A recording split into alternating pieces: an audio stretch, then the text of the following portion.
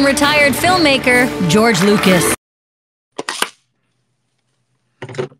Hello, I'm George Lucas, creator of Star Wars, and welcome to the George Lucas Talk Show 10th annual Life Day holiday special. Uh, this is uh, part one of two shows we'll be doing this month celebrating Life Day. Uh, Patrick, are you there? Hi, George. How are you? I'm doing all right. Happy Life Day to you. Happy Life Day to you. We're here. We're doing it. We're here and we are doing it. And this is the Yeah. 10th this is the 10th time that we've been celebrating Life Day on this show. Uh, before we've actually reached our 10th anniversary of the show. Yeah, that's is January is the 10th anniversary, right? I think February, maybe. I'm not sure. Okay. I'll That's look exciting. it up. I'll look it up. Okay. But we're we're close. We're we're nearing the end of our tenth year, and Yeah. uh, and we've done ten of these shows. Here we are. And everyone's here with us, you know? Well- Which well- is the nicest part of all. No, that's not true. Uh, Watto's not here, and Jar Jar isn't here. I guess that's true. I guess we're missing two very important people, but I meant I meant the audience. Right. Uh, and the uh, the live audience that is often at our in person shows. Yeah. But the Georgie Porgies are in the chat. Look at them. They're they're. Uh, I hope you're all wearing your Life Day robes to celebrate this uh, holiday. It's a day to celebrate, to love, to live, to grow, to dream, to breathe, to Mhm. verb. Mhm. Uh, uh, Life Day is a day for verbing, I guess that's true. right? I guess many that's- yeah. Yeah. We have our Life Day orbs, as you can, as we demonstrated before, to celebrate. We do. They're right here. Light yours up. Light it up. Why is There yours you so, much brighter than mine? I think it's the I think it's my because I have a uh ring mine's light on. more detailed. Look at that. Oh, why is mine showing so much uh, more detail than yours? It's- Anyway, it's very exciting. That's all right. Very exciting uh, thing. And I see you have your Life Day tree up in the background to celebrate. I do. There's there's a Life Day tree and then there's a Life Day Chewy right there. right? And then all your Life Day physical media on the shelf. Yes. Because Yes. it also is a day to celebrate physical media. The only way that the only way that modern entertainment can actually make money because streaming is a, a, a pit of emptiness. Everyone's been laughing at me for years saying why you got so much physical media and guess what? It's coming back, baby. It's coming back. Well, and even if it's not coming back, it's here to stay. Sure. That's Sure. the one thing about physical media is it doesn't go away. Although every Mhm. now and then, if you put in a disc that you haven't played in two decades, you find it just stopped working at some point It's gone. in those It's two gone. decades. So do not try to play your old DVDs. Just believe Yeah. that they are. They're like it's like I I feel like a lot of like uh the 35 millimeter, the 70 millimeter, like the film prints I have. I know that those Mhm. will still play. Yeah. And the digital copies that I have of films, I'm pretty sure are uncorrupted. But things that are on physical discs, hmm um, I sort of think of them as like Schrodinger's uh, physical media collection that you don't know whether the disc works or not, but it can be both Uh-huh. things as long as you keep it in the case. And and let everyone take away that lesson tonight. Right. And that's, uh, and, and, and uh, Patrick, do you have any life day wishes? Um, my life day wish. Well, this segues into something I was about to talk about. Great. Tonight we're raising money for the Food Bank of New York City. So That's right. here's all the info. Uh, we'll have it on the screen during the show, but if you donate one dollar, it will buy five meals. They will be able to use that one dollar to buy five meals for people. So when you donate that, you go to bit.ly slash FBGLTS and then forward your receipt to us. Yes. Fib- Fibglitz. What is, what is Fib, what is Fibglitz? Food Bank George Lucas Talk Show? That makes sense. Does sound like Um, it would be a name of a kind of alien creature, a Fibglitz. I like some sort of true. little animal that helps people get turns one dollar into five meals. That's what the, that creature does. Uh, so do that. We'll keep track of it, and we will uh, keep the tally running throughout the night. But um, I wanna I wanna buy a lot of meals for people in New York. You know, I And think and also let's uh, for Georgie Porges in the in the chat, uh, let's get some Mhm. fan art of what a fibglit looks like and how they turn one dollar into five meals. yes. Uh, now, George, we have a lot of upcoming things to talk about. All right, Uh, well, we can talk about those later. We can talk about those later. We can spread those throughout the show, right? If you want to, I was I I was gonna say them all up top, but we could totally do it throughout the show if you want. Let's tease them, and and maybe we'll tell you about the future when we start Okay. raising money for the food bank. Okay. Sounds good. Now, Um, now, Patrick, we had some late a late breaking development. yeah. It's very funny. Yeah, yeah, it is. Uh, so I I realized in my email to one of our guests, Riki Lindhome, Mhm. in the subject line, it said two five instead of twelve five. And now, two five famously is February and not December. That's the second month of the year as opposed to the twelfth month of the year. In the email, it said twelve five, but I missed typing that one in the in the subject. So uh, Riki is currently in Edinburgh, Scotland, a place where we spent a month this year. Uh, we're gonna find a new date, and we will get her on the show soon, though. Uh, right, because but, so so right. So you you didn't type the right number, and now I goofed up. I goofed very up. a very funny goof. That is A very that is, very uh, silly goof. a, a very silly way that the show has been now affected at the very last moment. Yes, that's true. But we got a great guest here who's waiting backstage. Should we should we bring him on, George? I think I think we should bring him on. Okay, guest who's backstage. The way that we introduce our guests is we have you write your own introduction in the private chat. And then we will say whatever you write as your introduction. and you can take as long as you need Yeah. because uh, the one thing we are not short on is time uh, not in the larger sense uh, I was gonna say we don't know that in the larger yes sense. in the larger sense time is a precious resource not to be squandered but in the Yeah. context of this of our live stream charity shows time is our most abundant resource uh, we can vamp we can delay There is no end to the ways in which we can fill the dead air, sometimes just with additional dead air, and Sure. sometimes with talking in a long run on sentence until we have. Which we do. We have an introduction. Do you want to read it or do you want me to read it? I want you to read it. Okay. Here's a man who needs no introduction, Michael Ian Black. But if I were to introduce him, I would say the following. Please welcome Michael Ian Black. Oh, that's lovely. Thank you. Thank you so You're much. welcome. You're welcome. Um, it- it- it's a real pleasure and honor for me to be here, Mr. Lucas. I'm a fan of some of your work, and Thank you. Patrick. It's Mhm. it's great to be here and to meet you. So, um, yeah, this is this is very exciting for me. Uh, now we've we've never crossed paths before, have we, Michael? No, um, although I I I feel like I've grown up with you Mhm. uh, through all the various George Lucas productions, um, both as a director and as a producer. yes. So I feel as if I know you, but I'm I'm more than wanting to become friends during this episode. Well, I, I think that's we're well on our way towards achieving that goal, if nothing else, tonight. Mhm. I appreciate your kind words. I appreciate uh, your uh, your cunning and your uh, intelligence uh, in, in your in your comedy. Well, thank Hmm. you, thank you, Mr. Lucas. Is it okay if I? If, is it okay? You can call me George. George. I, I didn't want to overstep. Do you like Um, Michael? Yes, please. All right. And when it, when exactly is Life Day this year? What day does it fall? Well, Life Day is a holiday that I I have ignored for decades, and uh, there is a day that is the anniversary of when the original TV special aired. But uh, I don't think that canonically, I, I don't feel like Life Day is any one day, especially on Earth, which is completely out of sync with other galaxies far, far away. It's one of those things where the time shift is so uh, extreme that. Uh, I think anytime between uh, Halloween and New Year's Day, you can celebrate Live Day. That's my opinion.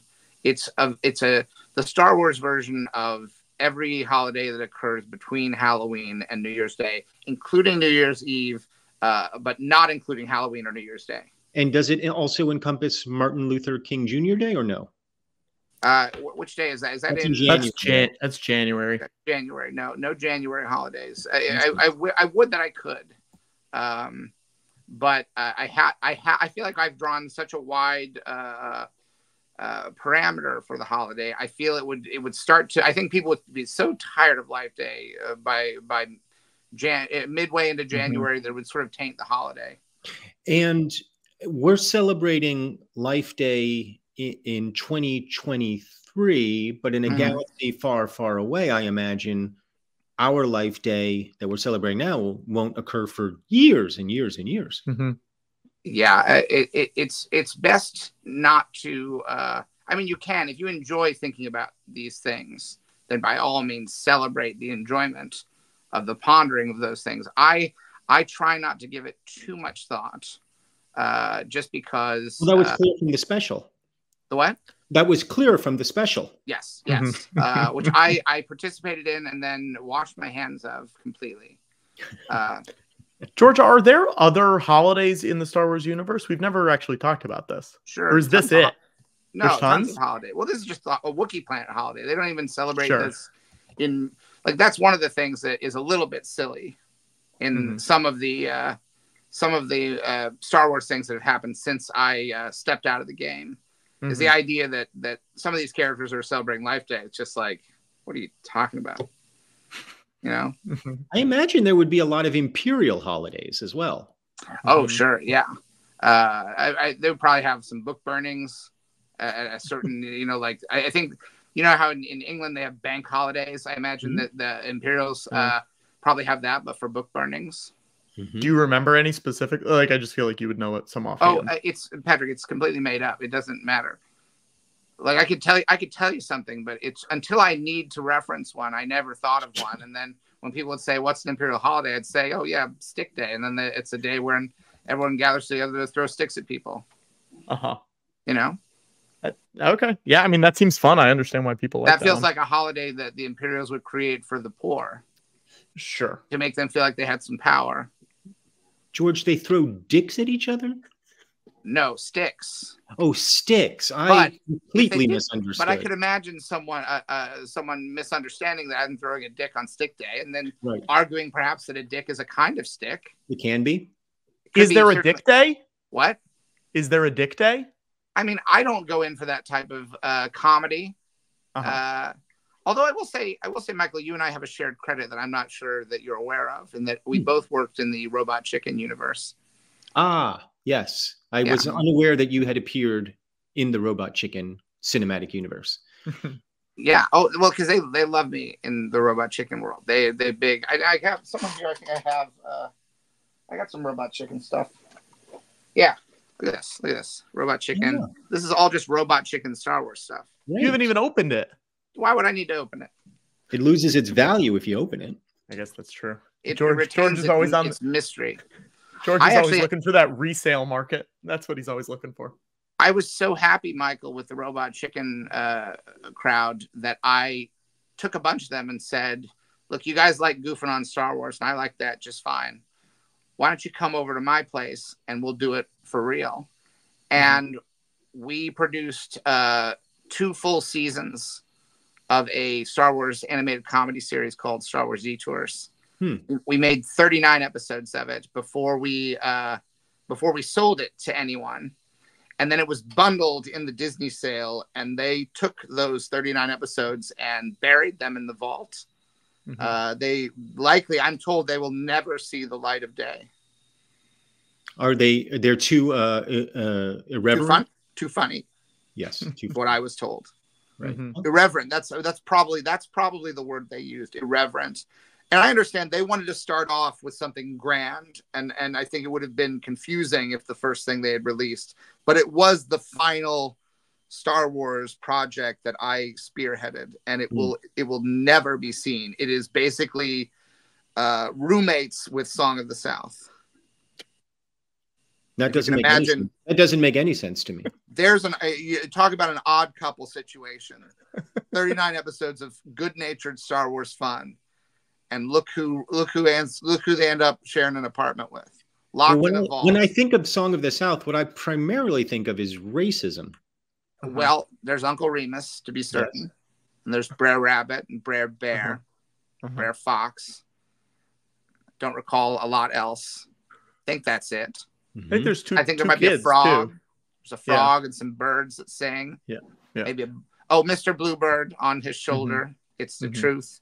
It's fa- It's actual. It's factual. Well, Everything is. Sa- I Everything's see now. You got me singing a racist song, Michael. I don't know what to tell you. maybe that it's such things maybe happen it's on Life best. Day. I would. I, I imagine you would have it on uh, DVD somewhere in the vault, but you, Song I of the would. South. Yes, I have a bootleg of it. Well, I'm I'm saying of your Star Wars series, but I you'd probably be reluctant to test Right. out your Schrodinger's DVD theory Mhm. with that because I that could be have the last copy. Yeah, I do have I have a, a hard drive that contains all the episodes. Okay. And and Michael, that's true. I'm telling you, I got a hard drive with all the episodes. Can't show it to anybody. They'll That's take they'll George. send they'll send me to they'll Mhm. send me to prison if I showed them to people. Yeah. We did Mhm. one show. I'll tell you this. We did one show on a boat. I don't think we've ever said this, George. We did one show on But a go boat. ahead. And we went out, we were over international waters and we showed it showed an episode. Uh but it was just for the boat people. yeah. Yeah. And they got I will say a lot of people when it was done said they didn't like it. hmm But you know, a lot of times that ha- that happens. I heard the That first could have just been the seasickness talking. I Sure. heard the first screening of, of Marty's Goodfellas was disastrous. So in a way I'm inclined to say that it was like the Goodfellas of animated Star Wars spoofs. Well, I remember reading a story once that uh, your friend Steven Spielberg did a screening. Oh no, I'm sorry, you did a screening of the original Star Wars before all the effects were in, and everybody thought, well, that's a disaster. And Steven said this movie's going to make a hundred million dollars. Yeah. And yeah, he was right. Brian was Brian De Palma was pretty hard on me in that uh that at that little gathering. What did he say? He said this makes no sense. I don't understand what's going on, et cetera, et cetera. He he was part of the reason why we added the crawl to explain things. That's why we created Crawley to sort of set it up because we just sort of threw you into it originally. And it is a little bit unorthodox because the first hour is just robots looking for something and they're not even the main heroes, you know. hmm But um, did you watch it when you were a kid? Yeah, I watched it when it came out. Yeah. Uh, What were, what were what were some other things that you liked when you were a kid? I never said I liked it. You just asked if I watched it. Why would you watch something you didn't like? I didn't have any control over what my parents took me to see at that age. Your Ne- parents. Okay, this is interesting. Your parents forced you to go to Star Wars. You did I'm not not like. it. I'm not saying I didn't like it. I'm just saying you assumed that I did, and in fact I did. I loved it, Oh, oh, that's great. That's so Yeah. great. but I I I resent the assumption. That's all I'm saying. I understand, uh, and forgive me for making the assumption. Although I, I do want to point out how absolutely correct it was, which I think is the sad. I think perhaps is the greatest tragedy. Is is when when you assume, uh, and then you turn out to be correct. It sort of validates all the incorrect assumptions that happen out there, and it gives power to those incorrect assumptions. You're right. It And- gives and you it gives you moral licensing to continue to make assumptions about people, places, and things. And on the very few occasions when you're correct, it just reinforces those uh, poisonous synapses in your brain. I bet a few years later, when they came out with other Star Wars stuff, you went by choice. I did. See, look, I did it. I made that assumption again. I, you're right. I was, I felt empowered and entitled.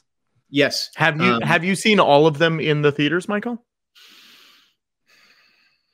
No, I don't think Okay. so. I don't Okay. think so.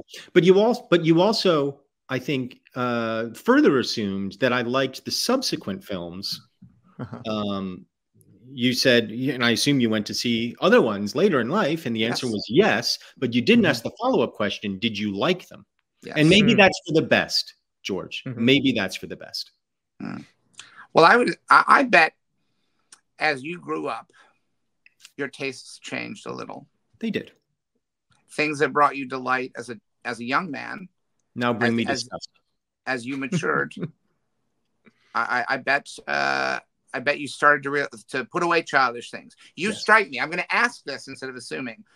Are you the kind of person that, as you matured into adulthood, you put away childish things, and perhaps Hmm. um, use comedy as a way of making fun of certain kinds of childish behaviors, childish affectations, uh, as a way of distancing yourself? No.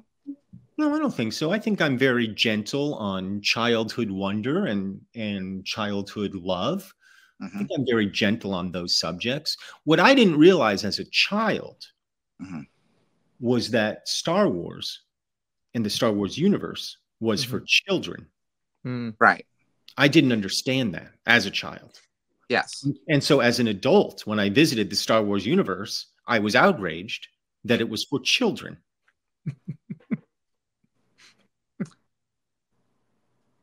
Is it true that one of your first professional jobs was on that most adult of programs, Steven Bochco's NYPD Blue?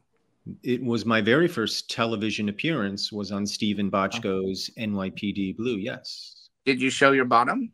I didn't, although I certainly would have had they asked. Right. It, it was it was just one scene in Tompkins Square Park in New York City, seated next to big time television star David Caruso, asking me a question or two, and me answering as a uh, Puerto Rican street hustler named Joey Ah. Diaz. I still recall the character's name. Joey Diaz. What was it like working with David Caruso? And did you interact with Steven Bochco at all? To- Uh, if I met Steven Bochco, I was unaware. I don't think I did. Caruso was very kind, very nice guy, That's good. uh, as was Nick Turturro, I recall. Also very nice. Yes. Who Played uh, uh, sort of uh, was a, a younger uh, police detective who uh, Caruso's character uh, had sort of taken under his wing. That's right. And I felt like, you know, for those few hours, Caruso took me under his wing, and we've remained very close ever since. Uh, have What you do you been back to what do Tompkins you- Square Park? Say that again. Have you ever returned to Tompkins Square Park ever? Frequently. when you are there, do you feel yourself returning to the world of NYPD Blue, the world of of Puerto Rican street hustler Joey Diaz? I returned there specifically to re-enter that world. That's why I go there. And and often I do show my bare bottom. It's just not on television. How delightful! What do you think happened to Joey Diaz? Oh, I don't think he lived very long. No. No, I mean he did he, live it? Did he live in the area? Oh, yeah, I think he yeah, he he was he was a street kid more or less, burning the Yeah. candle at both ends, Yeah. uh doing some things he shouldn't be doing but needing the dough Sure. and uh and probably spending what little money he did have on substances that probably weren't going to do him any good in the long run. You think you think Joey Diaz ever? Uh, first of all, do you think he lived into the 21st century? No. Do you think he made it? No. So he that that takes away my first question. Was do you think he ever uh, stumbled over to uh, a midnight screening of Donnie Darko in the 2000s? Well, that is the natural follow-up question, and I, I would have to answer probably not. Although, if I one one very good redemptive arc for Joey Diaz would be if he died during 9-11 trying to rescue people from the towers. That would be a Great- wonderful great redemptive arc for Joey Diaz. Do you think that happened? No, No, no, he long okay. before. Long That's- before. it's a nice idea, perhaps a, a, a it's it's a nice dream, but but that NYPD Blue was not a, a show that was taken to flights of fancy, or uh, it was not, it was a it was a, a gritty look at uh, life in the big city. It Think Joey was. Diaz ever spent any of that money uh, on a slice over at Two Boots? Oh yeah, yeah, yeah, yeah. Yeah. I, I- think Joey Diaz. First of all, Michael Ian Black worked at Two Boots. Second of all, uh, Joey Diaz, I imagine, would have been one of those kids who probably comes in a little bit towards towards closing time and says, Mhm. "Hey, can I get like a two for one? You're just going to throw this shit out anyway." Right. And then and, and they probably would give it to him. You know, we we started this show right next door to the Two Boots that's that's over there, and Mm-hmm. uh, and we would sometimes do that after after the show. We'd go over and say, "Hey, you're going to throw this out? Why don't you give something to uh, Uncle Old George?" And, George. and and it was Jar Jar Mhm. at that point early on. Mhm. Right. Mhm. Um, yeah, I worked at Two Boots for a summer and uh, learned That's the one in the East Village. in the East Village. Yeah, on Oh, Avenue A, I think. yeah, and and third. Yeah, something like that, yeah. And Yeah, uh, learned very quickly how to steal from the till. Um, not proud of it, but that that is what happened. I stole a lot of money from Two Boots. I mean, not a lot, but but a lot for me. Right. And uh, and and the great perk of that job was, as you can imagine, free pizza. Sure. Free pizza. Did you have a favorite slice? Um, they had you know, you know the two boots. I don't know if they still are like this. I imagine they are. They don't have pepperoni. What they Mhm. have is sopressata, thin sliced mhm. Italian spicy sausage, mild mild sausage. They also have andouille, which is the spicier one. And uh, but uh, you know it's it's a it's it's sort of like a combination of salami and pepperoni. That was probably my favorite. They also had a nice uh, shrimp pizza that I Yeah. that I enjoyed. Did they back then? Because this is what they do now. They name their slices after different pop culture characters. Yes, yes, Okay, yes. that was that was also the case then. Okay. Yes, I don't remember any of the names. Maybe Lucy was that one of them? Mhm. Lucy, Lucille Ball. I don't know, but yeah, They ever have a Stella slice? to my chagrin, they did not. I mean, they, they should have. That would have been a real nice, a real classy move on their part. And part. honestly, surprised George that you know my comedy trio Stella. I mean, that's a fairly I don't want to say obscure, but uh, and, and I don't mean this to to be offensive in any way, but it's not quite your generation. It's it's a little bit Gen Xy. No, but I'm a Mm-hmm. a trilogy guy, and and there's something about a, a comedy trio that appeals to me. I like things in threes, ideally, and uh, and th- I like the sense of whimsy and abandon that that Stella really brought to the fore. Uh, we did have Whimsy and Abandon, and going back to Stick Day, we also had uh, a dildo that we featured very prominently in many of our video shorts. I don't know if you ever saw those, but Mhm. we bought a dildo and then really felt like we had to amortize the costs of that. So Right. it appeared in many, many videos. That's smart.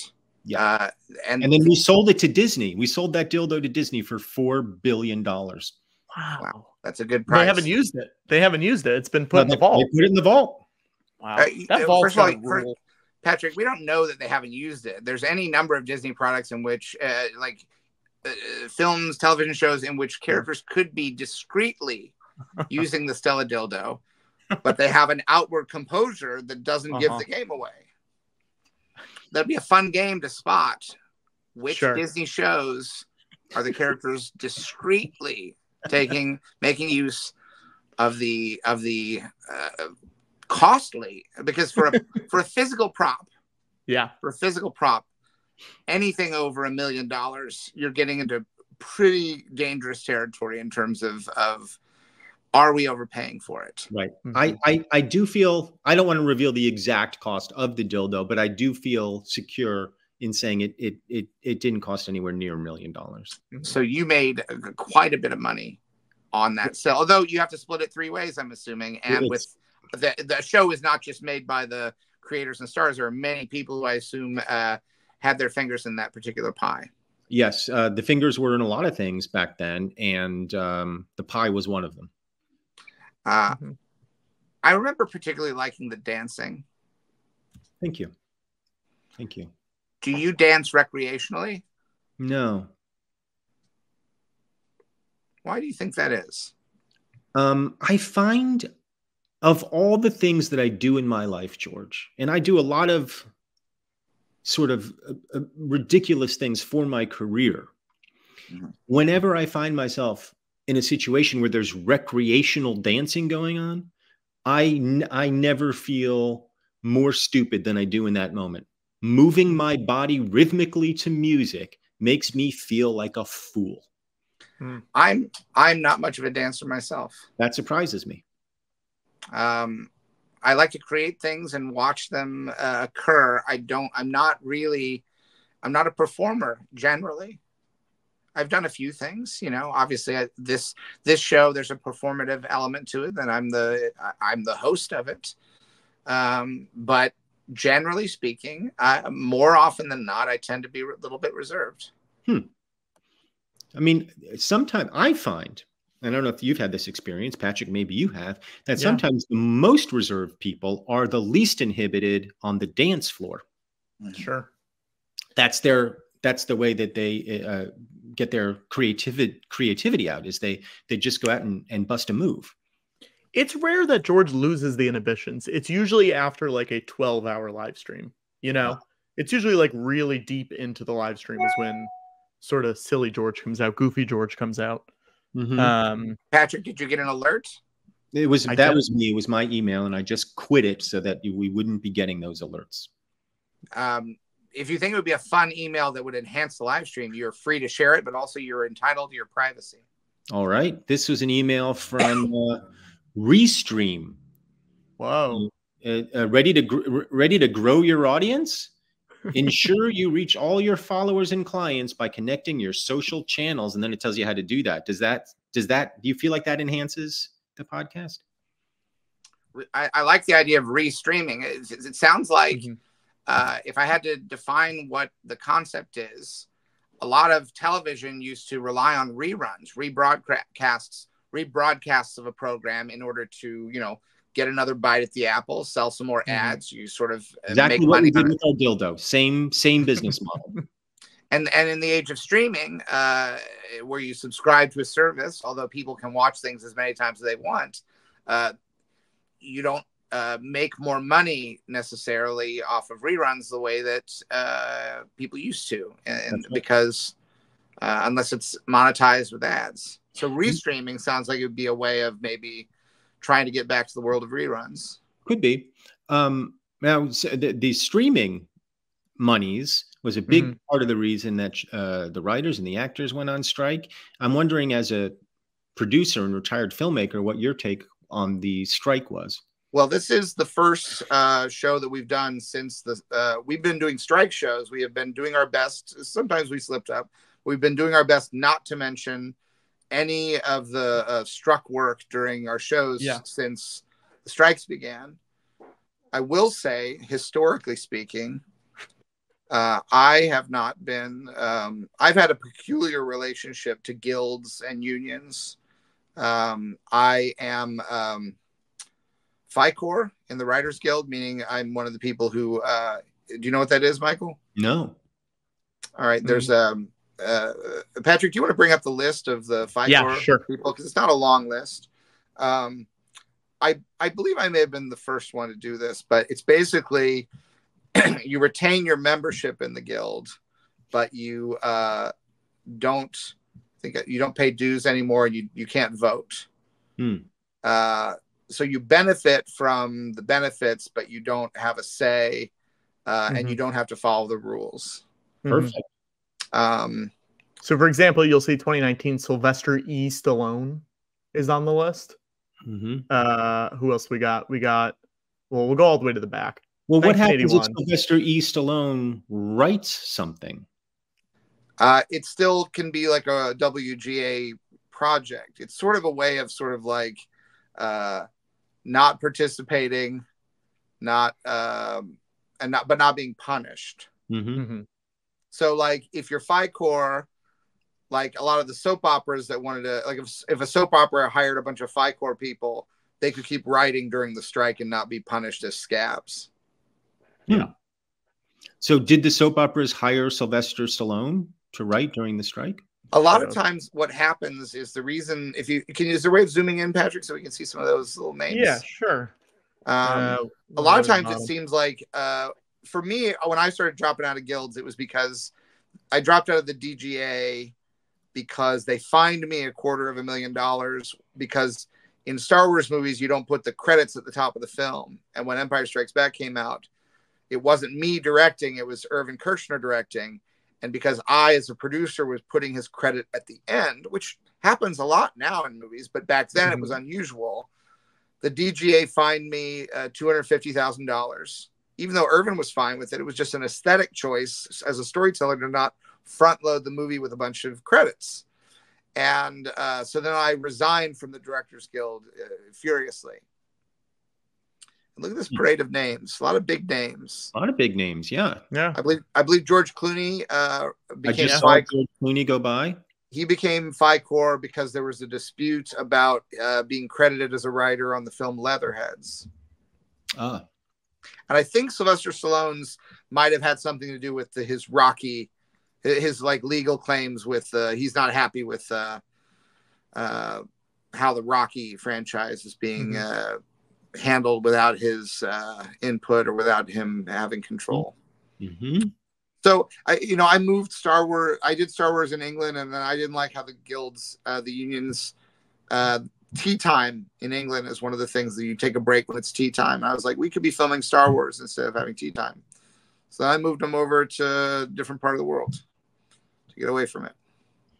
But So I'm not perfect on this issue, but I was very supportive of the strikes this year because I'm retired. What does it matter to me? right, I I will say that um, tea time, great. It's a great institution, Mhm. and uh, I support it on film sets. I support it Mhm. In a domestic setting. I support it everywhere. I think it's terrific. But just imagine you you're getting ready to shoot the perfect Jabba the Hutt scene, got everything ready to go. Jabba's you got everybody in the Jabba. They're getting ready to do a scene. It's going to be great. And then we're going to break for tea and crumpets. And you just feel that energy just just Mhm. disappears. And then you have tea and you come back and you do the scene, but it, something was lost. Something that we can never get back. Was it worth it? Or should I take my Star Wars movies and go to a different country? I mean, if it was me and I was and I was Jabba's left hand or whatever, Mhm. yeah, You want I- you I want would that see scene? You want that You're scene? hungry. You're thirsty. Yes, I want it. Are you are you happy with the way the strikes uh, ultimately resolved? Oh, I haven't paid any attention to how they resolved. I just know that they did. Yeah. I'm not. you re- worried I'm not- about it? I'm Are not reading the contract. I don't know. I mean, also SAG is not totally resolved yet. No, it's not. Yeah. Close, so it's pretty close. That that deal might get rejected, although I doubt it. Do, don't isn't it the deadline tonight? Oh, I, I have no idea. I don't pay attention to it. I just, I it just, might be resolved during the show. I support That would be so strike. exciting. Yeah. I supported the strike without fully understanding the issues. I mm-hmm. support the agreement without knowing what's in it, and I'm excited for where show business is going, Would here's a question. which I don't understand. would you sign away your likeness to AI to be able to use in AI voice, AI building a Michael Ian Black in a computer? Never, No. never, No never. I mean, I, I mean, if they gave me like sixty bucks, maybe. Oh, oh, that's not that bad. I feel like a lot of things have that budget. Yeah, Yeah, that that that that theoretically means that a new media project could get your digital double. Yeah, for sixty bucks. I know. I know. Bruce Willis did it. Okay. He signed away. He can. You can. You're. We're going to see Bruce Willis popping up and shit till the end of time. Yeah. Well, I'm excited about that. I want more moonlighting. We got to get Cybill on board. When we get Cybill on Right. board, we've already got Bruno. Then we're going to get some more moonlighting. That's right. We get Mr. Pesto. Yep. We get we get the whole thing going. We get Curtis Armstrong. He just turned seventy, so we Mhm. uh we should get on that right away. That's right. Although the viewers got very mad when uh, his character started being featured too heavily at the expense of uh, uh, David and Maddie, uh, because they were, uh, you know, he was busy. Uh, they they were working on other projects, so they Yes, weren't they every were. episode. So Yeah. we don't want to. Uh, Curtis Armstrong is great. I think the viewers were mistaken, but Sure. uh, I think he was a little bit uh, burned by that, by the audience backlash. Yeah. I will say, I, I hear I hear a lot of people are worried about AI. I went back and rewatched my buddy Steve's movie uh, AI. Holds up. Mhm. I felt like, and you can, and it, when you talk to Steve, please tell him this. I felt like that movie was very underrated. I Mhm. thought it was lovely. I thought it was I- just beautiful. I think every movie of his that isn't widely celebrated is deeply underrated. hmm Um, I think, and that one, you know, it's a collaboration with uh, Stanley Kubrick, who had passed away, and Steve finished it. And uh, you know, the I, I do think now I did see a thing today that um, do you do you use the Calm app, Michael? Mm-mm. Have you heard of it? It's a, is it a meditative app? Yeah. It's like I- to help I- you sleep too, right? I, I, I saw that they have an AI Jimmy Stewart voice that now will read a uh, "It's a Wonderful Sleep." It's like a Wonderful Life sleep story, Mm-hmm. But it doesn't say narrated by AI Jimmy Stewart. It just says the pop-up ad that I saw just says narrated by James Stewart. Hmm. Mhm. Um, I do feel like we need the AI stuff a little bit treated like um, it almost we almost need like an FDA style labeling system Mhm. where Well, it's you have like some it- idea. it's like they uh, they label meat in Europe GMO Mhm. Yeah. AI. because I, I I think I think if you're using it as a as a seasoning, just a little sprinkle a little AI here just to clean up a little something, a little something there.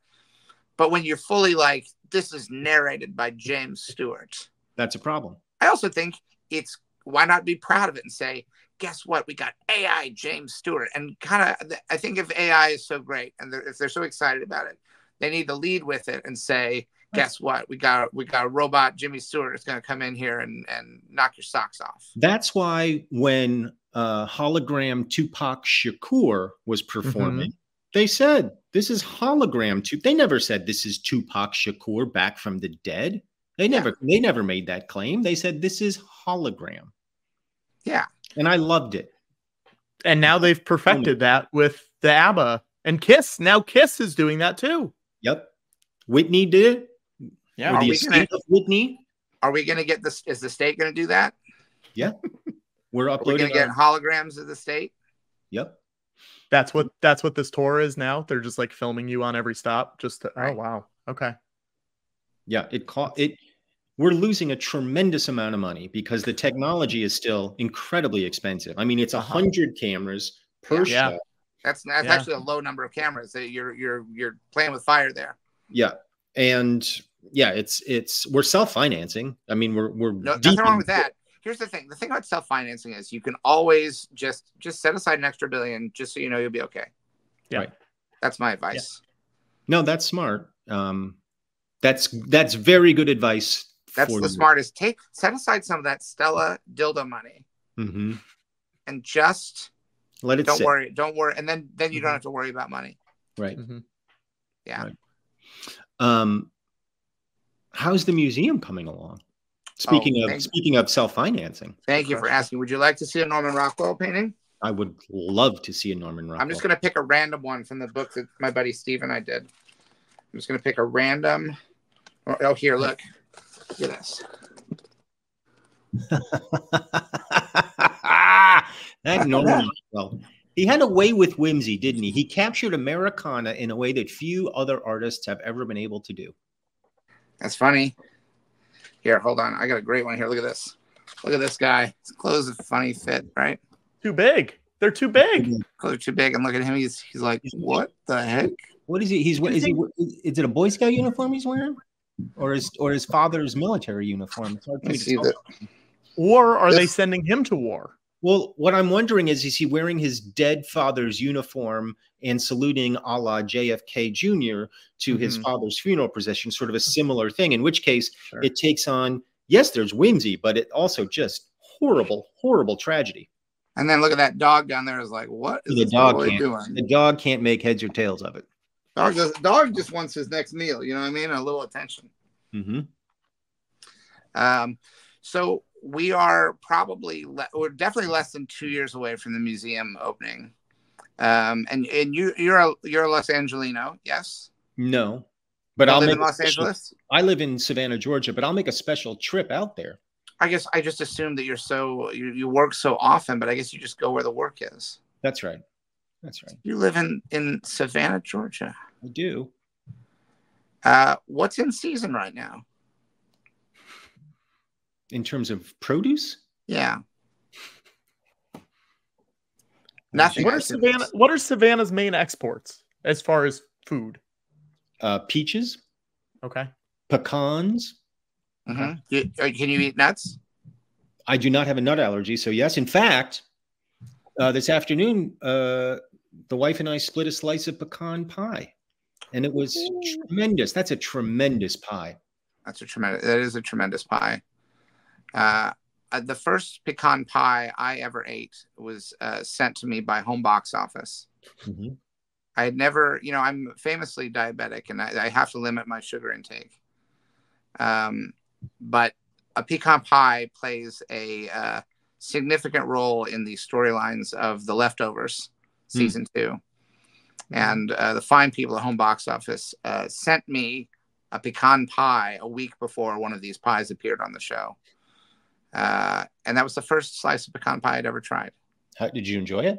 I, I ate the whole pie, Michael. I I wasn't supposed to, but what are you, what are you what choice did Well, I no, have? you were, but you were you were supposed have to. That's why they. I think a pie is not for one person, but I was the one who received it, and I thought if I let Melody or anyone know that I have this pie, Mhm. they're not going to let me eat it. I better eat this pie now, and I I I housed the whole the whole pie in one sitting, and I, I thought can easily see that happening. It's a, it's just a, it's just a tremendous, tremendous pie. You're just not going to do any better. it doesn't. the- I'd had pecans before, and I think I'd even had candied pecans before. Mhm. and I was skeptical about a pecan pie. It kind of seemed like a bad idea. It kind of seemed like there's no way this works. It seemed like too many nuts in a pie. If someone said, "How would you like a pie?" It's mostly nuts. A nut pie? I don't think so. Mhm. And yet, somehow it's it's almost magical how how well it works as a dish. There's some kind of gelatinous goo that holds all the pecans in place, uh, and then there's the crust that surrounds it, and and whatever that gelatinous goo is is just It- divine. It must have a terrible name, or else they surely would have named the pie after that gelatinous goo. Right. Do we want to know feels like what's it- in a pecan pie? Do you want me to tell you? yes, I'd love to know. Okay, there's Let me, one let me cup. see, let me see if I can guess as you as you look Okay. at. Okay, great. corn syrup, Yes. molasses, Uh, no, no. pecans, Yes. sugar, Uh, yes. Brown sugar specifically. brown sugar, right? Butter. Uh, this does not say butter. Well, the crust is gonna the crust is gonna. Oh, oh, well, this one specifically is using frozen Pillsbury deep dish pie crust because we're on Pillsbury.com, I guess. I see. I mean, if you go to Pillsbury.com, that's what you're going to get. What are they going to plug some what of the products? Like Yeah. the person, that web designer is going to get fired if they mention any. let me other- try to fi- let me try to find a better one. Hang on one second. Now, if we find it in every other website, we'll know that Pillsbury is just defaulting to the true recipe Sure. and can't help but appear biased. Okay, great. So we said pecans, we said corn syrup, we said brown sugar, you said Butter. butter. Someone's saying salt. salt, Uh, there is salt. Yeah. baking sa- baking soda, and baking powder. You're gonna need.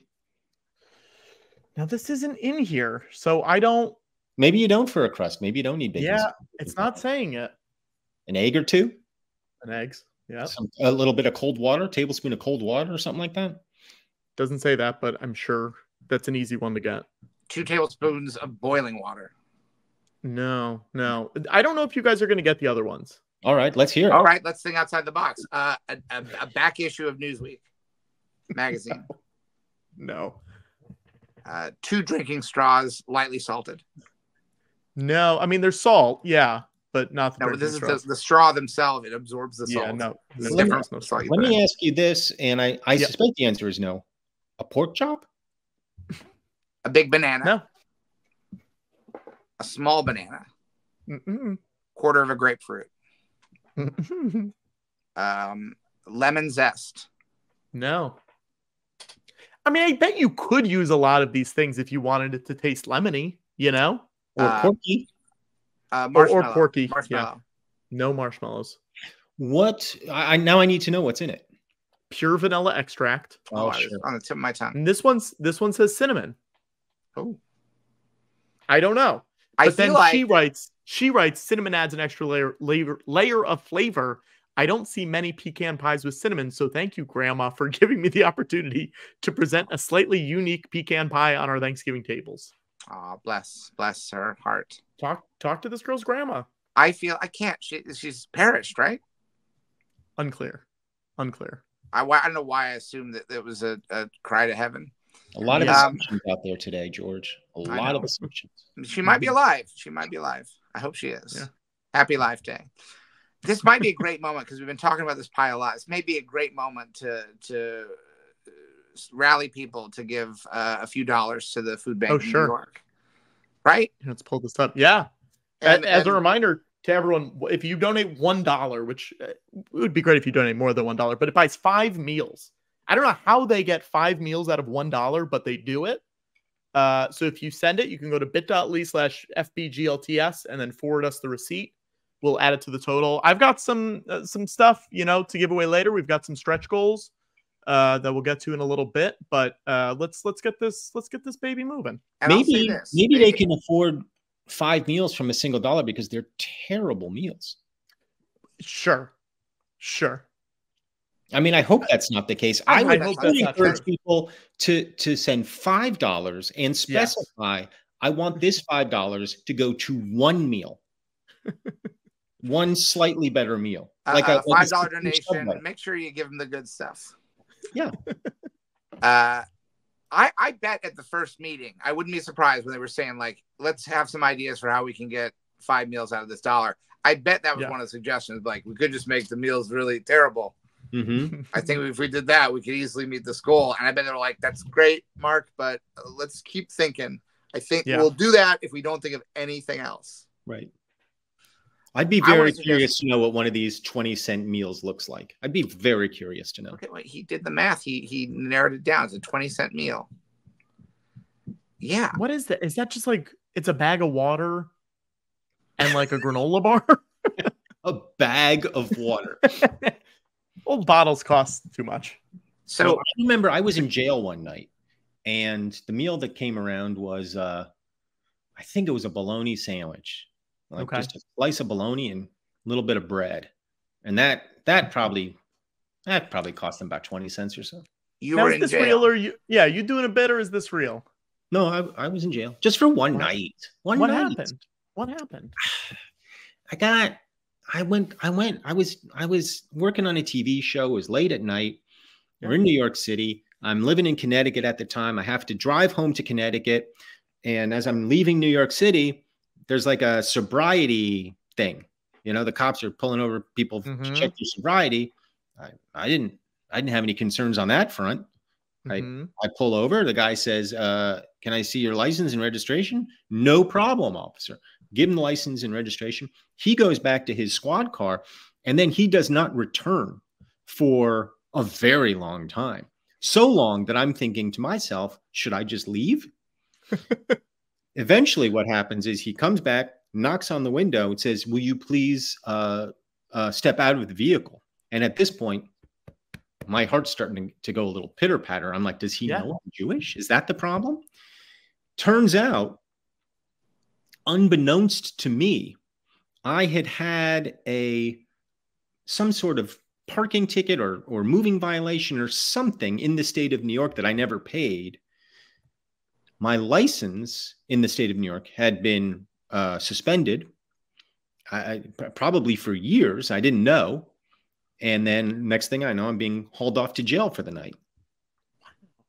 It's a real slap in the face to a scofflaw like me. How was How it? old? were- How old were you when this happened? Two good, two good questions. 42, 43, I don't know.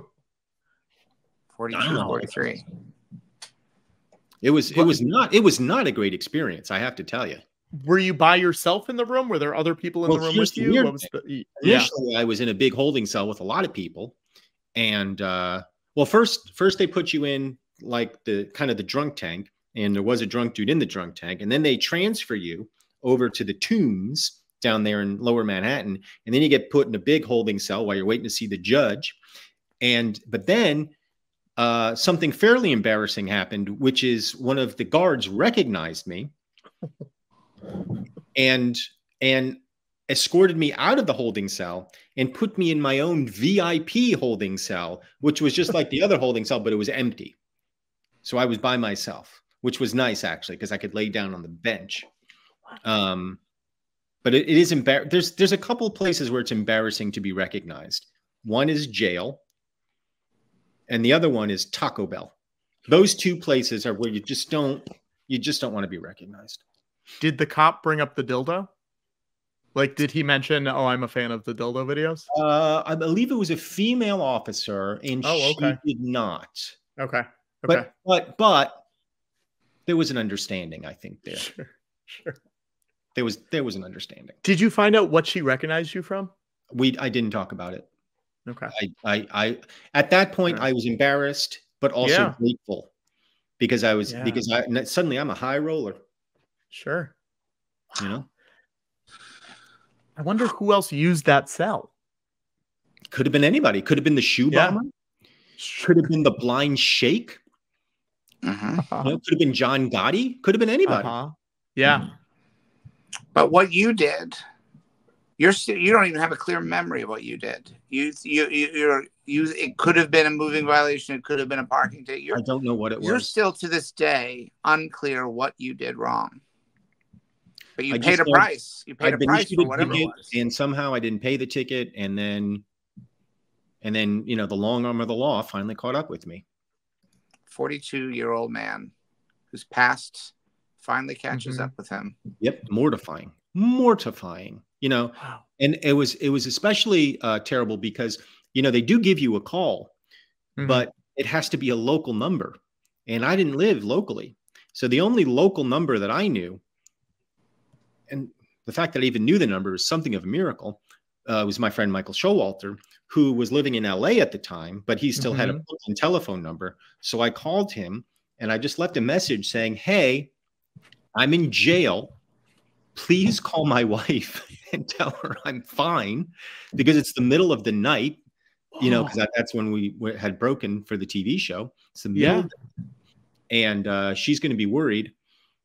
And I don't think I explained to him why I was in jail because at that point I think I wasn't sure why I was in jail. I just knew that I my license had been suspended. I didn't understand why. Um, so that was kind of embarrassing, and and I think it I think it freaked him out a little bit. But but he had been to jail for a similar thing, the same thing. I think. How many members of the state have been to jail? I don't know the answer to that question, and surprisingly, it's never come up when we've talked. Yeah. Yeah. we've Yeah. yeah. asked each other who here has been to jail because I'm suspecting it's Yeah. more than half, but we've never talked about it. Do, do you think that if you had named your group something different, that you would? Do you think there's a connection between naming yourself the state and this seemingly random persecution by the state against you? Mhm. If anything, I think it probably worked to my advantage Right. because because I'm Sure. saying I'm an institutionalist like you guys. Yes. Yes. Yeah. I'm all Yeah. you know. Blue lives matter. That's what I kept saying. They handcuffed Sure. Me, and I'm Right. just screaming, "Blue lives matter! Blue lives Yeah. matter!" Yeah. Right. So they took it easy on me, you know. Well, that's Yeah. good. Did you tell the people on the show that you were working on that this happened? I don't think I did. Yeah. I was so embarrassed. I don't think I did. Sure. I remember I was working on another TV show uh, years before that, and uh, one of the fellas on the TV show got arrested for buying crack, and uh, that made the Hmm. tabloids a little bit. Mm-hmm. Mm-hmm. And and I'm not going to say his name, but uh, let's say his name was uh, Jerry. We started calling him Crackhead Jerry. Uh, and I don't think he liked that very much. I wonder. I wonder why. Well, wow. I mean, I'm assuming he didn't like that name as much as he liked crack. I guess not. Well, So you're probably comparing it, like from my understanding, I've never, I've never done crack cocaine. My understanding is it's, uh, if you try it, it's amazing. Uh, that it's very dangerous. I don't recommend it, but the people who love it really like it a lot. Mhm. And I think it probably skews your sense of how much you like other things. So I'm not sure that you could have come up with a nickname that would have satisfied someone who had experienced the delirious joys of crack cocaine. right. Nor, It'd have to be a hell of a nickname. Mhm. yeah, and I- I just feel like once you know, once once you've been arrested and your face is in the newspapers for buying crack in the middle of the night in some sketchy neighborhood in Brooklyn, it would Yeah. be a disservice to him if we didn't then call him Crackhead Jerry. Right. Be- because it it it would be it would be minimizing, I think, that Mhm. experience. And that's the last thing I wanted to do. Yeah. He put in the work. You just want to you know, acknowledge that's it. all right. I get it. Wow. George is thinking about this a lot. George is like really considering this. Well, I was. Uh, you said you were 42, and I know Harrison made a movie called 42, but I don't think it's about the same thing. No, no, that movie was about Jackie Robinson, who straight as an arrow, that guy.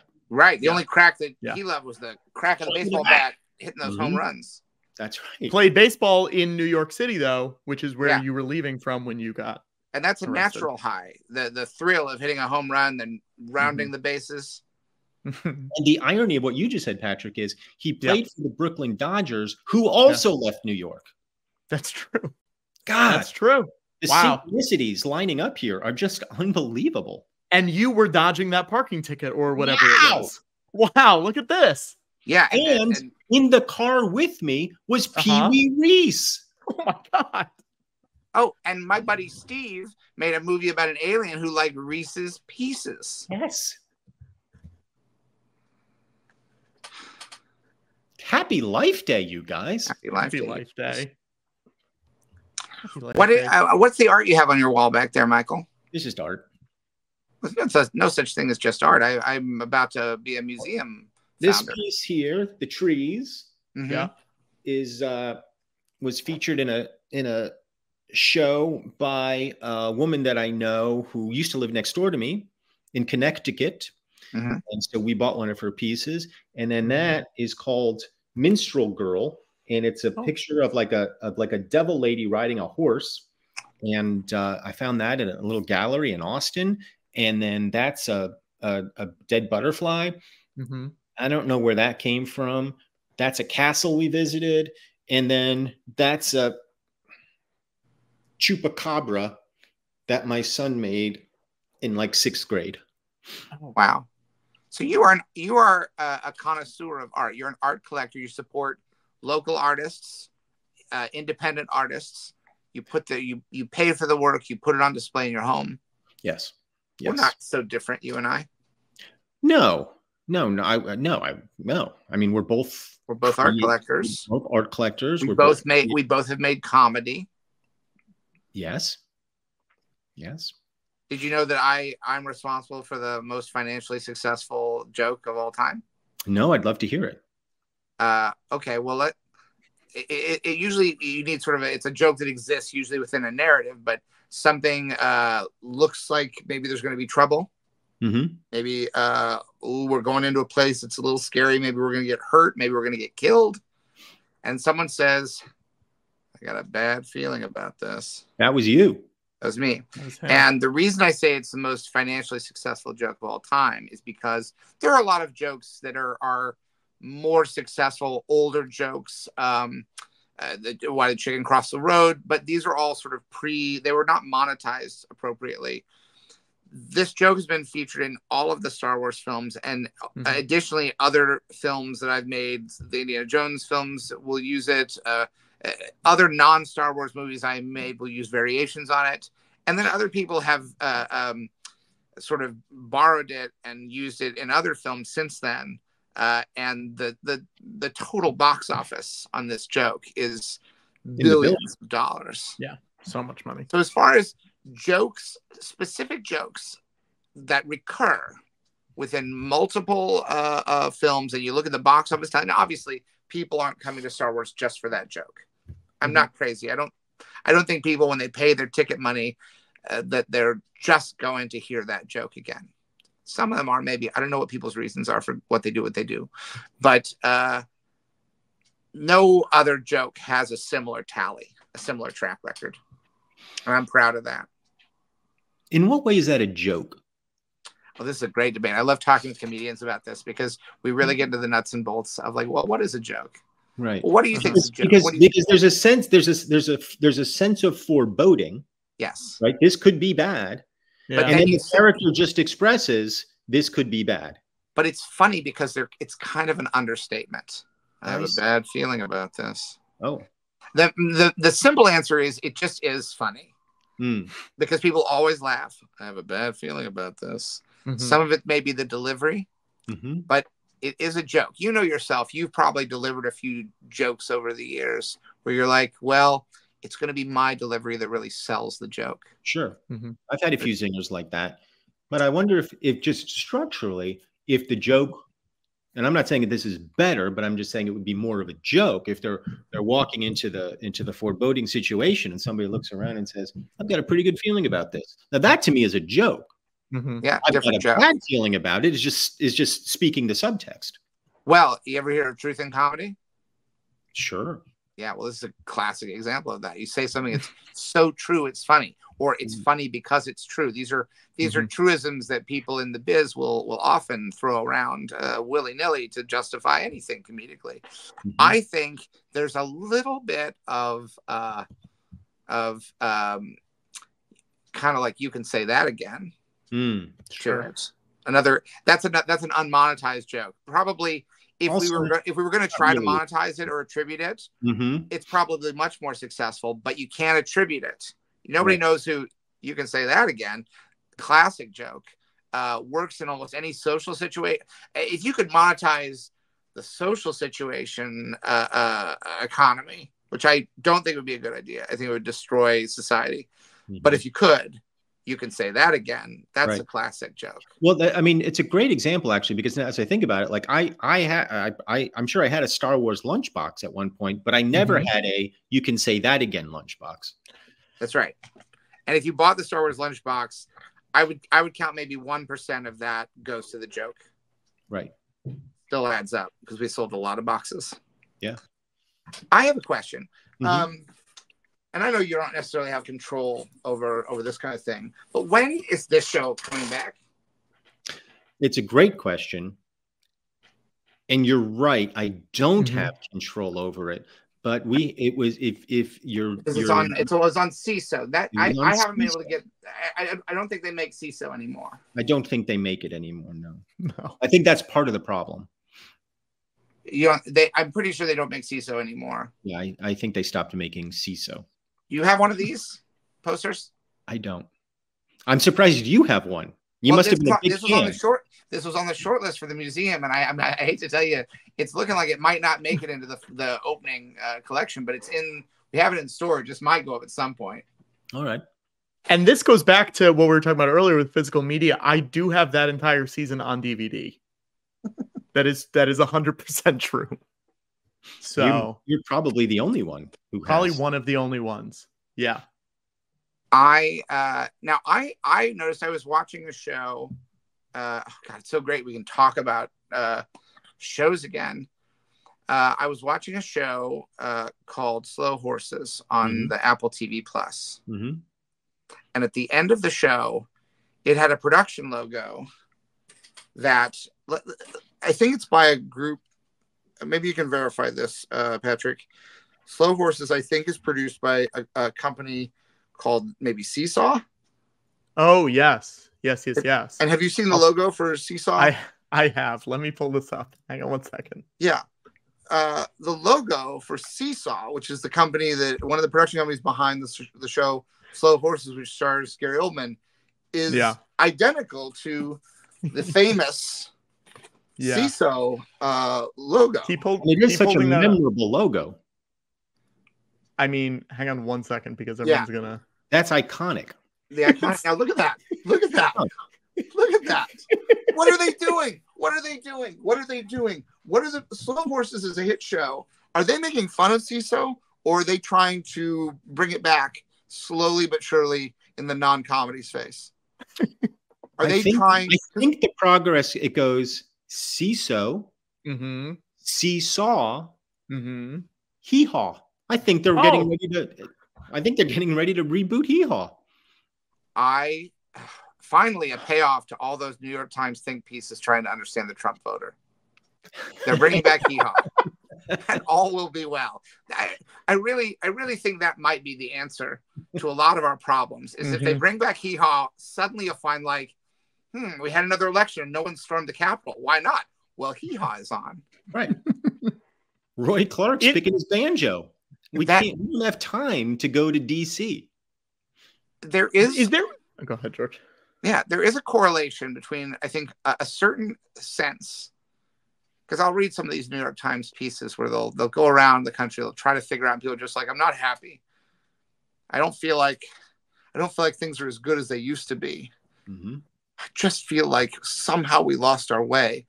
And I can't help but think now that maybe they're just talking about like if they'll put Hee Haw back on the air, it gives people something to laugh about uh, in a rural context. Hang on, George. We have an exclusive right now from Yeah. a uh, development exec from Seeso in the chat. This is real. Literally, the logo was going to be that logo, and I knew it looked familiar. And the day before we launched, we switched it because someone finally realized it was the exact replica of the Seesaw Films logo. Oh, so Seesaw Films preceded Predated. Seesaw. But that is the Seesaw logo. Right. They just changed it slightly the day before. Like like if you if you're uh, getting ready to go outside and it's a blustery day and you take Uh-huh. out your your lip balm or chapstick and it's your Seesaw Seeso branded chapstick, that's the logo. Uh-huh. So you're telling me that Seesaw, how old is Seesaw Films?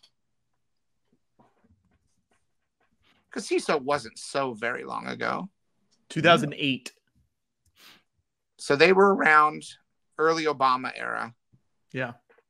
Seesaw Films, are they a UK company? Australia. Australia. Yeah. Interesting. British, So, British, Australian. British and Australian. so, per- so we owe perhaps an apology Mhm. um, To Seesaw. to Seesaw Yeah. uh, while we're at, it, let's throw in an apology to Hee Haw. I think that'll be healing. Uh, let me give you a quick hee haw story. Yeah. It doesn't have to be quick, Michael. Great. the gals on hee haw, you know, they had they had some some buxom gals and long long legged ladies. They were called the hee Beautiful haw women. Honeys. Mhm. One of the hee haw honeys was a woman named Misty Rowe. In around 2003, 2004, maybe, Misty Rowe had a Christmas show in Atlantic City.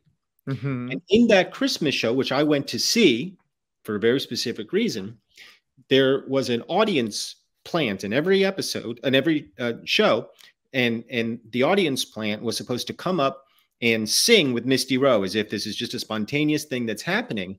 Wonderful. That audience plant, and the reason that I went to see the show, Peter Dinklage. Oh, Peter Wow. Dinklage from the station agent, Game of Thrones. That's right. And I think that Oh, was the nadir Games. of Peter Dinklage's career. And then after that, sure. things started happening and haven't stopped. Hunger Games, Ballad of Songbird and Snakes, star That's right. Peter Right, Dinklage. starring Rachel Zegler. There's Misty Rowe with Santa. Yep, yep. Yep. And it was a terrible, terrible show. Uh, and Peter was miserable doing it. And and all of us who went down there uh, to to watch him perform in it had a good laugh at his expense. Just a just Yeah. a great laugh at Peter Dinklage being stuck in Atlantic City for the holiday season, the bleakest spot in America. Uh, and it, I mean, it wasn't really a laugh at him; it was more a laugh with him because he understood Sure. that it was terrible too. But uh, yeah, that was that was something. Wow. Do you have any other? Do you have any early jobs that were a similar kind of experience to you, either pre or post Joey Diaz? Early, early jobs in the show business. There, there- uh, nothing. Well, I was going to say nothing as humiliating as that, but but my very first New York theatrical performance was when I was a either a freshman or co- uh, sophomore in, at, in college, and I uh, was cast as a corpse in a in a show. Hmm and my job was to be the corpse on stage for i think the entire run of like a one act and so uh, and there was a guy that was talking to me and i my job was just to be a corpse and my eyes were open and i had to Oh. sort of figure out how to blink in moments where the audience was unlikely to be looking at me uh star of that show was a terrific actor named ned eisenberg who recently died Oh. terrific New York actor, character actor. Now, Mm. did they tell you to leave your eyes open, or was that a was that a Michael choice? That was an artistic choice on Okay, sure. Do you regret that? At the time, yes, very much. Yeah. Very what about now? Oh, oh, that being the corpse? No, I don't. No, no, regret no. that. Do you- no, do you regret keeping eyes open? The eyes. Yeah, terrible, terrible, terrible choice on my part. Yeah. Although it did focus the mind quite a bit. Like I didn't get bored. I was mostly thinking about not blinking. Yeah. Was the play good? Don't remember. Okay, great. I suspect not. Most theaters terrible. Sure, sure. True. Um, do you have dream projects that you uh, uh, have in actively in development or passively in development? Things that you really want to accomplish? Sure. Yeah. Yeah. But we. I don't talk about them because to talk Mhm. about them would be to jinx them. Yes, Mhm. we don't want. And that's certainly not my intention. I was not preparing to jinx them. It seemed But- like you were. No, no, no. Uh, I would never. I would never, unless unless I would have to have a reason. And as of now, I don't have a Mhm. reason. I'm I'm rooting for you. If I had a reason, then it would be a different story. Then perhaps I would wish to jinx you, but I don't. It would be very easy for you, I feel like, to just finance some of them. I mean, you'd think so. Right. But- that's that's why I said I think it would be very easy for you to. Yeah, and yet we began this conversation with you lecturing me about making Mhm. assumptions. I I I hazarded a guess. I didn't say I assume Mhm. you could pay you could finance them. I said I I, I think I might have said I bet or I guess. But Yes. that's, Well, this that's, is that's offering a wager. but to hazard a guess i mean even the the verb of that hazard uh, is fraught I- I- to hazard a guess it, there's an implicit danger in what you're doing you're you're you're going into the realm of the unknown and stating a possibility boldly. And a lot of I'll I'll be honest, I could finance I'm sure many of your comedy projects or even dramatic Mhm. projects if you had something where you thought I don't want to be funny. I want to Mhm. move people to tears with the Mhm. seriousness of my craft. Um do you have any I'll ask in a general sense. Is there anything you like to do that is not funny but very serious and uh, you think I don't want people to laugh during this. Yeah. I want them to feel Yeah. different things. Pathos. Lots of pathos. Pathos. Mhm. Do you think we're going to get any more of the the Wet Hot American Summer universe? I doubt it. Do you think if you all become very old that that might that might That uh, would be the time to relaunch it. Yes. Yeah. to And do when we're in our 70s, playing late teens, Sure. Like I, I do think I do feel like because I I was so pleased with the uh, both of the revivals. I thought were were very exciting, Mhm. but it does feel like the next step has to be at a point where to to even see the cast again would be shocking. yes. Because I, do feel like I do feel like there's something about both the discipline it takes to wait, to wait, Another 20 years. Yeah. and then the boldness to embrace this is why we waited is so that you can Right. see us Wet Hot American Summer next summer. And then we're all in our 70s. that's right Uh-huh. it's one one summer later Mhm. and it's been a hell of a year like it really is the storytelling you should almost film part of it now just a little part of it just to show the a bad thing that happens to each person that is so so stressful that It would make if if someone was watching that in chronological chronological order, it would ma- the midquel of it all would make it so confusing. Because you'd watch the prequel, which is the last thing, and then the original, and then the old people, and then the other one. You know? Yep. I I do think I I do think here's my here's my genuine recommendation. You should wait until everyone is um Terminally ill. is is astonishingly diminished physically and mentally. Then give a call to Industrial Light and Magic. And by this point, they will have perfected so many technologies, but you should insist on them dusting off the original Irishman uh, set of uh, Mhm. De aging tools. patches and Mhm. and uh, whatever they have in the in the toolkit, Yeah. and say, "I'll we'll have a little bit of that, please." Right. That's the aesthetic we're going for. Yeah, because I feel like it'll be people will be hungry for it by then to see like sh- we haven't seen a good old fashioned Irishman in a while. No. Mhm. You know, in the in the in the in the storytelling sense, we do a format here called the Irishman Plus, which is that we try to make our shows at least at least one minute longer than uh, Marty Scorsese's The Irishman, Mhm. and it's not hard to do. How was uh how was it what was it like to, was Rick Moranis in American Graffiti? Is he in that? Uh, no, no. Uh, I'm trying to think what you might be thinking of.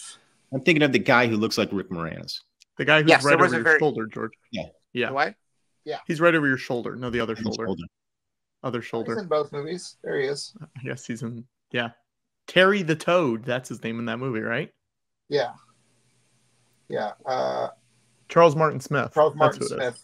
Yeah, Charles. Yeah. Mar- I was looking for his name on the poster. Charles Martin Smith, very much a prototype of uh, the Rick Moranis uh, movie nerd. Mm-hmm. Mm-hmm. Uh, very, uh, very horny, very frightened of getting hurt. Um, no, but Is Moran I- is Moranis one of your guys? well, Moranis was Dark Helmet, and I was asking Michael. I was Oh, just saying my one of my guys. guys. He played a, Yeah. he played a spaceball. Oh, sure. Um, he's not one of my guys. No. I've never Who are met your guys? Method Man. Method Man, mostly Method Man, and Red Man, Uh huh. and um, Man of La Mancha, Impossible Dream. and Hungry Man. Mm-hmm. Mhm. Mm-hmm. That's it. That's it. All men. Good guy. No, they're good guys. Good guys. Uh, were you? George- Uh, did you watch SCTV growing up? No. No, I never saw it till I was in my probably l- early twenties. Right. It wasn't. It wasn't. They didn't show it uh, where I lived in New Jersey, Mhm. at least that I was aware of. right. What was what were your big influences comedically? What are some things that would maybe surprise people about about like either comedic or or, or things? They don't even have to be things that were funny, but things that uh, you fa- you uh, took inspiration from for your work. Uh, maybe the, the maybe the oddest is was a show called That's Incredible. You know that show? Yeah, that was yeah. That was Uh, hosted by Kathy Griffin. No, not Kathy Griffin. Kathy, not Kathie Lee Gifford. What's her name? Uh, Fran Tarkenton, John Davidson, and Kathy something. And it was a sh- it was a show that just featured people doing incredible things, and th- that show has stuck with me more than Cathy Lee Crosby. Crosby has stuck with me more than maybe any other thing I've ever experienced. That just sort of blew my mind open as to the possibilities that are just inherent in this world. A, a yogi could fit into a box this big. He just bends him, just fits himself into a box about this big, no bigger than a shoebox. Yogi just fits himself right into there. There's hmm. archers, you know, splitting arrows with arrows. There's all kinds of stuff. It's incredible. What what's something like that that you wish you could do, or is there something that you would have done had you gotten the chance to go on that show? Well, I'll tell you a uh, direct inspiration that I did do mm-hmm. was we used to I, I, I co-created a show called Viva Variety, and one mm-hmm. of and one of the things on the show was we always had a variety act, and mm-hmm. those acts were just directly could have been on That's Incredible. Like you know, they I mean they tended to be a little bit more stupid than That's Incredible because it was a comedy Sure. show, but you know there'd be like a guy who could regurgitate billiard balls. I had knives thrown at me. Uh, guy drove over me with a truck. Uh, you know, uh, uh, bola boards. You know, people doing circus acts and stuff. All that stuff right out of That's Incredible. Did any of those not work? Like during production, did you guys have any uh, No, mishaps? there not- bloopers? never an injury. I mean, we had people lighting Yeah. themselves on fire. We had people uh, uh, it- it- it- like dealing with rattlesnakes and shoving them Yeah. in bags as fast as they could, like all kinds of crazy shit. No, nobody, nobody ever got hurt. No, Wow, no injuries, no mishaps, nothing like it. that's great. We were very fortunate. And Duran Duran was on, so that's a good show. Yeah. Yeah, George, I, I, you I on- caught a few. I caught a few episodes of that back in the day. Sure, sure. I bet you did. Were you were you a fan of new wave music? Um, I have an appreciation for some of it. I don't. I I I wouldn't say I have a lot of new wave music in my collection, but I do appreciate it. Um, that's not not really my generation. I was sort of like focused on my own thing when that was. Uh, but you know, uh, made a movie that had Bowie in it. That's there's a little bit of overlap between Bowie and some of that new wave era, right? Mm-hmm. Mm-hmm. Labyrinth was that you? Yeah. Mhm. Well, I, I produced it. Yeah. Oh. Jim Henson movie. Right. Who directed it? That Jim Henson directed it. Oh, he directed it, and his company made it. Got it. Yeah. Terry Jones wrote it. Oh, really? Elaine, May, big- Elaine yeah. May did a did a little bit of work on the script. Look at that. Uncredited, I assume, as always. Yeah, a little bit of uh, script doctoring. Sure. Yeah. What's your favorite Elaine May movie, Michael? You like Ishtar? What's the take on Ishtar? I never saw it. Oh. you see uh, the uh, honeymoon uh, kid, Years ago. the heartbreak kid, the heartbreak kid. Sorry. Heartbreak Right. Kid, and I remember liking the Heartbreak Kid quite a bit. Yeah. Good. Yeah. Good movie. I don't Who- remember anything Patrick, who owns that movie right now? Is what? Oh, it's like a, a pharmacist in Britain owns the Heartbreak Kid, And like the rights it. to it. And that's why it's not streaming anywhere. It's not on DVD or Blu-ray really. Like it's it's all tied up in this like weird uh British pharmaceutical company. Um we want to encourage people to look up that company and write to them and tell them stop holding the heartbreak kid hostage. Yeah. I, what are what? I don't know. Like off the top. What happened, Patrick? What happened? It was Bristol Myers Squibb is the name of the company. Yes. Patrick, we've lost a guest, I didn't do that. but you are the booker. I didn't Did you pull him off the stream? do that. He said off the top of my head, and I mean, it's a great way to leave if that was how he left. and he was gone. But he did not warn us in the private chat. Like sometimes people will say, like, I'm going to do something, get ready. yeah. He said off the top of my head, and he was gone. Like that. Dave, did you do that? I don't So know. we know it wasn't Dave. He would have copped to it if he if it had been him. Um, well, let's. Well, thank you, Michael, for stopping Thank you, by. Michael Ian Black. Shocking. Michael Ian Black, thank you so much for stopping by. Thank you. Thank Oh, you, just, i- i- in in looking up Elaine May uh, screenwriting credits, I somehow exited Oh, okay. the show. All right. To my chagrin, and I apologize. But she wrote some great ones. Heaven Can Wait and Tootsie and all kinds of Mhm. stuff. She's terrific. Yeah. Yeah. yeah. Um, what did you do today, Michael? It's come to this, has it? Did you have no? Did you have no? we want to get something. We want to get something that nobody else has. Oh, you want an exclusive? Yeah. yeah. I told Yeah. you. I told you. I, t- I I gave you the the the pecan pie. That's an exclusive. Yeah. Um. I also uh, took a, took a long walk with the dogs over to CVS Mm-hmm. Uh, to pick up some Zolpidem tartrate, which is Ambien. Oh. Mhm. Um, I've, I'm, I've been having trouble sleeping. Mm-hmm. So Have you found that that helps? Have you tried other methods? What's the? I feel like what- I've tried everything. Yeah. um, and yes, it does help. I I Okay. I love being drugged to unconsciousness. Sure. It's why I, it's why I like it's why I look forward to the colonoscopy every five years. Mm-hmm. Do you have dreams that you remember, Michael? No. Oh, uh, and ever? Sure, ever. sure. Do you generally have good dreams or bad dreams? My dreams tend to be fairly pedestrian, which I think is common as you get older. Like it's Yeah. just going about your daily life, doing Mm-hmm. some boring task. Uh, you know, maybe something a little bit off kilter happens. Like, you know, I'm at the supermarket. I'm I'm looking, and they're out of kiwis. What am I supposed to do now? Mhm. And then you wake up. Then you wake up covered in sweat, in a panic. and you carry that feeling over into your day? Like, do you feel the, the lack of a kiwi uh, as your day goes on? Yes. You ever act on it? Like, go out and solve the problem in your life that you couldn't in your dream? No, You should try that sometime. It might feel good.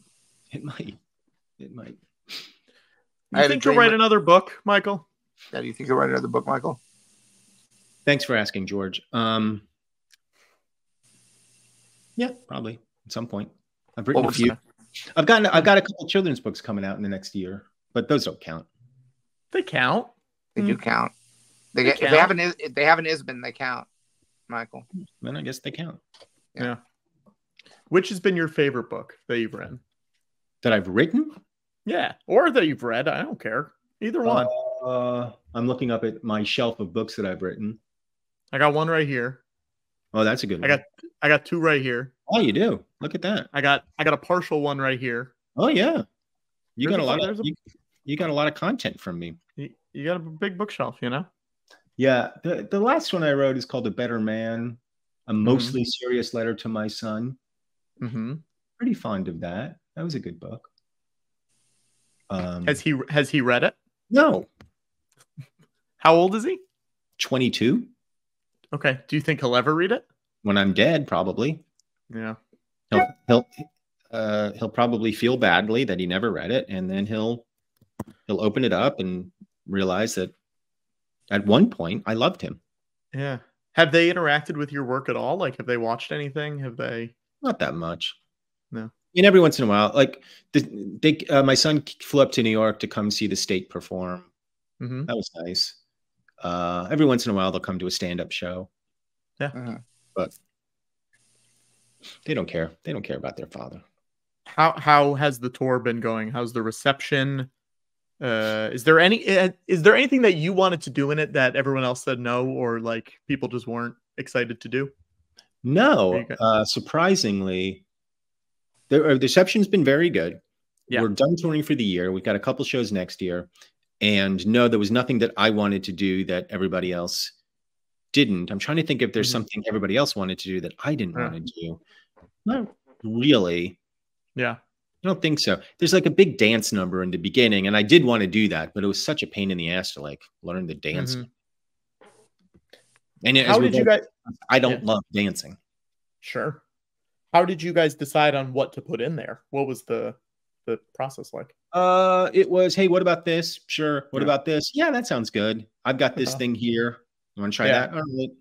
Yeah. It was very easy putting it together. That's good. I mean, it was a lot of work putting it together and making all the pieces come together. And Yeah. but in terms of like deciding what would be in them, it was it was actually fairly fairly easy. There was, you know, there's a lot of new stuff that we had to write for it. Uh, some old stuff, but yeah, it was pretty easy. George, you've never done a live show of your stuff, we toured with this show, we knew this show for a decade. but I mean, like in this in this uh, sense, like you've Oh, never like I don't done a- do well. I let other people. There's an Indiana Jones stunt show that they do Yeah. at Disney World, and uh, yeah, but no, I pr- primarily worked in cinema, so uh, Mhm. it's not. I, I don't think that I know there have been people who've talked about doing a Star Wars musical. Has there ever been a Star Wars on ice? Because that seems like a natural. I mean, there are small ways that certain things would, but I, you know, I, I do primarily think that that the mediums that Star Wars uh, has, we've done, done film and television, obviously, and we've done novels and video games, and we've done a, a few breakfast cereals. I don't know why. Mhm. I skipped over theater and did breakfast cereals, but I felt like there C3POs was one it was a cereal that I sort of helped. I wanted to make sure that it was a slightly healthier than a lot of the more sugary cereals that were on the market. It didn't last long, but it was a very good cereal. Mhm. What what made it healthier? Just it, just a little bit healthier ingredients, not quite so much sugar as um, As the Uh, R two D two cereal. Yeah, we never gave R2 a cereal. In all seriousness, we never gave R2 a, a cereal. And and this is something I don't really joke about.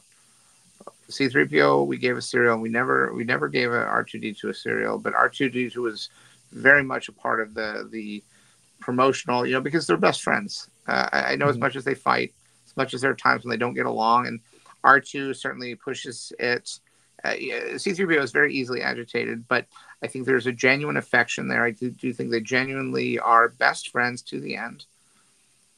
But I just, we never cracked an R2D2 cereal. We just, I, I said, if we can't make it work, if it's not as good as C3PO's, then I don't want to do it. And maybe someone will at some point, but I mean, in my mind, the R two D two cereal is sort of like uh, Alpha-Bits with maybe star shaped marshmallows uh, or something something like that. well, Isn't that kind of what C3PO's was, George? Uh, no, C3POs is sort of like little, a little like uh, bring it up, bring a picture. I'll show you. It's I'm- like I'm like I'm little, little like um, almost look like little weird. eights, but like uh, R2D2 kind of looks like a marshmallow, but also the letter A is pretty close to approximating, uh, depending on how low the the the uh, Line. horizontal Crossbar. line is in the A, and if you if it's a cornered A as opposed to a pointy A, you have a cornered A with a fairly low uh, uh, middle ridge, horizontal ridge, uh, you're pretty close to approximating a, a R2D2 in cereal format. So it was not a production issue. Uh, we could have cranked out an R2D2 cereal, and uh, uh, part of me looking back, I'm thinking, should we have tried harder? Uh, zoom in Mhm. and you'll see the cereal. If you Mm. zoom in, you'll see. Yeah. Hang on one second. And wh- what Yes, what it's- is what is the shape of that supposed to represent? Those are C3PO's balls. Okay, that makes sense. Wouldn't have been my first choice necessarily to Mhm. make robot gonads the Oh no, not genitals. Those are just like eh, like stress balls that he like plays with. Ah, well that makes Mhm. So the part of a joints stress, don't. part The of a joints don't stress-free- cut. Part of a stress-free breakfast. What's your favorite breakfast cereal? Yeah, what'd you have for breakfast this morning? Okay, so there's Those are two separate questions that have two separate answers. And a third Okay. follow up because if you didn't have your favorite breakfast this morning, Michael, what are we doing? You should have your favorite breakfast every day. Normally, including today, I don't eat breakfast. My favorite breakfast cereal is Frosted Flakes. It's a mm. classic. They're It's tried and true. great. You can't improve on it. It's just a fantastic, fantastic cereal. Frosted Flakes of corn. But you don't have that Mhm. every day for health reasons. I hardly ever have it. Every day you deprive yourself of your favorite breakfast, even though, let's face it, you can afford it.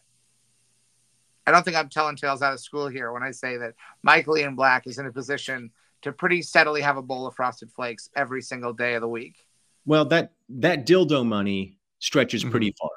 Yeah, especially when you when you s- spend it on sugary cornflakes. Uh, yeah, I think it I think it buys a flake or two. Mhm. Mhm. I don't mind saying. We we did get some fan art uh, that I do want to show on Twitter's from Oh Not Great. This is uh, Michael and the dildo inside the Disney vault. there you go. Is that that is me? Oh yeah. Yeah, it's you. Yeah. I didn't I didn't recognize myself, but yeah, that is me. Uh, Is with it the- Showalter next to you? Who is that? I don't know what that is, or who that is. Maybe yeah, I don't know. Yep. Yeah. Know. That might be if it's the Disney Vault. That might be Bob Iger. might be. Or Do who's Do you think he hangs out? Fuck you, Bob. Fuck you. Who's the guy that Bob replaced? Who replaced Bob? Who then Bob Bob replaced? Chapek? Might be Chapek. Yeah. It's probably Chapek. He's probably in the vault. Bob probably put him in the. Uh, Iger probably put Chapek in the vault. he said, uh, ah, "Let me escort you off the premises." That's the, no, that's the least I can do. It's the least I can vault. do. And then they're going down the stairs, and it's like, "I don't think this is the way to the parking garage, Bob." He's like, "Oh, uh, Bob, there's a. It actually is. I'm taking it this, uh, a different way. It's better." They're "Eh, spinning it. this is uh this is going down uh, well what's this well this looks like we're going into the the vault bob like no this isn't this is the way of the parking garage your car is on the other side of this door and then he opens it up he's like all right uh, your car's in there said all i see you in there bob is a copy of song of the south and 39 episodes of Star Wars Detours. And like your car's just right behind those episodes of Star Wars Detours. And Bob Chapek steps into the vault and he's like, right behind these episodes, these episodes, it's like a pile, it's like a foot and a half. Hi, I drive a, a mid-sized sedan. And at that point, Bob Iger says, "No, no, just just go a little bit further." And Bob Chapek goes, Bob Chapek says, "Bob, I don't see my car anywhere. I don't think we're anywhere near." Bob, Bob, Bob, Bob. And then we cut to Bob Iger. He's back in his office. Son of a bitch didn't miss a beat. I buy I it. think that's I think that's what happened. Do you think the show would have been better or worse with Riki? Riki, Great question. Riki Lindhome? Lindhome Oh, to be on the show. I thought Yeah. I thought you were talking back to NYPD Blue and you were talking about Ricky Schroder when he took over. If he'd been in from the beginning, no, that was Rick Schroder. Ricky Schroeder was never on NYPD Blue. potato, but Ricky. I'm glad she's not here. Um, I'm Great. sad and also mad, Mhm. and yet at the same time, I do feel glad because uh, I feel like we have your undivided attention. You do. Mhm. But I also can't help but feel uh, uh, delighted by the nature of the mishap because it's just uh, a single number changed the the Course the of course history. of the evening. Um, although, if we think it through a little bit, Yeah. because she's in Europe, she may also have read 2 5 as May 2nd. Which Mhm. would be us preparing for our May the 4th show. Yeah. May the 4th be with you, you know? Yeah. I don't know. There's so don't- many we'll different ways that tonight could have gone differently, and yet here we are, and I think we're having a delightful time. Mhm. Mhm. Are you having a good time, Michael? I should I shouldn't assume. Let me check in with you. Uh, yeah, I'm just wondering when I get to leave. I mean, You I left leave. once. I left once mistakenly. Yeah. yeah. And in a way, that may have that may have cost you I think it because because to leave once, you're gone. unceremoniously. Yes, that's that's that can be chalked up to any, any number of reasons. To But do it again, to come back there's sort of an expectation. Oh, he likes it here. He's gone. He's gone. Oh, okay. Thank you, Michael Ian Black, Thank for coming by. Hold on. All right, George, can we plug some stuff? Because I want to do this before. Uh, I should also say, show's not done. Uh, there's surprises hopefully coming later, uh, which will be fun. But I want to plug some upcoming stuff that we have, George. All right. Okay. All right, here we go. I'm going to pull this up. Look at this. Upcoming shows. Now, some of these have been announced. Some of these are exclusives. You're about to get some exclusives. Okay. Mhm. First show, December 16th, 4 p.m. Eastern time. This is It's an afternoon, show, a late afternoon, show. Okay. At Caveat in New York City. This is you can get tickets to come in person or you can live stream it from anywhere in the world. Uh here's a QR code, it'll bring you to the ticket link or bit.ly slash GLTS deck uh, for December. Um You can uh, also you can also watch the live stream after it's done streaming if that's not. Yeah, you don't have to can- watch it. You can, yeah. but you have to buy it, I think, before it happens. Yes, yes. Uh, uh Watto will be at that, George will be at that, I'll be at that in some fashion. Uh maybe we'll if have you're some in, guests. if you're if you're in person for that, Yeah. I think Uncle George is going to be giving out quite a few Life Day presents at that show. Yes. So yes. so the price of your ticket might also include getting uh, a little extra gift of some sort.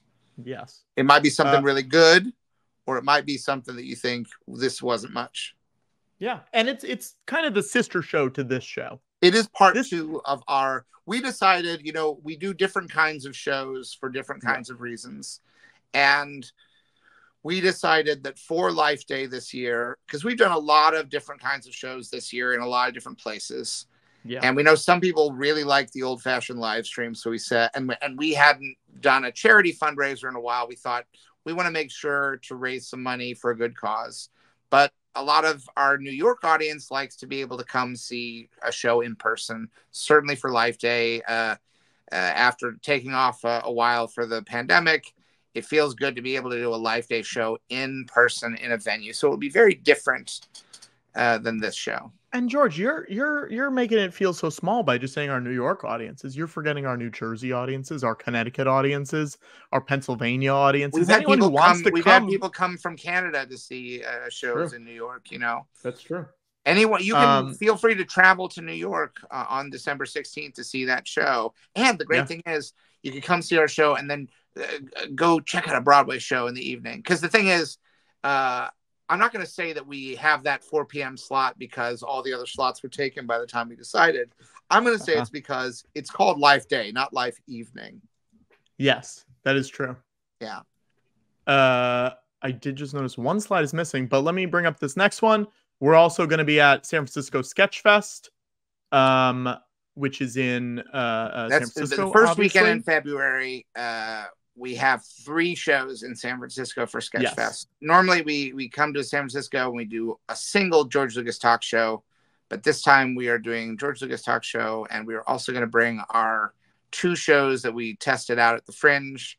Uh, Yes. We're going to be bringing uh, the Baron and the Junk Dealer and George Prov, an improvised theatrical experience.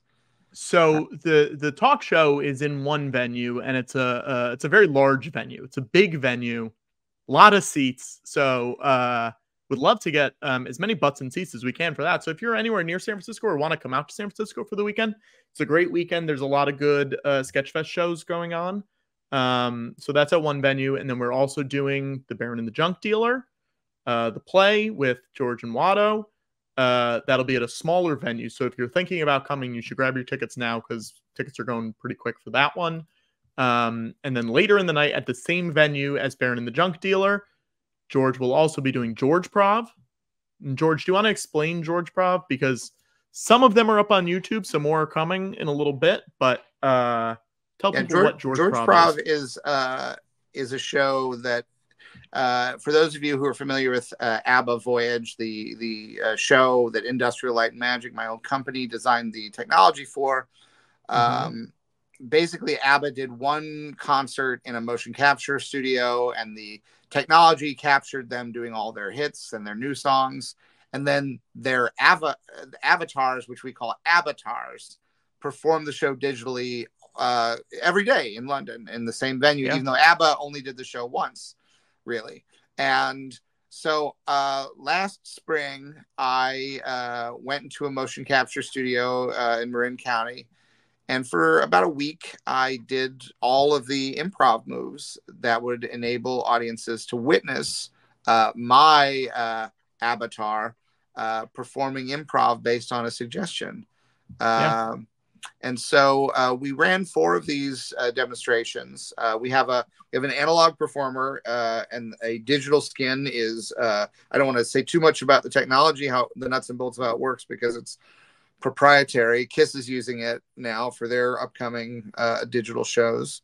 Mhm. Um, so we're gonna we're gonna do a um, we're gonna do a, sh- a single George Prov show in San Francisco at Sketchfest where you'll be able to see uh, an analog performer that will appear to be me, retired filmmaker George Lucas, and will appear to interact with the audience, but everything will be be done. It's it's it's a mix of uh, algorithmic. Um, sort of uh, uh, interactive algorithmic digital uh, artificial intelligence meets analog uh, uh, performance.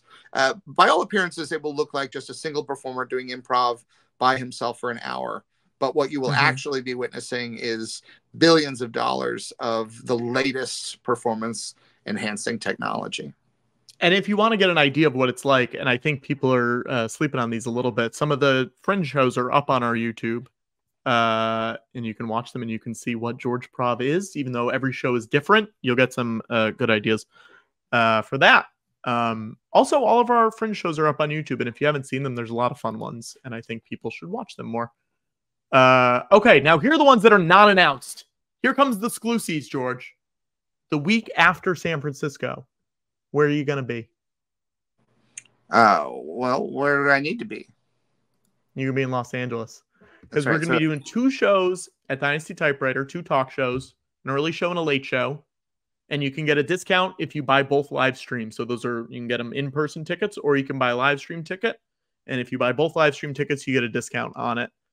Right. Um, It'll be a there'll be a regular uh, conventional talk show followed by a live after dark.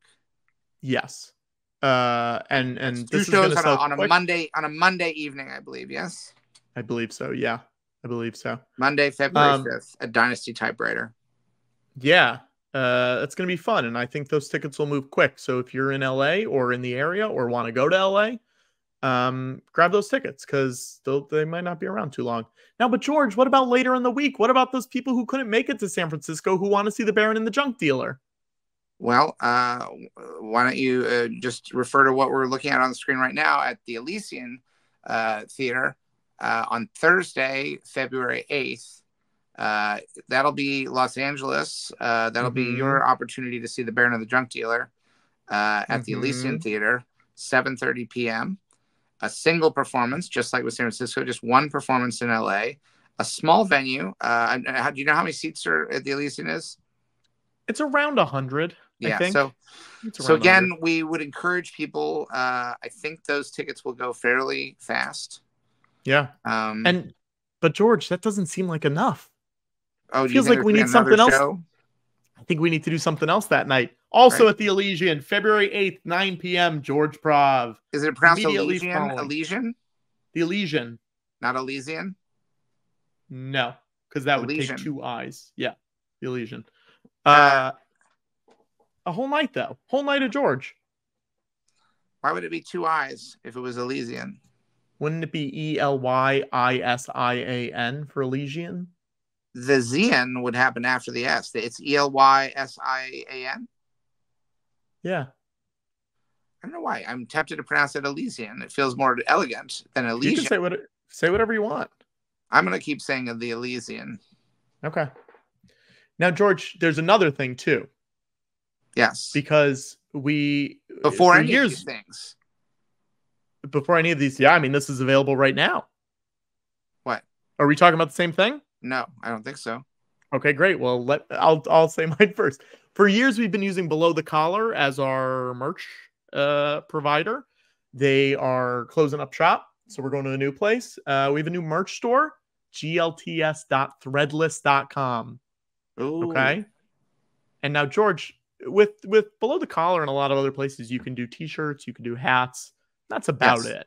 Sometimes you can do some more stuff, but that's about it. This Yes. one we've added a lot of new designs. Most of the old designs are there. Um, not all of them. Not the hat. working on getting the hat. Yeah, we're working on getting the hats back. I think that'll be soon.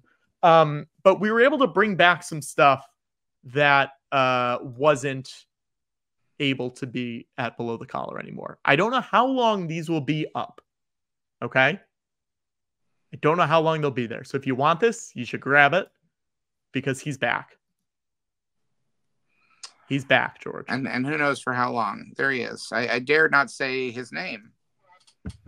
I don't want to either. the- for fear that some ambitious lawyer might decide to file a cease and desist order of all things.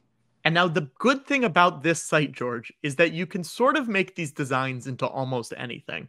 Ooh. So for example, uh, you know, there's also the uh pretend it's a uh this guy. I'm not gonna say his name. And you could put it on a pillow if you want. And right? It looks so comfortable. You can nestle your noggin on that. Yeah.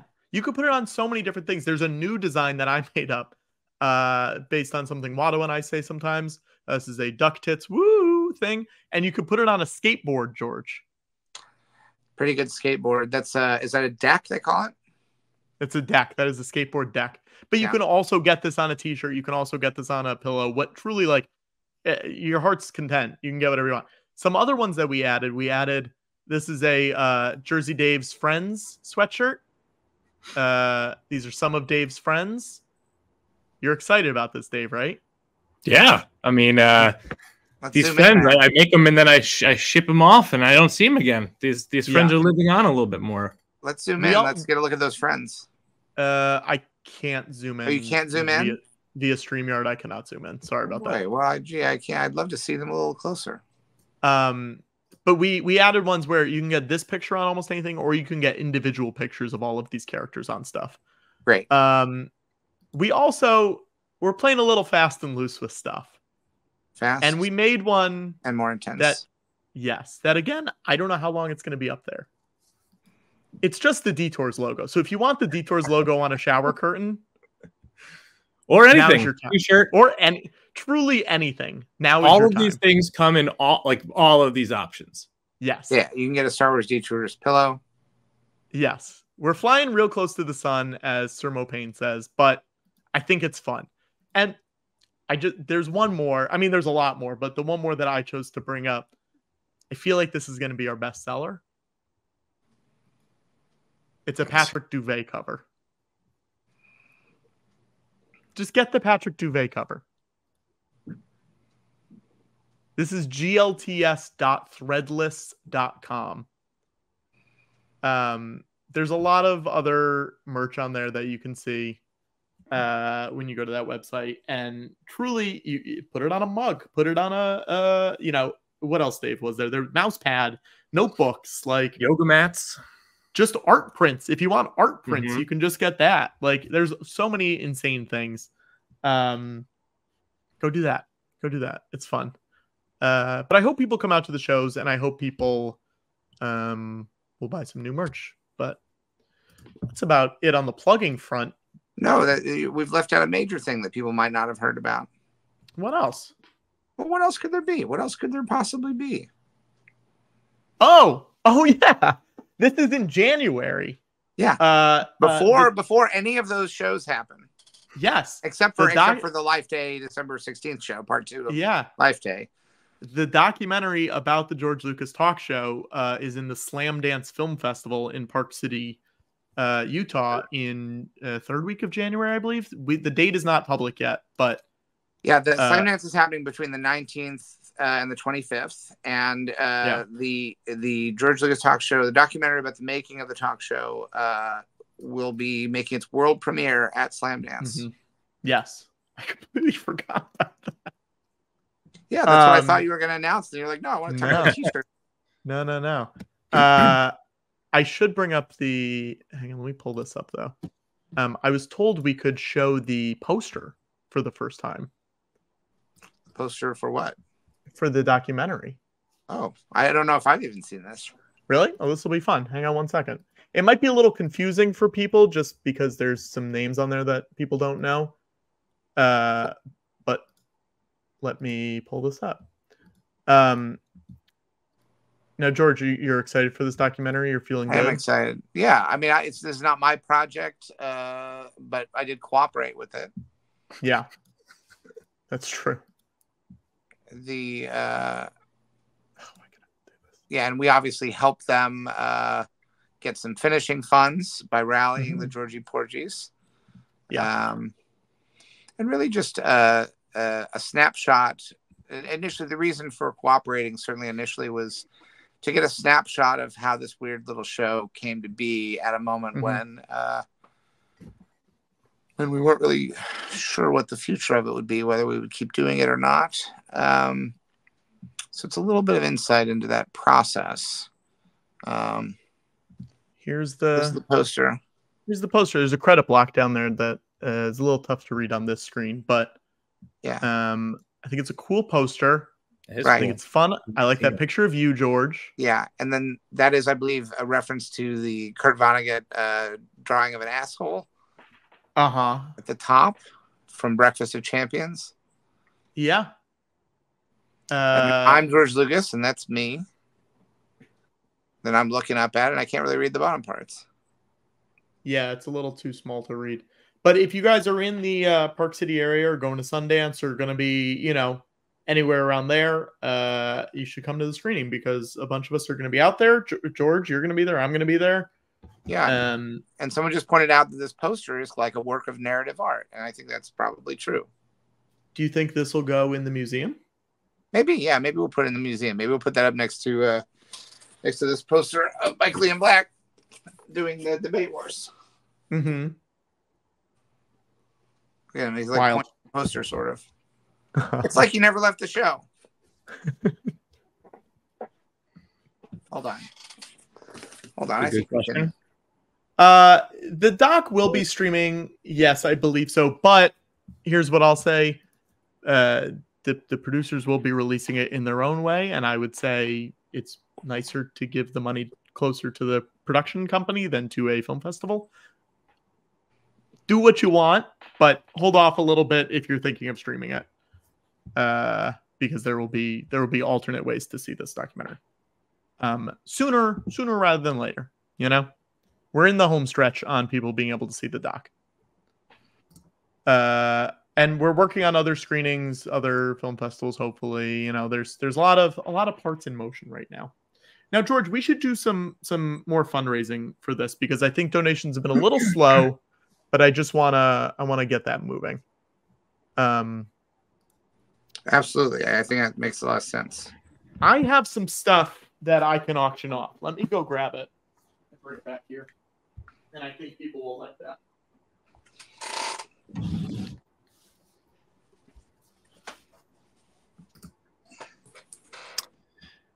Uh, Butch Daniels, does Georgia have new friends? I have only one right now. Um, could auction off. Just haven't really been making friends lately. It's hard to make friends. Let's auction. Let's auction them off. Right now? Do you want? Why don't you save yours for a little bit? Let's auction some Yeah. other stuff off, and then we'll see what uh you know get people get people moving and grooving. Um, I have a uh I have some some Bring the Noise shirts, Ooh.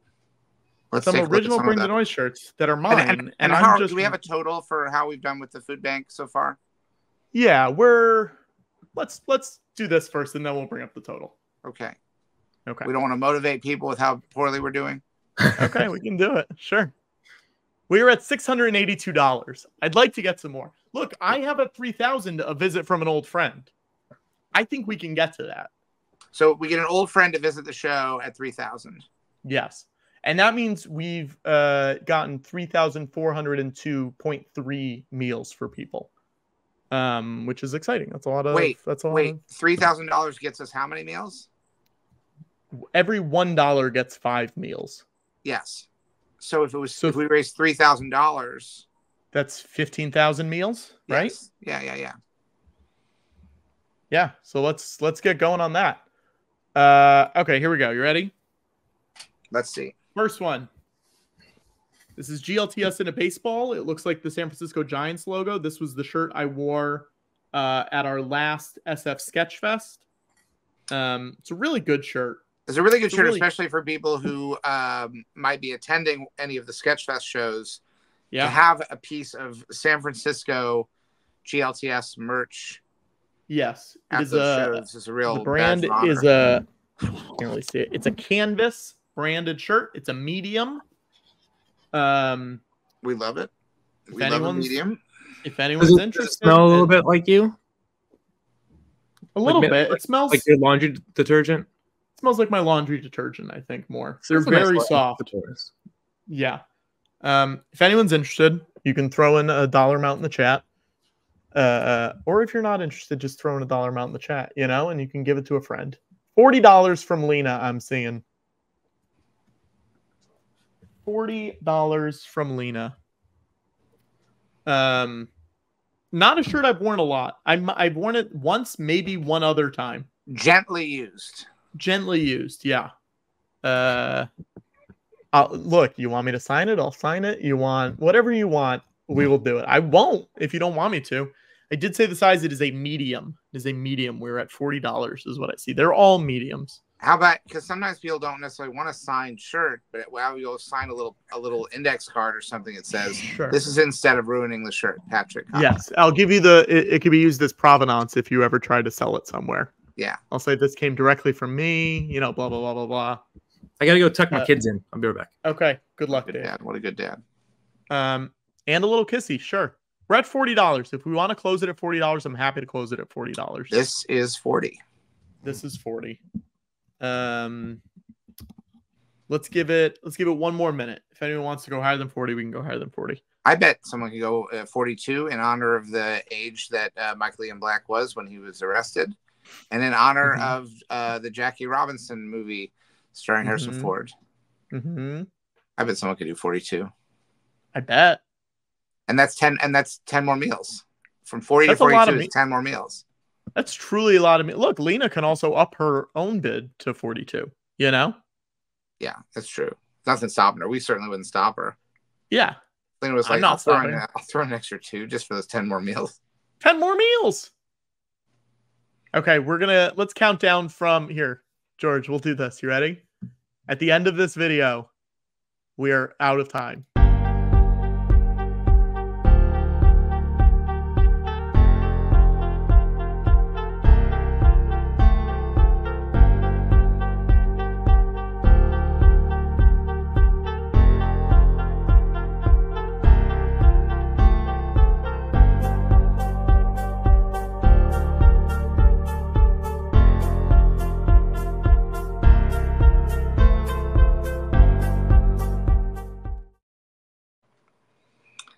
Feeling? Okay. Looks like we're at 40. That's 40 was meant to be. This is 40. All right, Lena, congratulations. Uh, send your donation. Remind me in the email that it's yours, and we can uh, go from there. Um, George, how can we get people to donate? Well, what do they want? What do they want?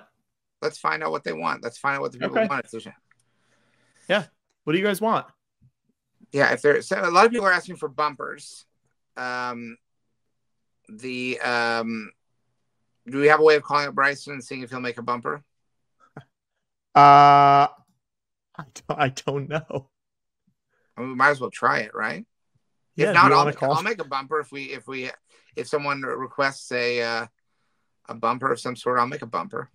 Do you want to call him? Um, it better if you do it. I feel like I'm not, no, it, it's got to come from you. no, better come from you. Otherwise, he'll be insulted. He'll feel like I'm putting too much pressure on him. I don't think so, George. I think he's more likely to say no to me. No, I'll be on the call if you put him on speakerphone. Well, George, okay, but let's make this a stretch goal. All right, we'll call. Let's make yeah. this. A, call How much- Bryson what are we at. at now? We're we're we're just barely past the devil's number, aren't we? Yeah, we're we're at like seven hundred or so. Seven hundred or so. You want to say fifteen hundred? I wonder, wonder if it means old gin or so.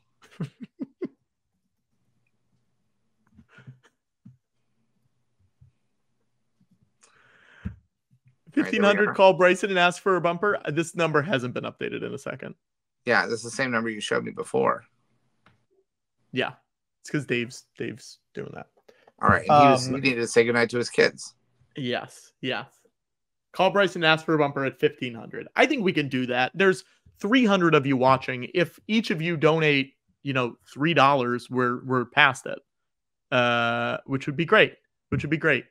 Um, what are some other what are some other goals, George? Okay, Ishtar watch along. Do you own Ishtar, George? Uh, I do, but I don't think I have access to it.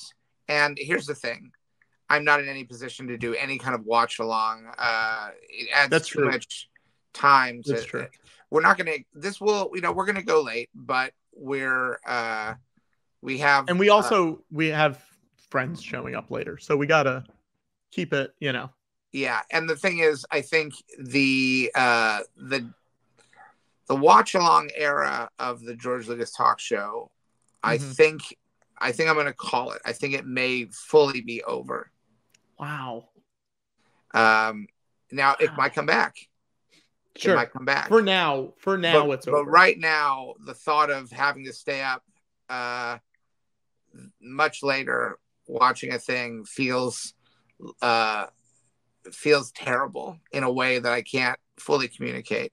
Now, does that include if someone donates the three thousand whatever for an Irishman? Where's that? Well, that's that's on another one. Let me see how much it was for the other one. If it's if on someone the- donates three two eight zero, if there's a single donation drop of three thousand two hundred and eighty, it's an Irishman. um, We here's what I'll say. We could always come back and do a uh, live stream where we just yeah, watch. it, it might not be an immediate Irishman. It might be a pocket Yeah. Irishman. Yeah, yeah. Um, but I don't think anyone's going to donate that tonight. Okay. Could happen though. But uh, yeah, if someone is willing to donate for the the pocket Irishman, and if they uh, if they donate ten thousand dollars, we'll do it tonight. also, a reminder to everyone: five hundred thousand dollars. George gets drunk. Five million dollars. The wrecking crew goes to Malta. And I'll say this, and this is not a brag, but since moving to Los Angeles, I've seen multiple members of the wrecking crew, and I think I could make this happen. Do you always bring up the potential? Uh, I've seen, look, I've seen Weber, I've seen Walsh, I've seen Tobolowski. I think those are three major members of the wrecking crew, and and I think I could make it happen. and have you brought up the topic of going to Malta? I believe Walsh and I, JD Walsh and I talked about it, but that's the only one. Yeah. Yeah. So just, you know, keep it in mind. It's up there $5 million in one night. Wrecking Crew goes to Malta. Um, what else do people want as a, uh, uh, Lena? Yes. Send the receipt to the GLTS email. It's on the screen. Forward your receipt to the George Lucas Talk Show at gmail.com. Um, uh, George, what do you think? What do you think about the year in general? We're wrapping up another year, you know? Well, uh, this was uh, in some ways a very um, a strange year for Yeah. everyone. I think you know it's another one of those years, but per- particularly for people in our business, or my you know, I I'm out of the game as we said, but it affects me. You know, it's still Mhm. seeing that. Um, you know the writers on strike and the the the show business is in turmoil. Mm-hmm. Um, the museum has been, you know, soldiering on. We're getting closer day by day. Mm-hmm. Um, as far as the George Lucas talk show, you know, we trying to think how many shows we did this year. Um, because in Oh, some okay. ways it feels like we did. Um, do you have a count of how many shows we did this year? I can probably count. Yeah, hang on one sec. We did we did a lot of live shows. Right. We started out the year with Sketchfest, right? Yeah. And then we Yeah. did um, shows in London. Mm-hmm. And we did shows in New York. Uh, that we we crossed Delancey. We did the two in one night at New York. Would you like me to go through and name them all? Yeah, let's go through. Let's name them and shame them. Okay. And and a lot of these live shows, uh people don't watch the live shows as much, and I think you should because I think the live shows this year were some of our best live shows ever, I think. I think there's a lot of really good moments in these live shows. Um started the year Sketchfest, Rose Degnan, Gary Whitta, really fun show, very silly. And then we did our Oscar show with Rachel Zegler and with Lee Unkrich and Anthony Giacchino. Mhm. And then we did a uh, uh, caveat show in New York with Amy Irving and Michael Urie and Andrew Barth Feldman. We did another caveat show with Richard Kind, Jeff Hiller, and Karen Chee. We did a London show with uh, um, Katie Cartwheel and, and uh, Dave Chapman. We did another London show. Remember the other London show, George? I'll never forget it. We did another London show with Pierre Ohana and Jerome Blake, and oh baby, what a scorcher! You know.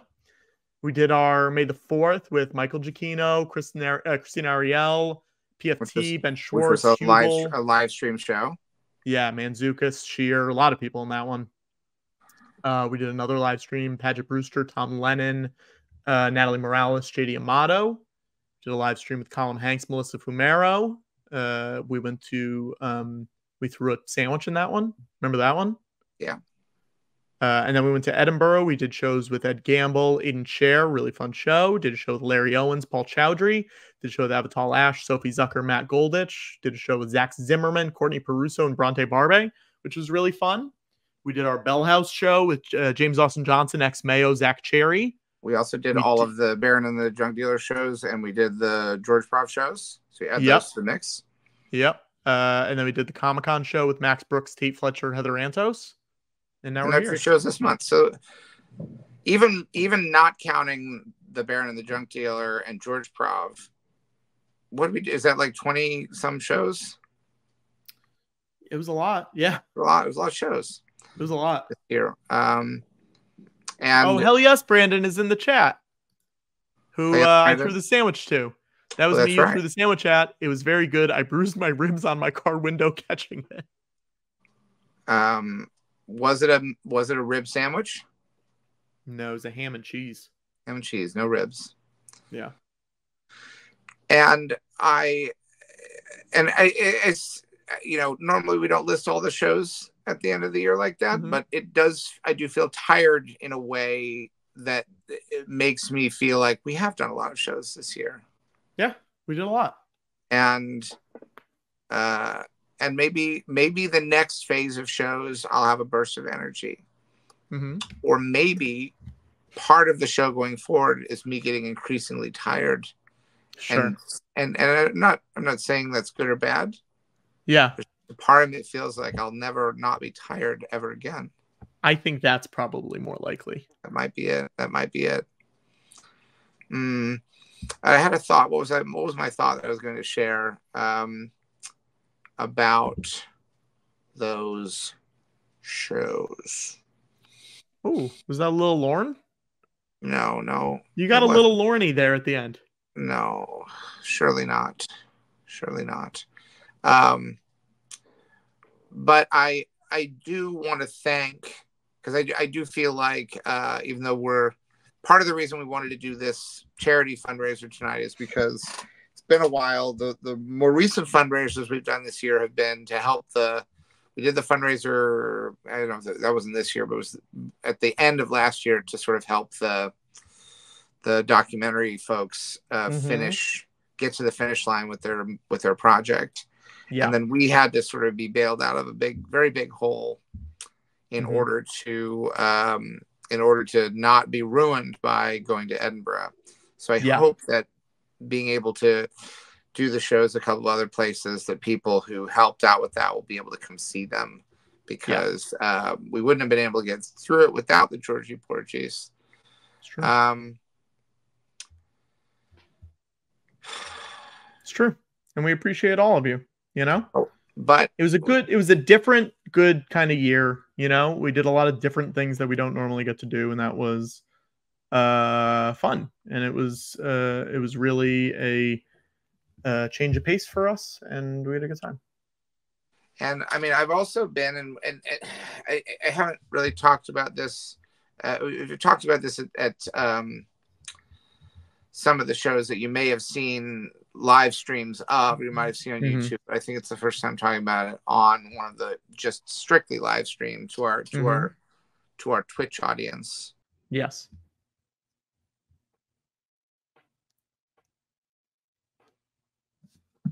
Why am I backstage? I've sort of been. You left. You left. I didn't do nothing. I didn't do nothing. My- Look, my hands are right here. I didn't do nothing. You. Okay. Okay. All right. Go ahead. Let's talk Uh, about this.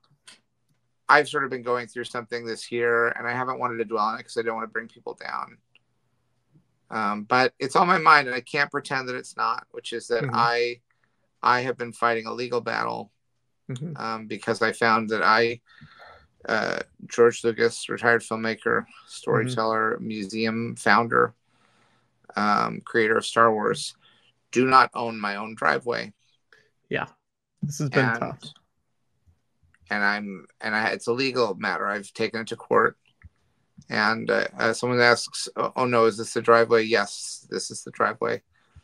Um, the driveway to my home. Uh, my neighbors died, and their descendants Mhm. uh, discovered that through an error in um, zoning, I don't know what you want to call it, district, uh, what, what, whatever they do, the surveying, surveying error, basically. Yeah.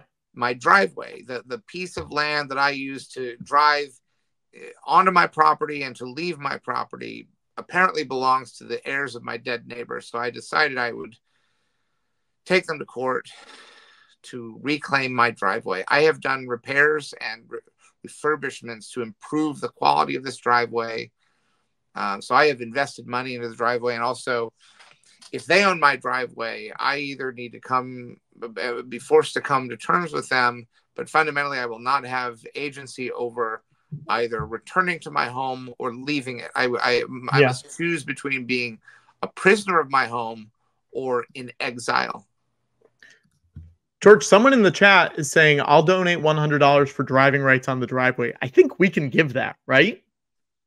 Um, in spirit, yes. In practice, since I don't own the driveway, I I can't make any promises. I may. But you could just say it. Just say it. oh, I can just say it like a story. I can tell you a story. I'm a Yeah. storyteller. Yes. Yeah. The, the story I'm telling you is yes, yes to the hundred for the driving rights on the driveway. But from a legal point of view, the person you should be negotiating with are the heirs of my dead neighbors. Uh, Yeah. They're the ones who probably be charging a hundred dollars to go on Uncle George's driveway. That's True. my nightmare. Is they'll probably be selling tickets, go on the Star Wars That's driveway. Yeah. Um, so I think that's a yes, Remy. I think yes. I think we'll give it to you. I, I my hope is that on a, on a karmic level, that hundred dollars goes to the food bank of New York, Yeah. That eventually it will find its way towards achieving true justice for George's driveway. Um, it's it's my it's my way in, it's my way out. I don't know what more I can say about it, Mhm. uh, except that uh, we I guess we found an answer to the uh, age old question in this holiday season. What do you get the man who has everything? How about his fucking driveway back? How about that? I agree. I agree. How about how about we give Uncle George his fucking driveway back? Yeah. I'd love to just have the peace of mind. There are so many people who have driveways, never have to think about what it would be to lose one's driveway. Yeah. Now we I know you probably can't talk about it because this is like an ongoing court battle. Do you feel like you have a good case I feel here? like I have a great case, but there is always the possibility of a miscarriage of justice. yeah. There's always the possibility that some renegade judge Yeah. or or that one juror who just doesn't want to give George's driveway back if it's a jury Mhm. trial. I don't know how it's going to Mhm. be. Are you gonna are you gonna go like into court? Like are you gonna take the stand? If I need to, yeah, I'll take the stand. Have you ever taken the stand before? You must have, right? I've been deposed. Uh, Yeah. you know, at a certain level, you're, de- you know, most of the time you just like the lawyers deal with things, but, Yeah. um, yeah. Uh, do you think you're good at it? Well, well, I'm a storyteller. Sure. Okay, so if you okay, here's what let's do a little let's do a little pretend time because you're a storyteller. A little pretend time. If- if you were uh, uh, representing yourself up there and you had to give your closing argument to the jury about this is why I think I need to, you know, keep my driveway, what would you say? Um, I would say that when I was uh, a young man, Mhm. nay, a boy, I wanted nothing more than to be a race car driver. I Mhm. wanted to drive fast. And that dream died on the day that I was uh, pulling out of a driveway and a car that was going way too fast um, uh, collided with my car. And um, I almost died. And as a matter of fact, my life was saved by a malfunctioning seatbelt. Um, if the seatbelt had uh, performed correctly, as it was designed to do, uh, I, I would have died. But uh, I was unconscious for uh, quite a long time. Uh, I I awoke days later in the hospital to find that I had um, come close to uh, death. My dreams of being a race car driver um, were uh, dashed. Yeah. So I found other ways to enjoy not necessarily the the actuality of speed, although I am a fast driver. But I've incorporated speed. If you're familiar with my work at all, I love things with, which go fast, spaceships or uh, choo-choo trains, or you know any kind of vehicle that goes fast. I, I like speed. I like velocity. Um, but I never did achieve that singular dream of becoming a race car driver. Instead, I was just a billionaire, philanthropist, filmmaker, storyteller, um, sometimes actor on occasion, writer, producer. Um, founded um, several companies. Uh, I've helped restore old films, um, but I, I don't I don't drive in races. What I do drive is in and out of my driveway. I almost had my life taken from me once because of something that shouldn't have happened anywhere near my driveway. I was almost killed. And I feel that same thing is happening on a metaphorical level. It's not one to one. My neighbors are the ones who are dead, and their heirs are the ones who are crashing their zoning mistake into my daily life. Every day that I am not the owner of my driveway, I feel like I am being hit by that speeding car again. Not in a real, uh, tangible, physical, or medical way, but in a metaphorical way. It feels like I am revisiting that same trauma, not as a strong, healthy young man who can survive such repeated trauma, but as a near octogenarian, as I approach the age of 80, as I finish my 80th year on this mortal coil, I find that my daily thoughts are increasingly of my lack of ownership of my driveway and how wrong it feels that anyone but George Lucas should own what is commonly known as George Lucas's driveway. Ask any neighbor who knows that it's me who lives there what they call that driveway, and they would say, "Well, that's George's driveway." Um, I don't know if there is such a thing as a common law driveway in the same way that there are common law marriages where the bond is acknowledged despite uh, the fact that uh, there may not be the correct paperwork or or uh, the correct uh, um, forms filled out. But I say to you, this is an injustice. What has happened, and not just an injustice that, like so many, happens and then is over, and then you look to the past and think of what has happened, but an ongoing injustice, in that every second that I am not the owner of my own driveway is a second that in which this should not be the case. I can think of nothing more simple than to just let me have my driveway, please. Let me have my driveway, please.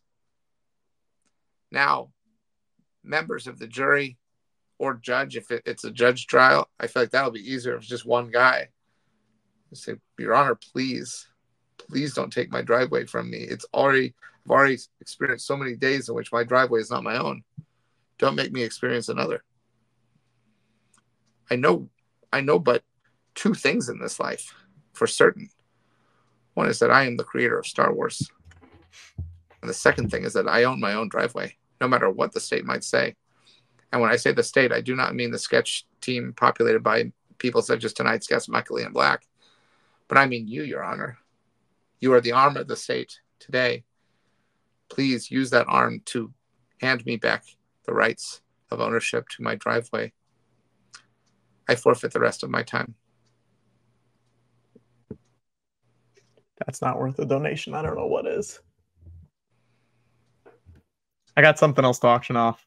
What do you got? This is a limited edition. This is legitimately like something that's like you had to be in the room to get this. This is from Star Wars Celebration, I believe Anaheim from two two years ago. I believe Anaheim is a, well. is a, is a beach ball Star Wars Lego Summer Vacation coming to Disney Plus. Is a beach ball for a Star Wars Lego special. They're not making more of those because They're not making more of these. because it's no longer coming to Disney Plus. It's, it's there.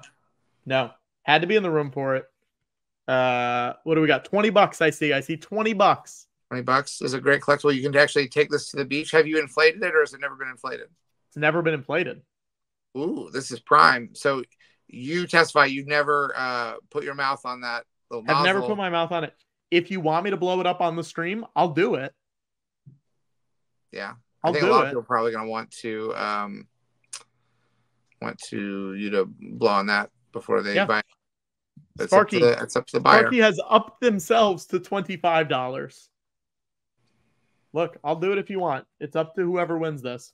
Um I think we can get this to $40.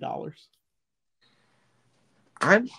I got to tell you, I am. Tempted. Will more people hang on? Will more people donate if I blow it up?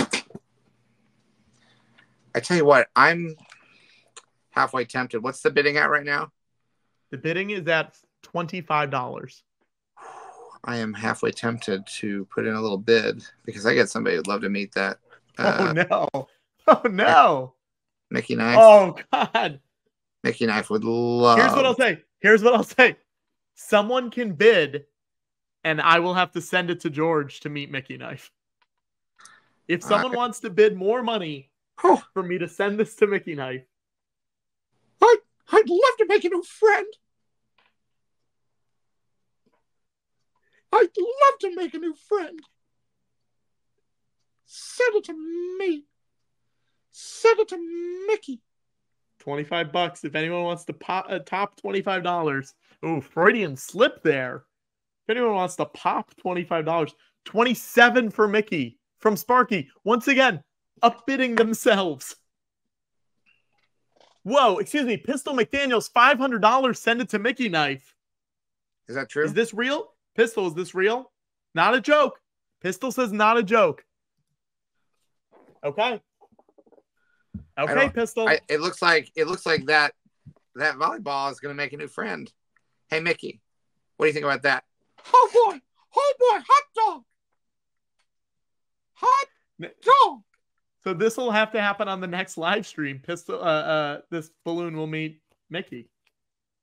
Um, I if, if it gets to me in time, if it gets to me in time, uh, this can happen on our part two of our Life Day special. Oh, I guess that's true. Yeah, I and guess that that's poor, true. and that poor audience and that poor audience won't be able to stop it. Okay, okay, we can do that.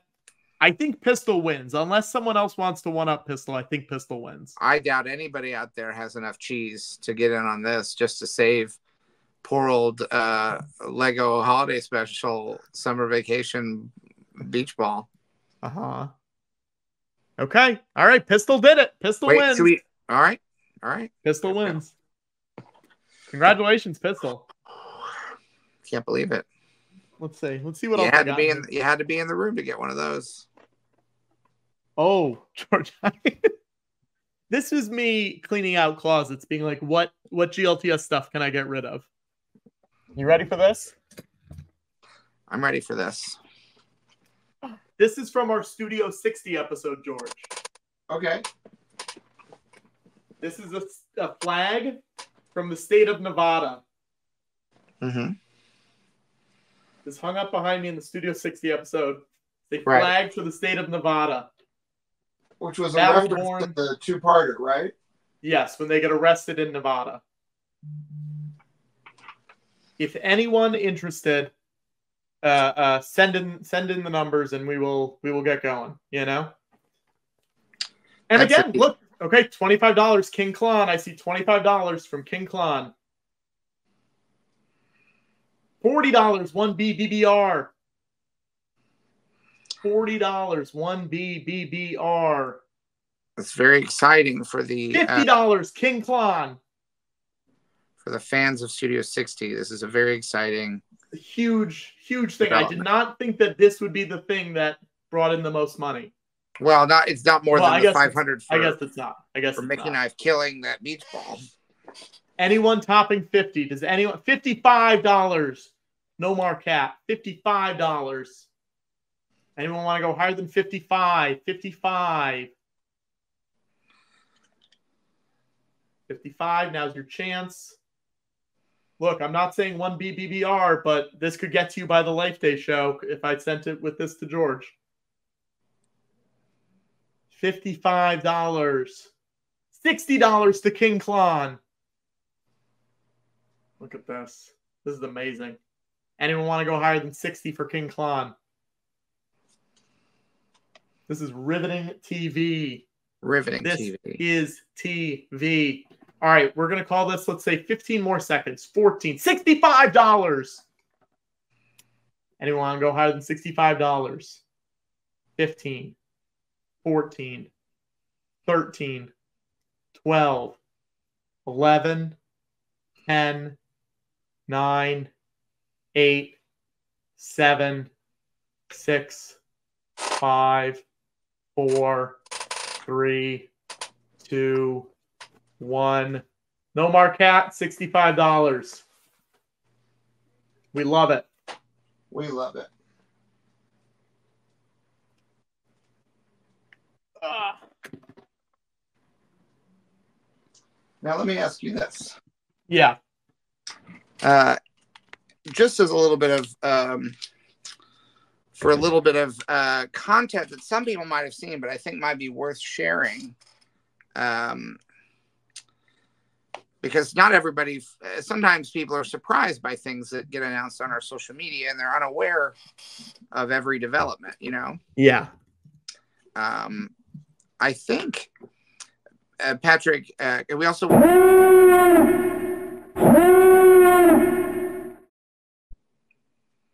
What's happening? We have another guest, George. We have another guest. All right, well, table what I was about to say for Okay. whenever. Great. So we're going to take a break on the uh, the the auctioning off to bring the new guest. Guest, uh, there's a private chat that you can type into on the side. I don't know if you can see it or not. It should be it's on your right hand side of the screen. If you can't see it, give me a thumbs down and I'll just I'll move past it. Uh, thumbs up. Great. it- So the Great. way that we introduce the way that we introduce our guests on the show is we like to have them write their own introduction in the private chat and then we will read that verbatim. So just write how you want us to introduce you and then we'll bring you in. because a lot of times people never really get to introduce, be introduced the way they wish to be introduced. It's a little bit of wish fulfillment. We like to give Yeah. the power to the guest for this moment. Yeah. And there's George, almost nothing that there's almost nothing that we won't read. I'm excited for this guest, George. I'm excited to bring well. I'm I'm very excited. Um, I'm so yes, it does work. I see your I see your comment there. Um, George, I'm psyched for how much money that uh that made. That was a lot of money right then. I'm very excited. It's a lot of meals. It's a lot of meals. Yes. Um, we're currently we're over ten thousand meals donated, which rules. Um, I bet we can get to twenty thousand. I mean, maybe. Who knows? What do you think? Um, so curious what this introduction is going to be. Well, so far, there's. I don't know if that's the introduction. What's it going to be? I'm so curious. I could just say what's in there now. That could be it. No, but I don't. I, I think that would be a, a. right now, I think that would be a misrepresentation. Great. I'm going to read this exactly Yes. like it was typed. Perfect. You ready? Perfect. Yes, perfect. Just Kate Walsh, Grey's Umbrella Academy.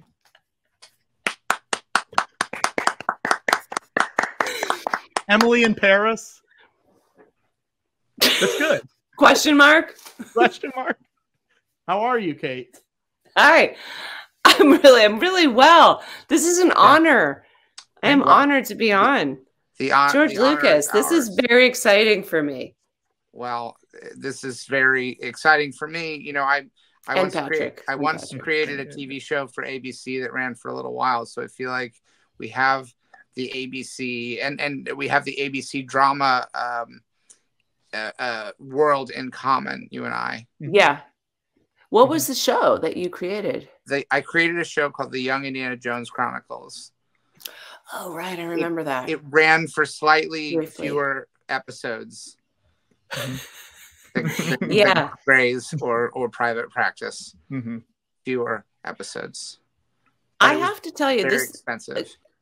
I don't mean to interrupt you, but I'm going to. Please do I feel like this is this is I do, and I, I'm not exaggerating. Probably at least a few times a week, I think about you because I live in in Australia now in in Perth, but there's the city that's sort of right adjacent to us at the port. It's like the oldest city on the west coast is called Fremantle, and there's a massive. That's all the shipping containers come in, and they have the things, those big things that inspired your creatures in Star Wars to take the containers and pick them up. And every time I drive by, as if anyone cared in the car, and sometimes there's no one in the car, mostly there is. And I say, those are the things in, you know, the port in outside of San Francisco and Oakland that that's what inspired George Lucas apparently. That's for the- that's correct, right? And I That is say it as if, hey kids, but there's actually no one in the car. And You're um, impressing yourself. I am impressing you're- myself. You're saying it to to be like, oh yeah, wow, that's a good point. Like it that. actually it Yeah. actually means more to me that you do it without requiring an audience because it shows me that you're in it for the love of it and not it's not about impressing anyone else. Mhm. it's not a need to perform it's not about yeah it's just it's you know i often talk to myself out loud but i think it's a sign of um i don't know age madness How who is knows, Australia? intelligence australia's good we're in summer now so it's a Yeah. little disorienting yeah, it's uh full summer we're opposite completely literally six Yeah. months opposite so yeah How long have you been down there now? I've been here. I came here literally like right before COVID, March wow. 2020. I got well. I got here. I left New York City on Thursday, March 12th. Uh, on maybe one of the last planes out, Oh my god. and then got here because it takes two days to get. I am in the future. In case you guys Yeah. are interested, I'm coming to you from the future. Yeah. Yeah, I'm in Wednesday, and right? it's great. We're still here. We're in Wednesday. Yeah, The That's good. sixth. You're on the That's- sixth? yeah, that's correct. Yeah, Yeah. We're still on the fifth. We're still we're still finishing trying to finish the fifth here. I mean, geez. Ugh, Is it hard like when you wake up? Are you like, I feel like I missed so much news? Like, does that happen ever? Um, Like you'll just be like, oh my gosh, I missed so many world events because it's the middle of the night here. Yes. Also, even though I am technically in the future, so I should know about it before you guys do, I um we're in an island nation and it is very we're an island Yeah. nation at the end of the I'm literally living in the most remote city on the planet, Perth. Are you if you would have asked me before I came here and they said, Do you want to go to Perth? I would say, Oh, Perth, Scotland, right? That's a city Sure. in Scotland, which Sure. is true. But no, this is Perth, Western Australia, Australia. Um, are you in front of a mural or are you outdoors? this is this is literally wallpaper. It's not wallpaper like the term for digital wallpaper. This is wallpaper in my room in the back That's office. clouds? It's clouds. Yeah, it's clouds. So it creates the Yeah. illusion and those are pillows. So you're on like a Are you on a sofa? I'm basically I'm on cloud nine. This is yeah, I'm on a couch with a sofa with pillows, and there are the- clouds. the Wait, sofa- there's more. I'm going to show you. There's Oh, also there's oh an air gosh. conditioning unit. Wait, wait. There's Oh, disco oh. balls too. Oh, Whoa! Oh, and a nice ring. ring That's light. my- a nice ring light. That's the ring light to try to help me not look so tired. Yeah. So many Yeah. different Uh, competing uh, uh, images. There's a Uh, lot, a lot going on. We're getting a question in the chat for you from our friend Anthony Okay. Carboni. He wants to know how many spiders are in your shoes every day now that you live in Australia. there you know that's kind of no joke it's we Yeah. were just so i came here for love my um guy is here he's and, and he has a farm he um and we were just up there this weekend and we have our little you know Blundstone little, little boots and there Mhm. were we hadn't been up there and it's full summer and there were spider webs all over the boots. He's like don't put your foot in the boot. Yes it's clear that but everything here can kill you. I mean a friend of ours just sent in a whatsapp chain of like a, a snake strangling a giant lizard like that she found in her you know garage. So it's it is a deadly place but it's so beautiful but it is Yeah. sort of primeval it is Yeah. so spiders there's this one this is like a story i told when i first came here i was up at the farm and i was facetiming my brother in california and in the middle of the night and i looked under the coffee table and there was a spider like as big as a tarantula like that big and but blonde because it's australia so you Uh-huh. know And they have more fun. little hot little blondie you know Uh-huh, but uh-huh. I said, "Oh my god!" He said, "He's like, wake up, Andrew. This is what he's there for. Go wake him up." It was Yeah. like two in the morning. I woke him up, like, "Look, there's a massive spider." He's like, "Ah, what does it look like?" I like, "It's like a tarantula but blonde." He's like, "I'm like a little taupe, like kind of taupe." He's like, "Oh, that's that's the huntsman. Don't worry about it. They're fine. The huntsmans are fine." I'm like, "The name is Huntsman. Yeah. Huntsman. Okay, okay." And then the next morning, so I just ignored it wasn't moving. And then the next morning, he's like, "Stay out of the closet." I'm like, "Why?" He's like, "I, I, I'm getting a spider." I'm like, "Oh, what kind?" He's like, "It's a huntsman." And I'm like, "So it is dangerous." So everything, he just didn't want to get out of bed. It's Sure, yeah, sure. there's a lot of danger here. Yeah, wow, wow. George, yeah. George a lot shot of some spiders. movies. George shot a couple movies in Australia. George, what did you shoot here? What did you sh- shoot? Part of Star Wars? What did you shoot here? Some of the prequels, Mhm. prequel stuff. Yeah. Yeah. In the Episode- like in the where? Like in the middle of the country, like in the high, like crazy desert, No, I mean, by the or was it on sound stages? most of it on sound stages. We really just moved because it was just e- easier. This is not fashionable to say, certainly at the end of this year, but a lot of it was trying to get away from like guilds and unions. Listen, Yeah. If that's the turn you've taken, um, I guess I, I mean, I'm gonna. We just finished our strike. This is really. I I've knew we were really gonna go support- as a there. As a retired filmmaker and as the host of the show, I've been deeply supportive of this year's strikes. Uh-huh. Um, Yes. And I was always a good employer.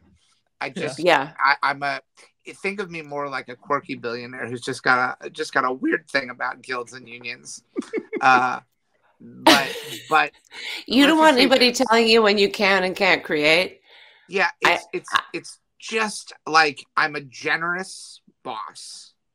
Yeah, and because of that there's a part of me that just can't help feeling that it's like why you gotta make this more difficult for me i'm being a good boss why we gotta do why we gotta do a tea break okay i'm gonna leave england because Tea there's, break. tea, there's tea breaks for the crew and it was driving me nuts so i said you know what i'm gonna go to where they don't have tea breaks they have deadly spiders everywhere but no tea breaks and sharks. Don't forget about the sharks and crocodiles. Oh. But wait, what about?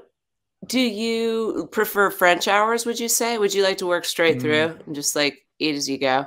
yeah i wouldn't mind that i, I don't want to have to dress up in a suit like paul feig but i'll i'll do french hours you know Yeah. Mhm. No, who Yeah. does? Yeah. Yeah. i uh, What's the what's your ideal call time, Kate? Yeah you have a favorite call time yeah, I'm gonna say like 11 a.m. Who's, who's this? Oh, wait, who's this? Is that though. your tail or do you have a cat? Is that another blonde spider? a- what is that? Oh my gosh! this is Rico. This is one of I have. I just want to see Rico. That's Rico. Hello, Rico. He's the um one of the cats. We have three cats. They're brothers. They were litter. Oh, hold on. I didn't. I didn't want to assume This at first Jim. it just looked like a tail Oh my was gosh. emerging from you. Jim. Jim. And then uh, so there's Jim. Jim, Rico, and Frank. They also have a small spaghetti and wine dealership. Um, no. Do you know what mo- what movie that line's from? There's a small spaghetti No. and wine dealership in the cinema What's? Cinemaplex. That's from Neighbors, like like Neighbors from 800 years The- ago. Dan The Aykroyd and Dan Aykroyd, Aykroyd uh. John Belushi, John, yeah, uh, and John Belushi. Yeah. Yeah. Anyway, um, yeah. that dates uh, me. Yeah. So My buddy Steve worked with them uh, on on uh, the movie 1941, which was a little before that. Mhm, yes, Uh, yeah, mhm. those were the. That's my time because I'm. You know, I'm. you like that that around your age, that George. Lampoon- that No. Yeah, that was that was the good time. Those were like the great, the sort of when I was in high school and like, oh my gosh, this is com-. that was when we first first started watching Saturday Night Live and Yeah. Yeah. like this is and you know your movies. You remember Mm-hmm. mister Bill? Yes. Oh my Uh, God, Mr. Bill. That early Saturday Night Live uh, animated cartoons where he, Yes. he was badly badly made little claymation character, and he would get destroyed. Yeah. Yeah. Yeah. So that was pretty funny. I recently sold it. I, I believe they've merchandised Mr. Bill as like an, a pet toy, like a, a chew toy for dogs. Mhm. Oh, really? Yeah. Who's Pretty making? exciting. Oh, is S did SNL do that or did I don't, somebody? know, I don't know if I don't know if this is a Lorne thing. I don't know if Lorne had to sign off on this. I suspect not. I Yeah. But uh, Do you think he's fallen on hard times? He needs to get Mr. some. Bill. He's not. Do you think Lorne doesn't have enough money? He's like, damn it, I need to somehow merchandise something. Gotta bring back the Mr. Bill revenue. Mr. Bill, maybe maybe something for a pet, for an animal. Could be could be a could be a good idea. Patrick, will you bring up the Mr. Bill uh, pet toys just so we can see Chew them? toy, yeah, sure. Yeah. Um, Let me The, see it. I want um, to see it. it's pretty Is it for cats too, or just no? I think I, I just don't know if a cat would be It's a chew interested toy. in Mr. Mr. Bill. Now this the thing that I'm seeing, George, it's called a multi-pet. A multi So maybe cats too. maybe cats too. So multi. Okay. Yeah. Um, hang on one sec. Doo, doo, doo. Uh, he looks very. Uh, he's he's just. I'm gonna bring up all of them so you can see all of the Mr. Bill toys. You know, all of them. So are both? Wait, listen. Are you gentlemen both in New York? Oh yeah. Oh, that's actually really. Yeah. I don't even good. remember Mr. Bill being that bright. Is that Well, like a holiday outfit or no? No, Like no, the he- original Mr. Bill. I, yeah, I think that's what he looked like. But you're right. If you mean in the sense of intelligence, I do not think Mr. Bill was all that bright.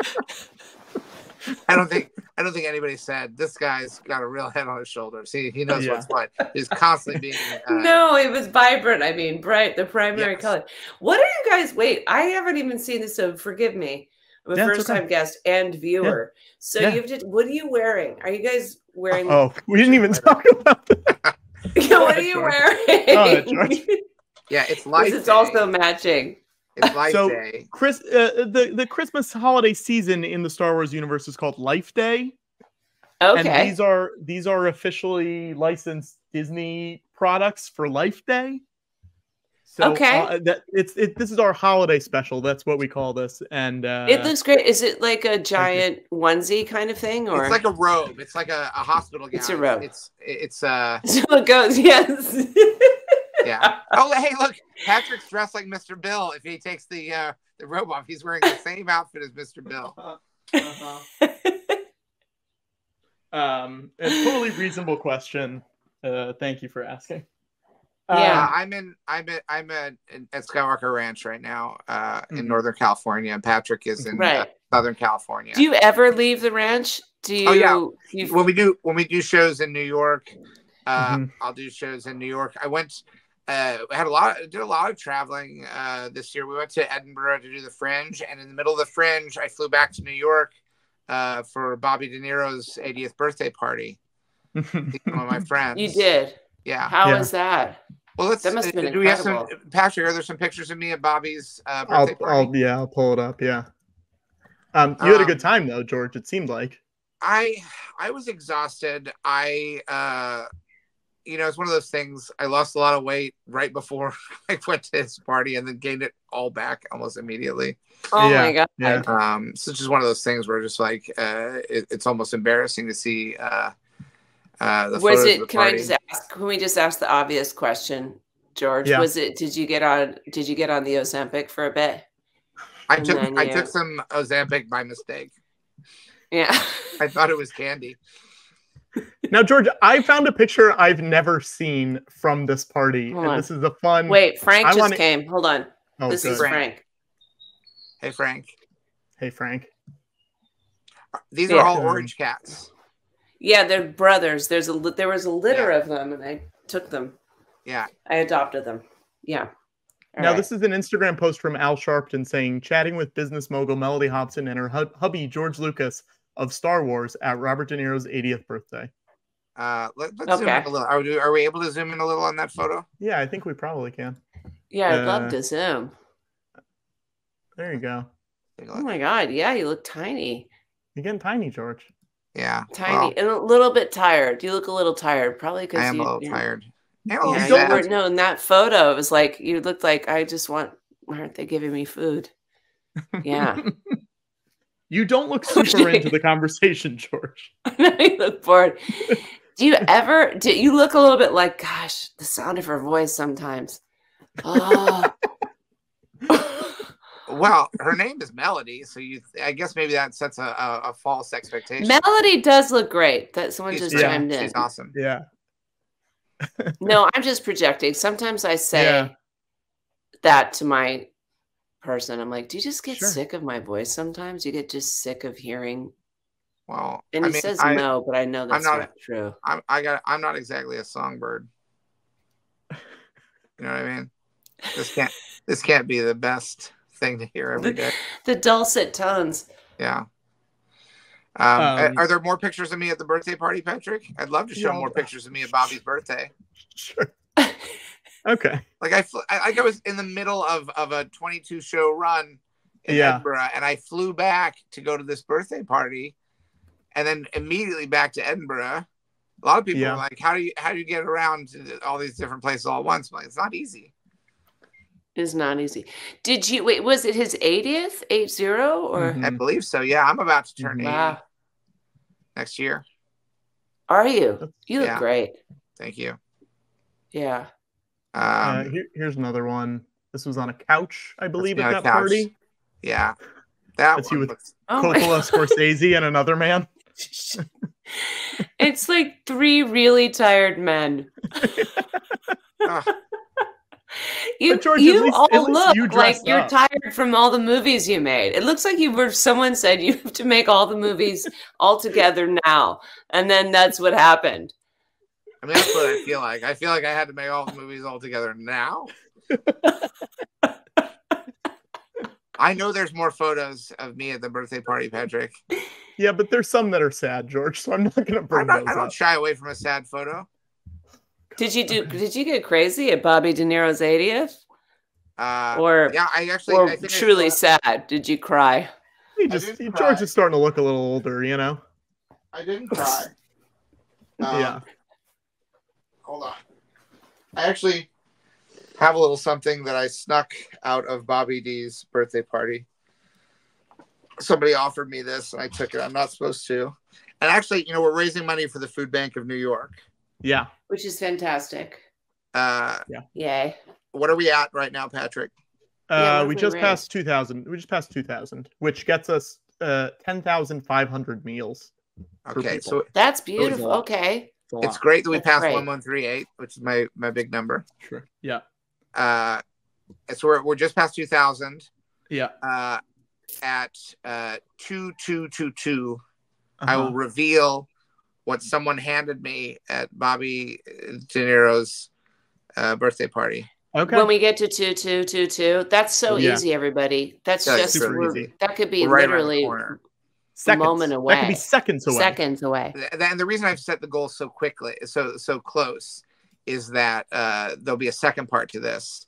Mhm. They'll bump it a little higher, and it's Mhm. not quite food. It- it is a little bit like food, but it's more like what happens when you're on the party scene and somebody hands you something that maybe is a little bit wicked, maybe a little bit illicit. hmm Oh, And I've held on to it, but I think tonight might be the night where. Uh, what time is it where you are? Okay. We're at 10:55 in the morning on Thursday. in the good morning. Good morning. Yeah. This would be we're five minutes before my my ultimate call time, like my Uh-huh. preferred uh-huh. call time of 11 a.m. Yeah. Yeah. Yeah. they say they say that uh, to be on time, you should be five minutes early, Right. right? I- I've never adhered to that saying, but yes, I think Have I you have you filmed stuff in Australia? I know I've Wow. done two plays here. Mhm. And then before I came here in 2020, the only other time I'd been here was like literally 2008 to do press. Mhm. I was in Sydney for a little bit, but yeah. Wow. So I haven't. I've done two plays. Oh, I did a short film in Sydney okay. during it was it was approved during our guild's uh, negotiations. But then you've been you've been treading the boards. That's correct. Yes. What were the plays? So what were the plays one. About? If. I if I don't recognize them. Okay. One actually I did it it was called um The Other Place and it was a a play that I had done a reading of with for I think it was broadway.com for during COVID to raise money for out of work everyone in the theater. And then we ended up doing it here as at a little theater company in Fremantle near the port where your creatures are. And then I did a production of Mary Stuart wherein I played Elizabeth the Queen at the International Wow. Festival here. They also have they have an international festival and a fringe festival here annually. It's good. It's big in Perth. In case you want to come down, George, you should consider might. it. I might. You could be big love in to. Perth. We should do shows in Yeah, should. Australia, George. That seems fun.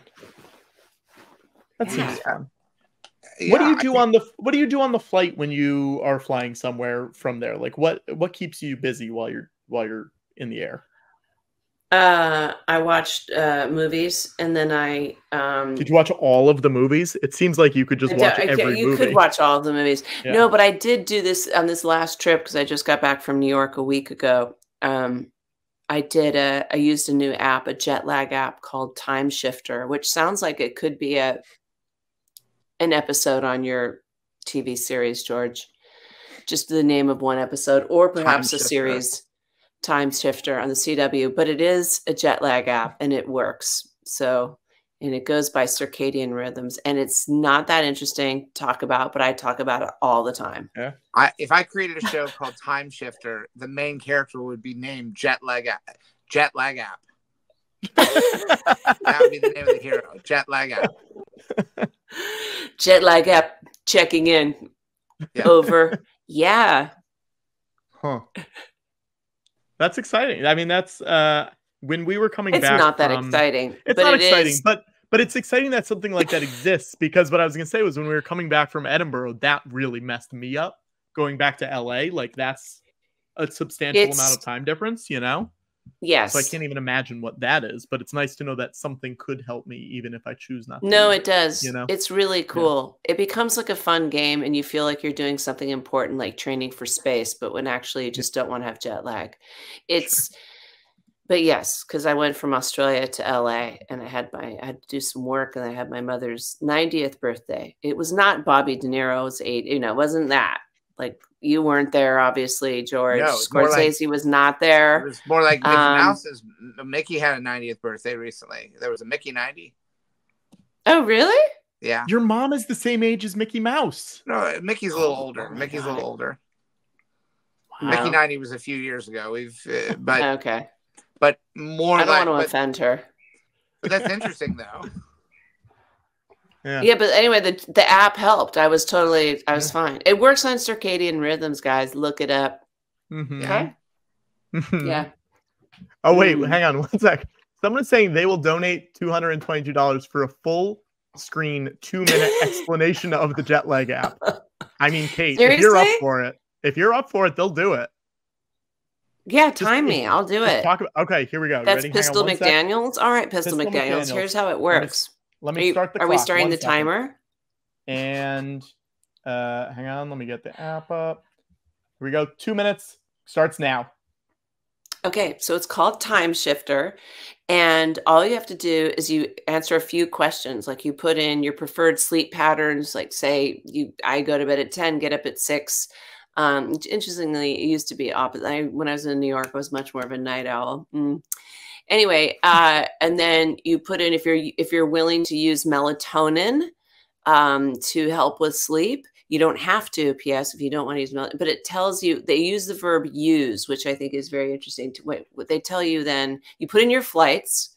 So for me, it was it was Perth to whatever Dubai to Los Angeles to New York, but and then they just calculate very very quickly when to when you should should start altering your sleep pattern. So about three days before we left Perth, they started, you know, having us go to bed an hour earlier, getting up an hour earlier, and then we are able to use caffeine until noon or 1 p.m.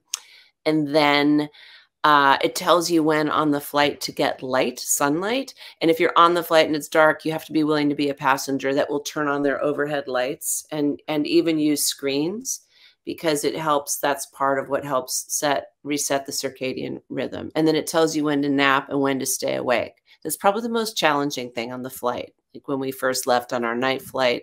Oh are you still listening pistol mm. 34 more seconds. Uh, we've got we had to only we're only able to nap for two hours. And we had to stay awake for five hours and then get to our layover place. Again expose ourselves to light even if it's artificial. Screens actually work and then we were able to sleep.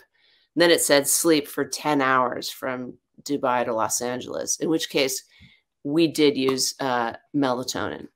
And um, it worked. It worked like a charm. Like, and then it gives you a couple days once you're in your landed place. And like within a day or two, you'll be totally transitioned. Wow. There we go. There we go. Did we get it? Are they going to do the donation? Because I feel like that was a riveting story. I mean, it's, I mean, George, you have to weigh in here because I mean, I am a storyteller in a sense by trade, but mm-hmm. most people. this is fascinating. Fascinating. One B B B uh, underscore B B yeah. underscore R. Yeah. Yeah. I, I clip it and rip it as a man. I should get paid to endorse it because we that's all we talked about on our trip. Like people haven't seen us for a year. Like, what's going on? Well, we use time shifter. It's like we're just two losers. But we uh all right, now we get that $222 and I want to see the goods, George, from like oh, the yeah, first thing you said you're gonna reveal. Yeah, well, I think we've got that right. Did we get it? Thanks, Pistol McDaniel. Thank you. Patrick, are you muted? That's that's a great contribution too. That's like going to feed. I don't know what two hundred twenty two dollars says, but it feels like a lot of meals. So All right, so we so we've we've now I, I can reveal uh, the illicit thing that I acquired at Bobby uh, De Niro's 80th birthday. Uh, and this is someone just I don't want to say who because I don't want to get somebody in trouble, but I'm uh, famously diabetic, and somebody said, "Hey George, it's a party. Um, how about uh, we try one of these? Stick. And wow. so it's it's just nothing but sugar. And I thought, not tonight. I don't want to. I don't want to get out of control here at uh-huh. the party. But what uh, once I know what our total is at, I'll I'll do the whole stick. Sure. I mean, what? right now we're right now we're at 2340, which is 11,000. People are really concerned. Your levels, George. not, don't worry. I know what I know my levels. Your levels. I know my limit. Uh, I think you go. I think you go for it, George. Wait, no, I don't. I, I feel like we want to set a number to really put me over the edge. It could okay. be. Uh, what are we at right now? We're at twenty three forty. Lives to... Let him go. Twenty three forty. two three four zero. Okay, so two three four uh five because that's a right now. So all we need is five more dollars. Um, five more five. dollars. You're gonna do the pixie stick? Yeah, because I like that two, three, four, five. Yeah. And then I would okay. the one. Then Makes this looks sense. like the number one. Um, okay. So I have one, two, three, four, five. Uh, and I'll Great. try to do it in five seconds if I can. Uh, George, we're already there. We're there. Great, great, great. Okay, so. Oh my gosh. Uh, How long before it would really do some damage to you? I mean, we're gonna find out, aren't we?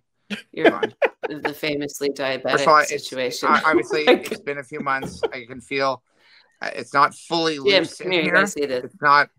This isn't like fresh off the factory line. So Yeah. see. Jim's Is back to see. Oh, good. Wait, we can't. Oh, there it goes. Oh my god. George, this is this is too much. Jim had to turn away. This is crazy. This this feels like deep COVID lockdown content, go. George. Oh this is so weird.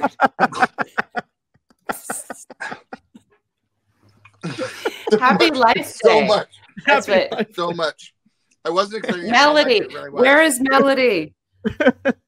Mellody's like, I can't. Mellody's like, I, this is not not Mellody my is problem. she is checked out of this show. She's like, Checked this is your own thing. Go I do don't it. think Mellody even watches anymore. Yeah. Now this is a sign of a desperate man. Look, I'm gonna slice it down the middle and get the extra. is insane. This is this is a problem. this is living. What's K1 what's your favorite kind of candy, Kate? You know what? I used to have those when I was little, and what's I just in the freezer at the farm, which just Mhm. sounds already creepy, but I found um, you know those old like those just popsicles that are in the plastic sleeves that you Mhm, had, and they're mhm. all colors Yeah. that are not ever found in nature, and then you have to cut. Or when you were little, you would chew it, Yeah. chew it off to try to get it, and then hopefully someone would help you with with the scissors. So I just found one of those, and it was pink, and I think the flavor was Mm-hmm. bubblegum. I literally had that yesterday. It was disgusting, but great. super satisfying. Like you can buy like 500 of those for like twelve dollars. That's you can go to what's so great about it's it. it's the best. It's the best deal. I think that might you might have just cracked how they are able to get five meals for a dollar. Just doing the math, learning about how. I wonder if the meals are all candy. They're all candy. It's all candy. Yeah. popsicles, the little oh, it was delicious though. Oh. It and they don't ever turn there that was in that fr- I don't know how long they've been in the Yeah. freezer, but they were Yeah. it was very satisfying. And you know the kind of thing when you have there's that plastic and then you kind of it scratches your throat because you're probably ingesting plastic fibers, but you don't care. Yeah. Mhm. So many, fake so many, so many flavors in the freezer on the farm. Kate, can we finally can we finally get to like the huge. real the real meat of what people want to hear about? What was it like playing Lana Powers in Club Dead? Oh my god, what the heck? That's funny. Hold on. First of all, Jim was so freaked out by watching you ingest that sugar. Look at Really? He's Oh just, it's goodness. almost like he had it. And he's like, That's how I. He feels how I look. as high as. A lot of, holy cow, that's very funny. That's Let's talk about school Club Dead. Chicago Club Dead.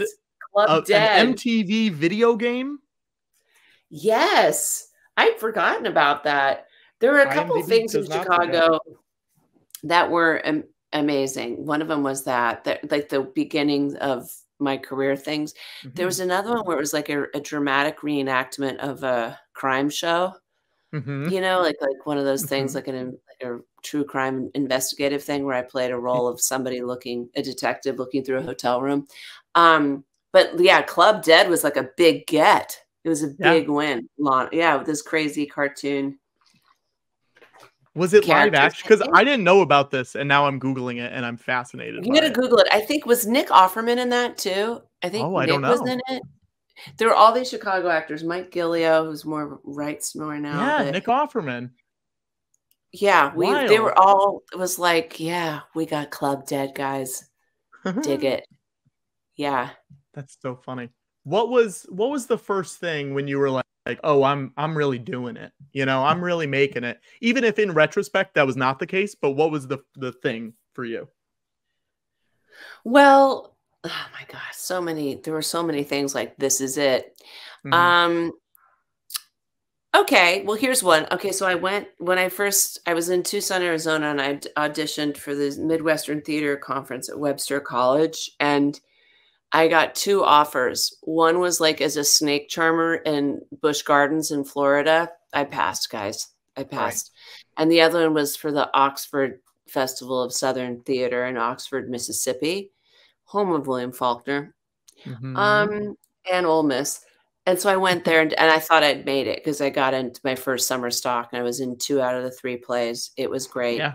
And I moved to Chicago to do a play, the only play Kurt Vonnegut ever wrote, and he came to Oh. see it. P.S. Happy birthday, Wow. Wanda June.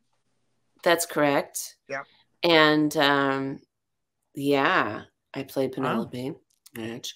And because Vonnegut lived in Indiana, so he came over. It was a very exciting moment. So that those were these little I've made it. But Mhm. then when I got my equity card in Chicago, I'm like, I've made it.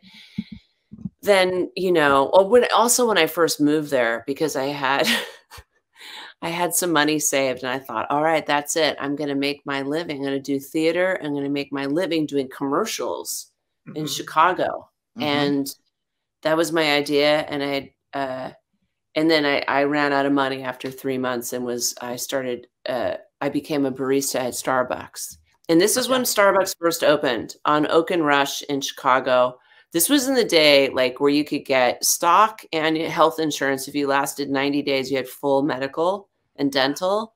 And I Yeah. lasted like 88 days. And I was like, I Oh. quit. I can't do this If you had that stock now, though, just thinking about Can you how much imagine? stock would have been now.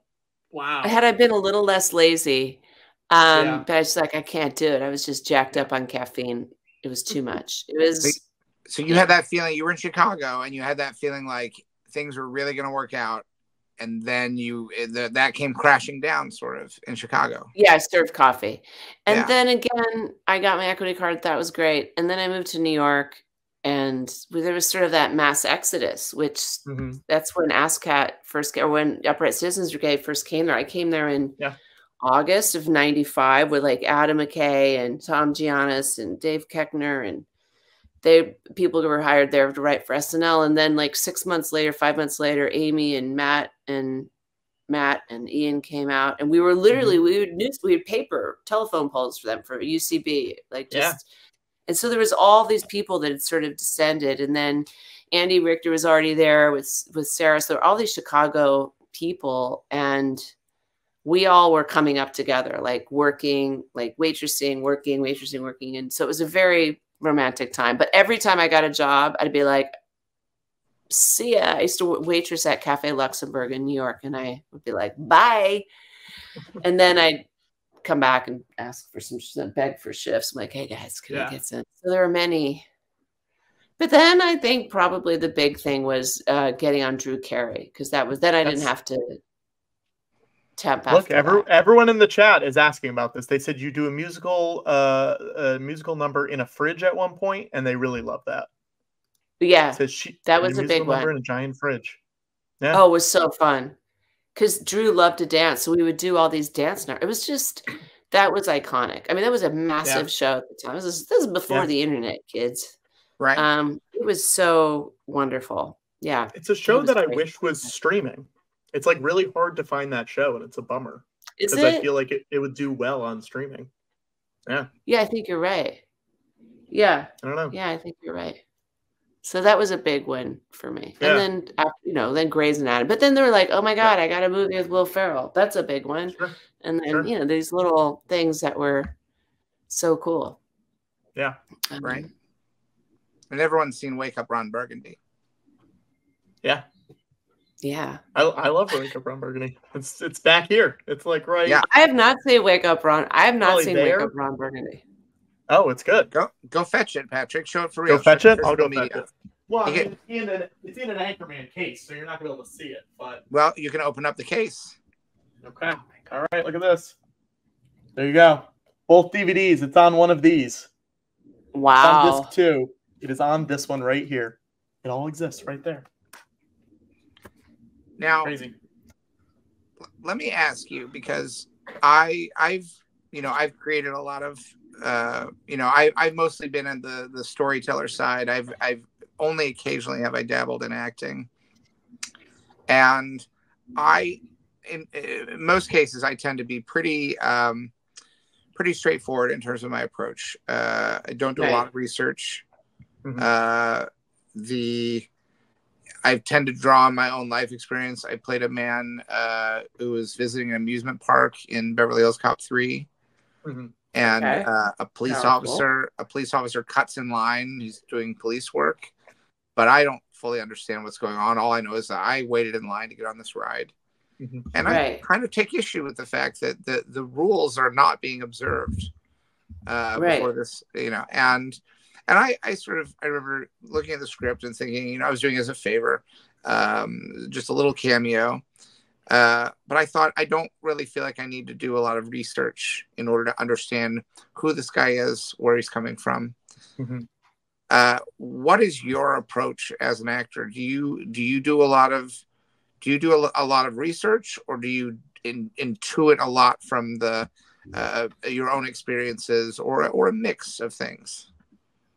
Well, wait, let me ask you this, George. When Sure. you were looking at that, when you actually shot it then, Yeah. what did you draw from from? Did you draw from your own life experience of being irritated waiting in line and having someone take cuts and not really knowing what's going on and but you sense that it was something official?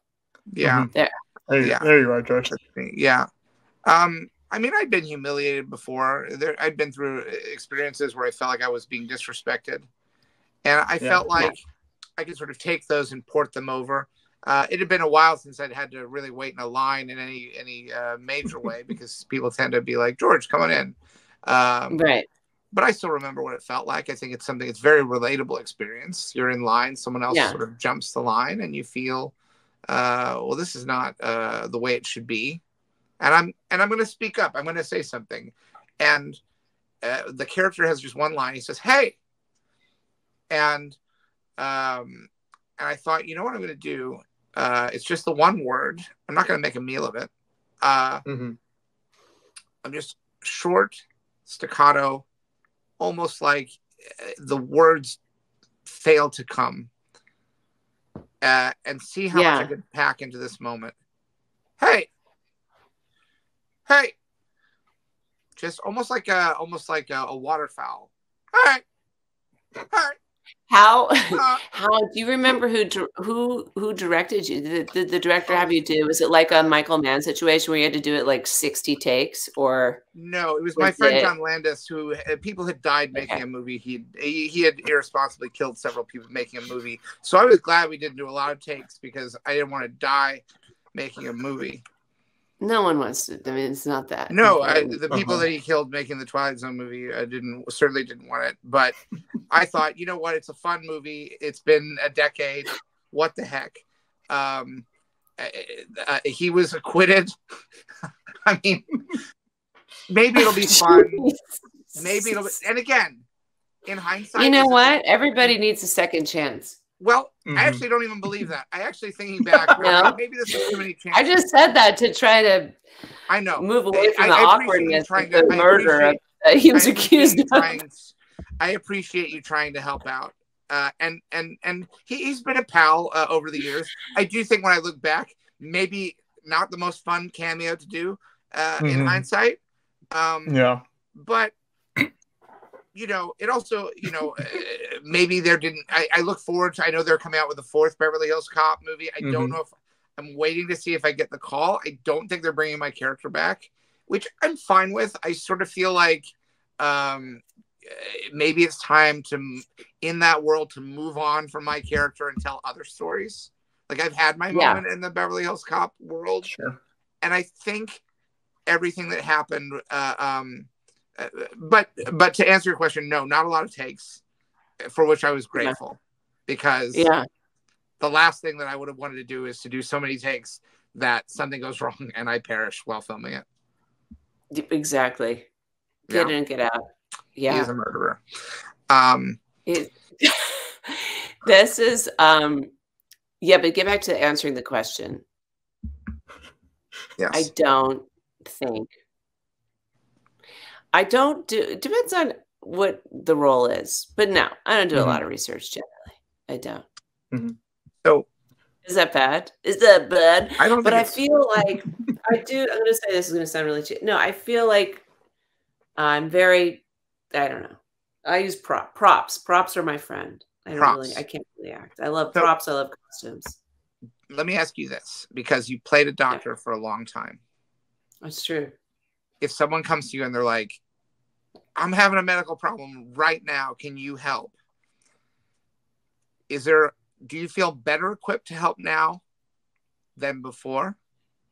The same equipped I or less? I don't. I feel the same equipped, but I probably have the confidence to answer that in a, in a way as if I'm more knowledgeable than I actually am. Like, what are your Mhm. symptoms? What are you What are you experiencing?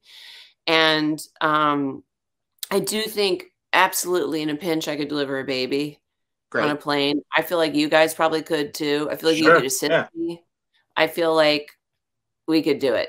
I mean, unless there was some really gnarly, which is a medical term, um, pre-existing condition. Yeah. You Yeah. know. I like mean, on that on that Australia flight, the woman could get impregnated and have the baby in the time that it takes to get back here. Yeah, that's right. You know? That's correct.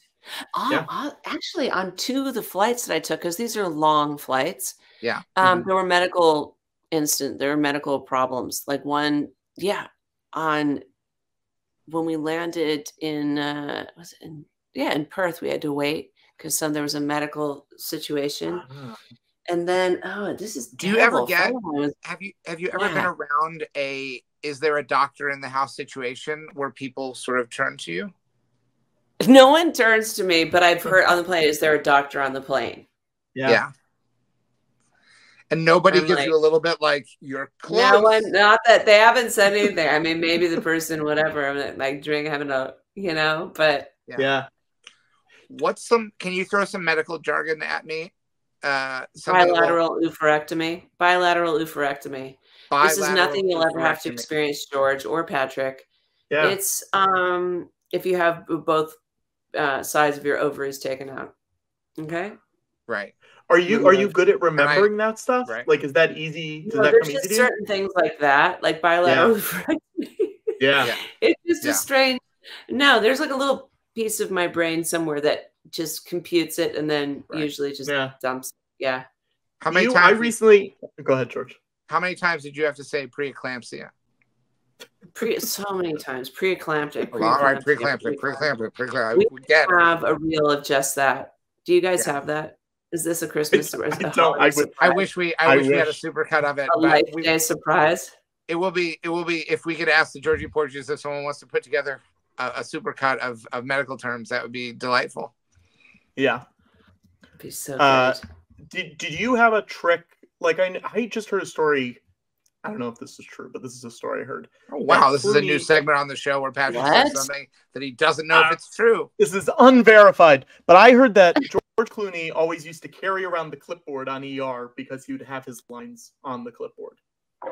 So he Yeah. would be like pretending to write stuff down because it'd be right in front of him. Yeah.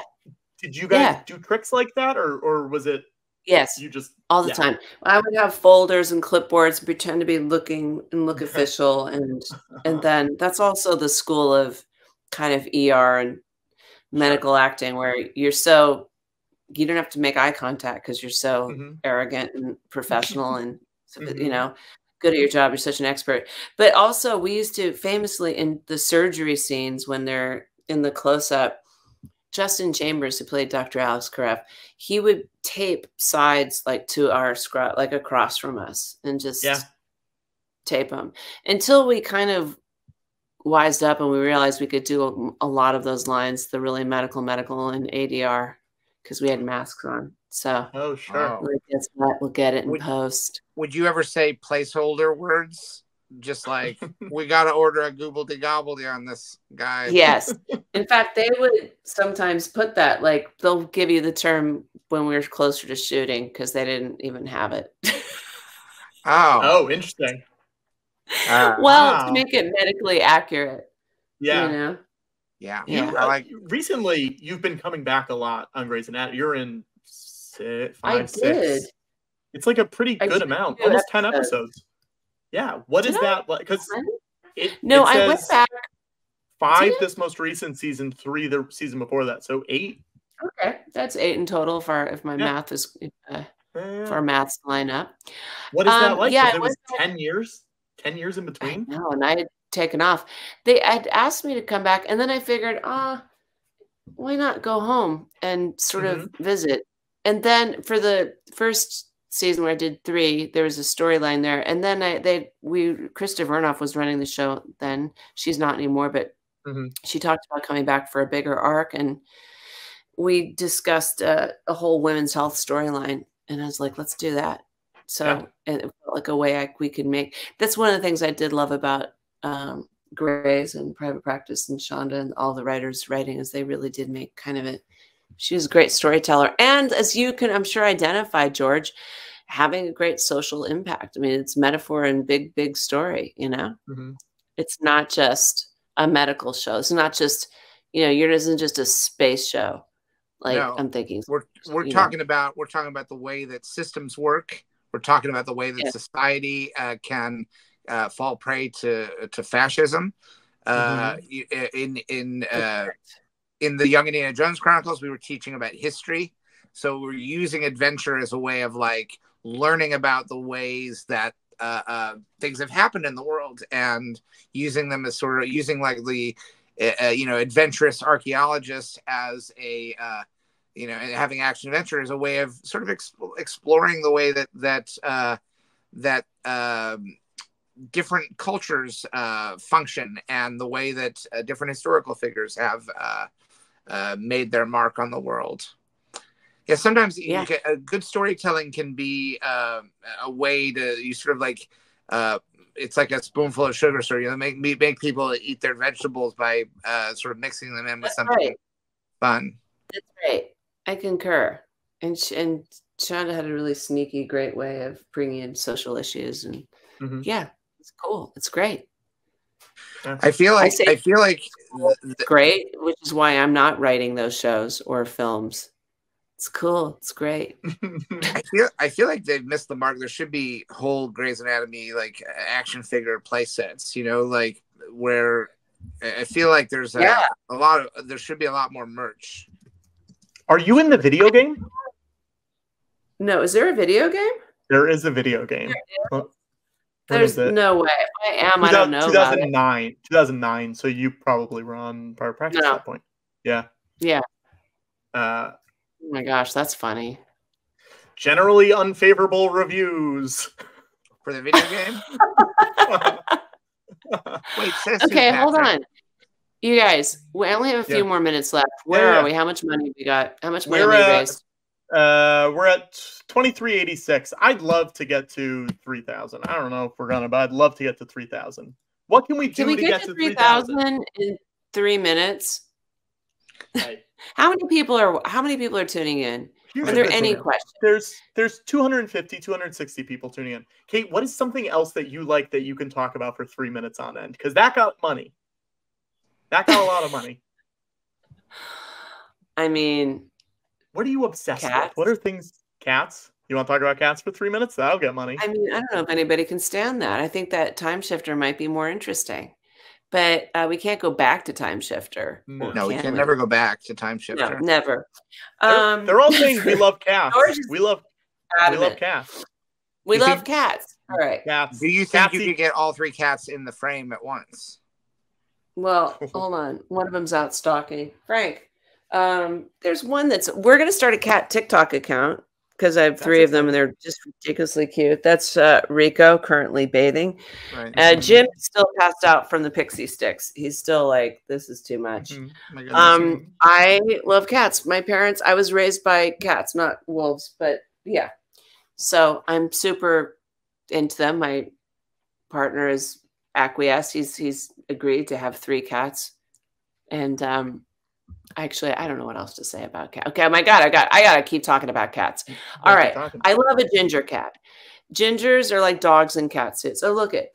Um, Frank just came back in. He's like, "You want me in the screen?"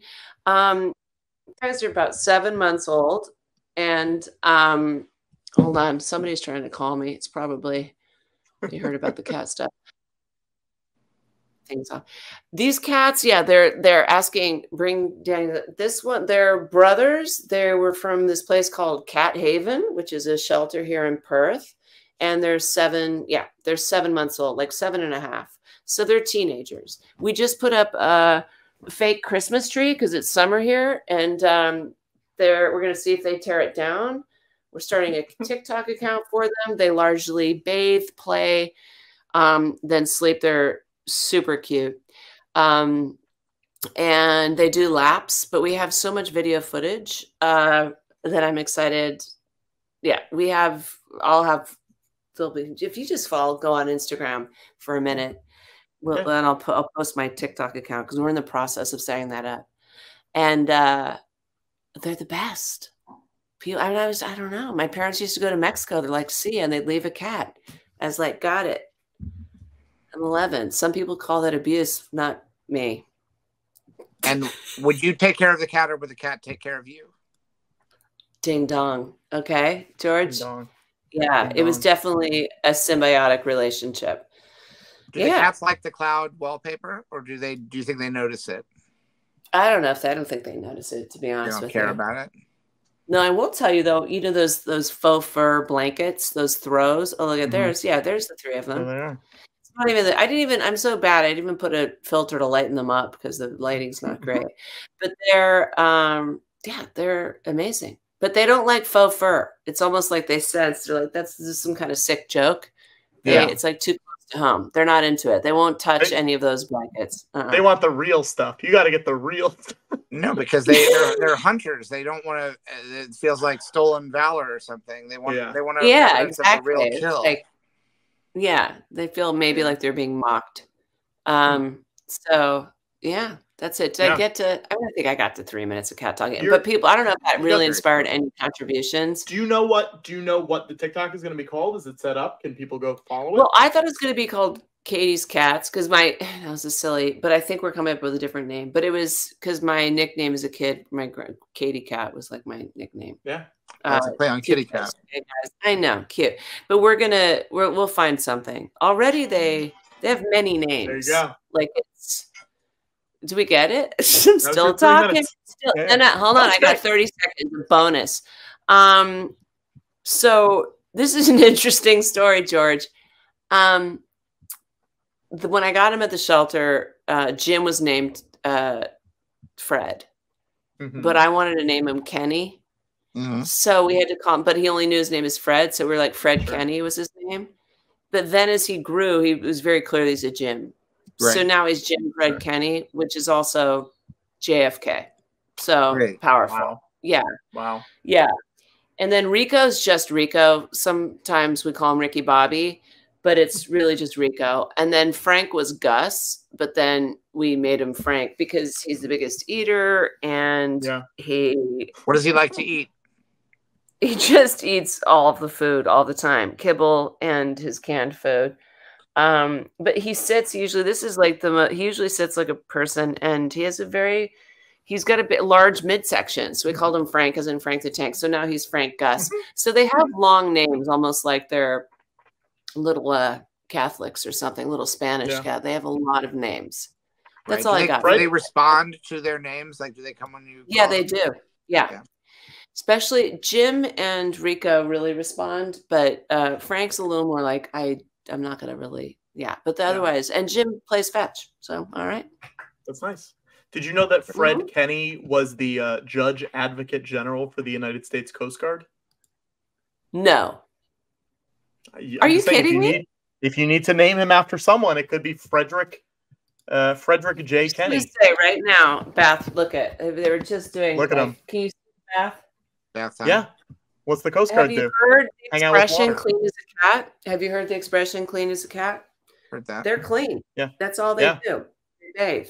So Yeah. The- no that's one's nice. commenting. They all went to sleep. Did your audience abandon you because I went? Oh my God, is that Fred Kenny? This is Frederick Joseph Kenny Jr. So Oh my God, I love oh. it. We're here. Okay, good. I Like, read. please I read. It says he is currently the director of legal and external affairs at the International Maritime Organization. I read it as he is currently the director of legal and extramarital affairs at the International Maritime Organization. Wow. I was like, well, what a job! What a It, job. there are so many extramarital affairs in maritime that they had to get someone to co- like coordinate, and they needed legal.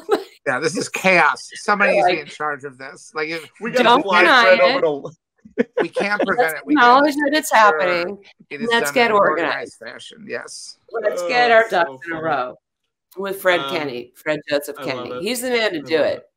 The king, the king. Um, thank you for Um, coming on, Kate. I'm Thank you, so happy. Did you already? Did Riki already come on and and Michael Ian Black? Did Well, they? Michael Ian Black came on earlier. Here's what happened with Riki, Kate. In my email to Riki, in the subject line, it said 2 dash 5 instead of 12 dash 5. So So Riki she thought, thought the was- show was in We'll in February. Yeah. Patrick Patrick up. I Butcher messed for a show that will never happen on, on that day. I messed up. here's a fun fact about Riki. Riki Yeah. Lindhome and I were, did theater workshops, did plays together at the Actors Gang before she was mm, like Oh, wow. working. As, yeah, she's cool. a she's extraordinary. Yeah, she's really. Yeah, there you go. That's Yeah. it. She's the best. what She's the best. Yeah.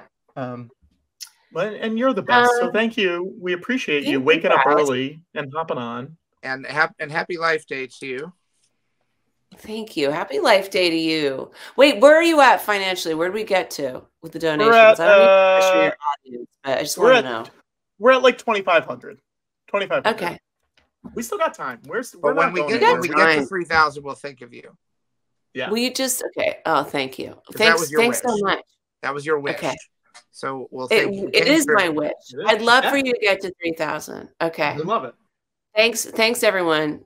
Thank you. Happy Thanks Kate. For Day. Come enjoying back again. cast. We love you. All right. See ya. Bye. Bye. Bye. Cool. Okay. She's so cool. Huh? What was I about to say? Oh, you were talking about something. I was talking about something, and now I can't remember what it was. I got something else to auction off. What was it? This is gonna drive me crazy because I was really gearing into something. Mm-hmm.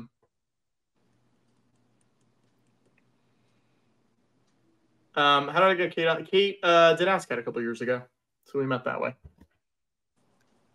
She's great. Um, George, can I auction something off? This is yes, related to something we were something off while talking. I try to remember what. Something we were talking about earlier, and this one is kind of annoying because it's actually I'm going to have to get a box for this. Ooh, so it's this I- is going to cause you some amount of hardship to actually send this Yeah. off. It's gonna be a little bit of a pain. Yeah. Uh, I'm I'm I got I got a Funko, and I want to pass this along to someone here. This is a a Funko. Funko that I don't I don't know how many they made. I don't know anything about it. Is a Jim Henson holding Ernie Funko, And that's a that's a Target exclusive, right? the Target exclusive. Uh, I don't know if anyone is interested in this, but if anyone uh, would like to bid on it, happy to send it to you. Jim Henson, oh, 30 bucks. Sparky, one, two, seven, eight, nine. At thirty dollars. $50 one B BBR. $65 smart overcoat. Jim Henson and Ernie. $69 Sparky 12789. Uh look, keep it going up. Um I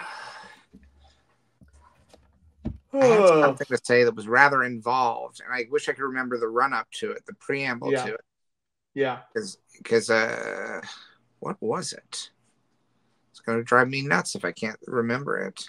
Can anyone figure this out? What George was talking about? Hmm. Can anyone go back and clip somehow and figure it out? I don't know if that's possible. I don't know. Maybe if I scroll back in the chat, I can see what people were talking about right before. Oh, jeez. Good luck. No, I can't. Um, Not everyone sees everything you put on social media. That's what Potato Molasses is saying. oh, I know what it was. That's it. That's it. Yeah. If I was going to suggest, I'll, I'll bring it up after uh, after we're done auctioning off this Funko. Okay. Let's give this uh 15 more seconds, George. No, let's give it 42 more seconds. Okay. Do you want to count down?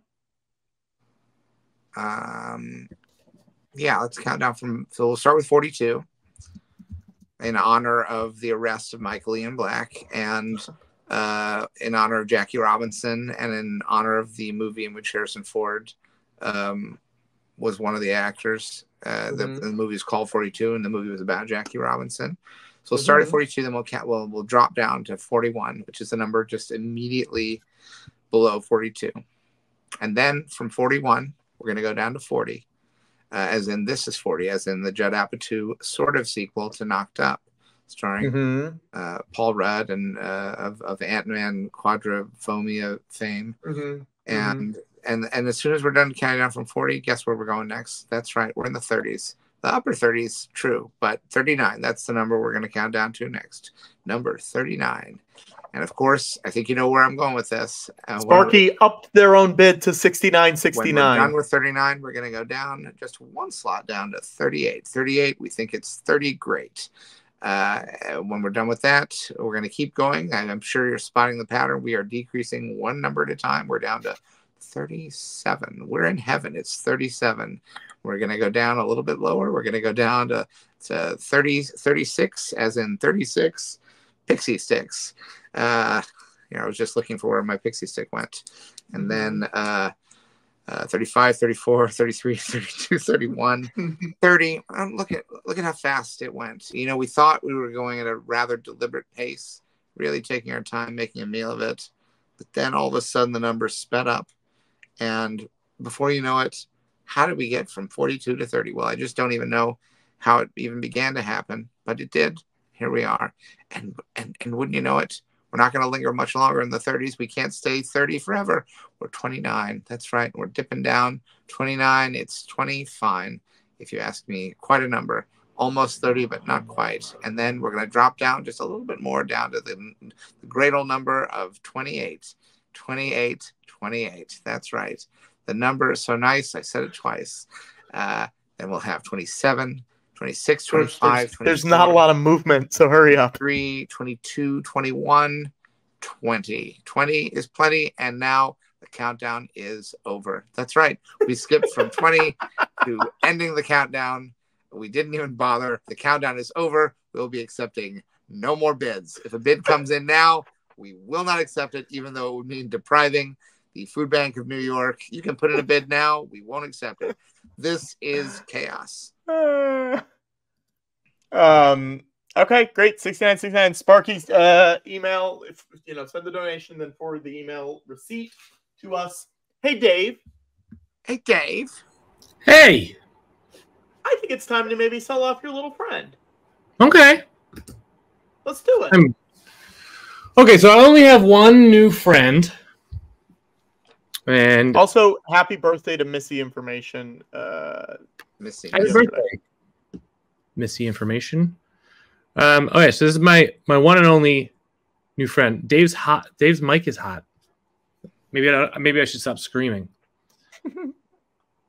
Ten dollars for. All right, so this is um Sebulba painted like Boba Fett. That's the Boba Fett. That's all I got right now. Things are George, Running. look at Sebulba Fett. look. I, think got it's- some I Boba think Fett. it's really great. All right. I mean, we're at thirty dollars already. Uh, I see fifty dollars. Ooh-wee. Uh, I mean, he's great. Boba Fett. He's great. That is a real collector's item. That's a real work of art. One of a kind. I think we can at Um, least get him to hundred dollars. At least sixty nine dollars. I say. Oh, 99 dollars. Remy the Bub. Almost 100. This is this is a Jersey Dave original that we're we're seeing the bidding Yeah. for. This is the 1st Mhm. uh figure I ever painted. So that's a whole new world. Oh It's wow. a whole new world. A That's right. world Now, of what did you- figures? Yes.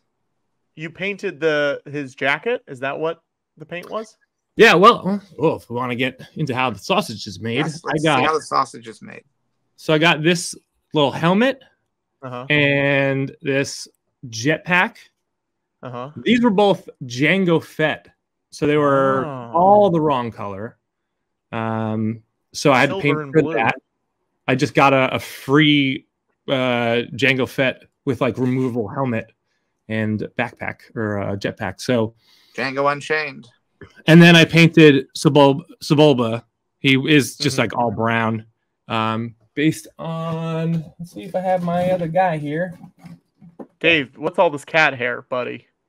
Oh, this yeah, no. This is my my downstairs Meow. sweatshirt. Talk about a catty comment from Patrick Cotnoir. No, Yeah, closer. my cat- Oh, that's a good ja- good jacket though. Oh, the Jim. Yeah, this is what I used to work for Jim Henson.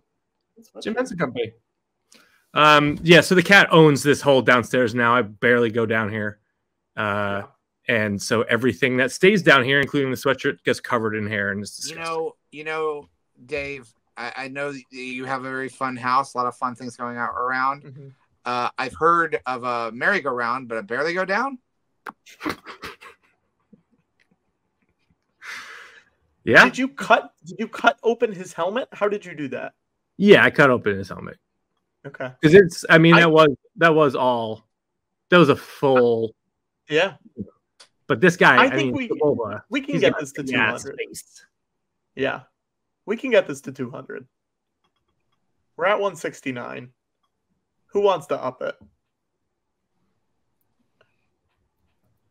Oh, Uh, or or if you want to bid on this to also be sent to Mickey Knife, we can also do that if that will up the bid. And and bear in mind, even if you're thinking of yourself and you're thinking, I don't need a, I don't need this. Uh, think about the people in your life who, Mm-hmm. for whom this would be a wonderful holiday gift. Uh, Hanukkah, Anyone here could think of at gets on least ten people that would want this. uh, secular Christmas is soon. Just this, this is a gift that you cannot buy in stores. If you were going to try to make it yourself, uh, it would it'd be very difficult. It would also be, I think, kind of expensive to gather multiple action figures and then to craft it, because that's what you're really paying for here is the Jersey Dave craftsmanship.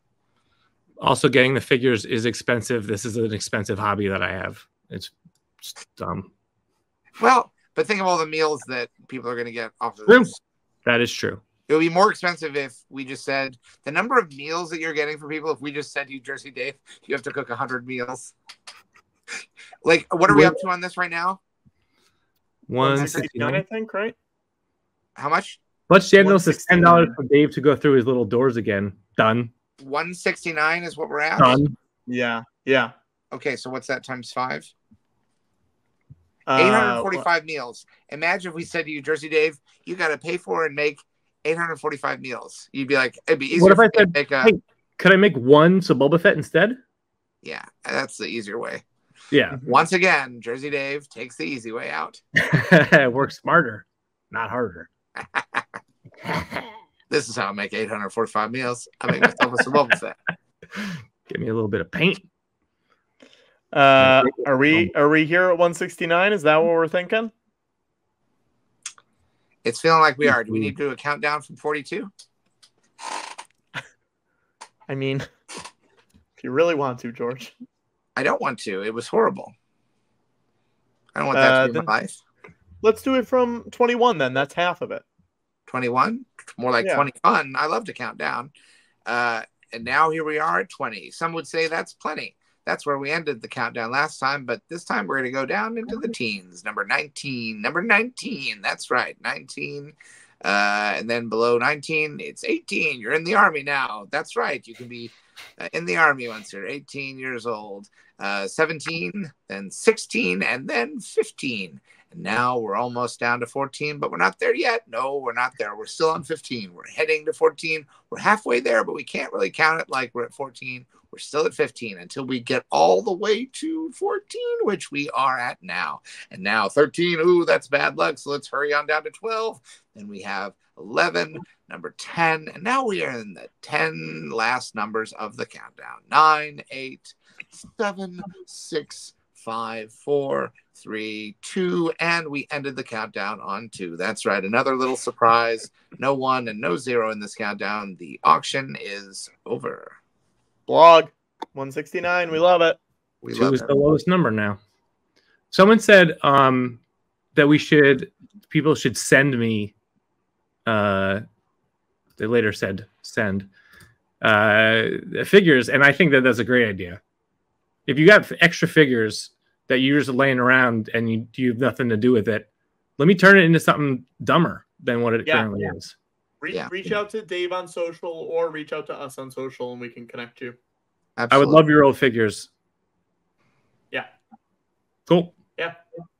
Uh, great. Thank you, Dave. Thank you, Dave. Uh, now, one thing, uh, and Patrick, do you, am- are we uh, good? Do you think for me to talk about the thing I was going to talk I about? I believe so. Yeah, I think so. a kind of exciting development that some of you may or may not uh, have been following on social media is that uh, as we close in on a decade, because we're heading towards our 10th anniversary of the George Lucas Talk Show, and a lot of times people um, will say, "Hey, what's this show? What? Explain it. Explain what this show is." And sometimes what we'll say is, uh, "Well, it's a talk show, and it's uh, hosted by George Lucas," and that usually does the trick but it doesn't really convey the breadth and the depth of what the show is comedically and uh, even emotionally.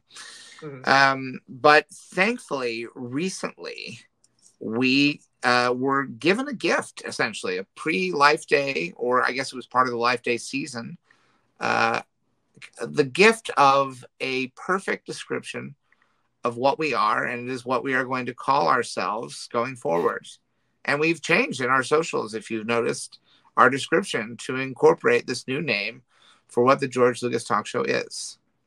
And some of you will be aware of this already. Some of you uh, will be learning of this right now for the first time. Um, we are a variety spoof show. Do we want to watch the video? Yeah, let's watch the first of the two videos. I think this audio will play. Let me know if it does not. We'll see. I guess me. Who did I Zoom call during the Academy Awards? This was before you knew me. Before you knew me, so it definitely wasn't me. Yeah. um, Aw, I wish. You didn't have. I was going to say your dog, but you don't. You didn't have a didn't dog have at that Lenny point. yet. You didn't My have little Lenny. precious boy. Um, um, you. I mean, you're is- very. You have a lovely family who you're very close I with. do, yeah. Um, it was maybe your lovely mum and dad. I love that guess, and honestly, like No? I would be. You wish it was. I'm a shitty daughter. I didn't. Um, I have friends Yes. Who have I'm a glad. who have a variety spoof show called the George Lucas Talk Show. Oh, oh, I've heard about and them. there yeah, is yeah. a running gag on it. We had this joke that I was always, if I went to the Academy Awards, I was going to call in, So you and called I it. called in at the Nice. George Lucas Talk like Show, live on the podcast. live on their show. Oh, that's yeah, fun. So I got it wrong, which means you get points. So this is, Look at that. Who? All right, so we have that. Uh, Yeah. a, vari- a variety spoof show, and we're friends, and now that's been confirmed. That's Uh-huh. Vanity Fair approved uh, content. Yeah. Uh, and of course, we want to plug uh, if you haven't already gone to see the Hunger Games prequel, the the uh, uh, Legend of Songbirds and Snakes. Uh, ballad. Ballad. Ballad, that's right, ballad Yeah. because there's songs in it. Um, And it's it is- good. It's, good. really good. It's good, and Rachel's really great fun. in it. Yeah. and, And it's Josh already is made great in it too. Other and it's friend of the already made Josh. hundreds of millions of dollars. It's a hit in an era when it's hard to get people to come to the theater. Uh, but um, I, I predict uh, if you'll if you go see it in a theater, it'll be more fun. Yeah. It'll be more fun, and it's going to be in theaters all through the holidays because it's doing so well. So it's a great time to um, go support our friend Rachel uh, Mhm. in her new smash hit movie, The Hunger Games: The Ballad of Songbirds and Snakes. And of Yeah. course, after you just witnessed that little bit of interview, uh, one of the our beloved Georgie Porgies, I made a little suggestion on social media. I said I was reading because they had the transcript of the text. I said someone should set these words to music, and then uh, uh, Edie Fake Name on uh, social media sent Mhm. me this music, and I made a little video. So here we go. This is, I guess, me. Who did I Zoom call during the Academy Awards? Um, I have friends yes, who have I'm a. glad. I have friends, yes, I'm glad, who have a variety spoof show called The George Lucas Talk Show. Oh, oh, I've heard about that, yeah, yeah. And there's a running gag on it. There's a running gag on it. There is a running gag on it. There is a running gag on it. We had this joke that if I went to the Academy Awards, I was gonna call in.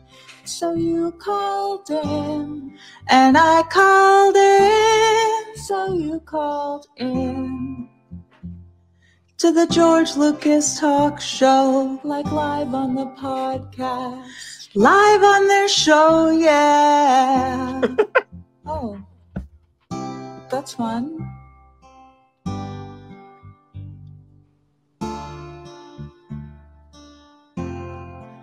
I have friends, yes, I'm glad, who have a variety spoof show called The George Lucas Talk Show.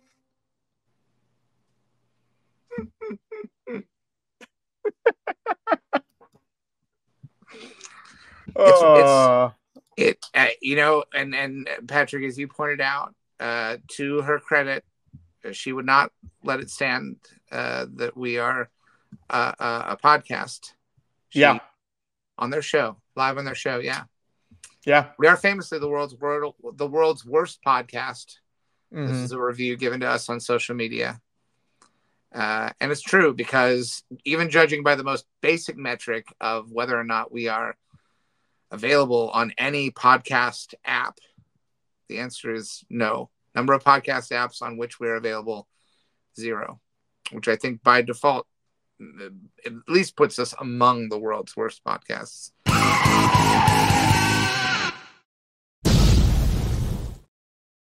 What's We don't that? have a we don't have a breaking news bumper. I thought we did.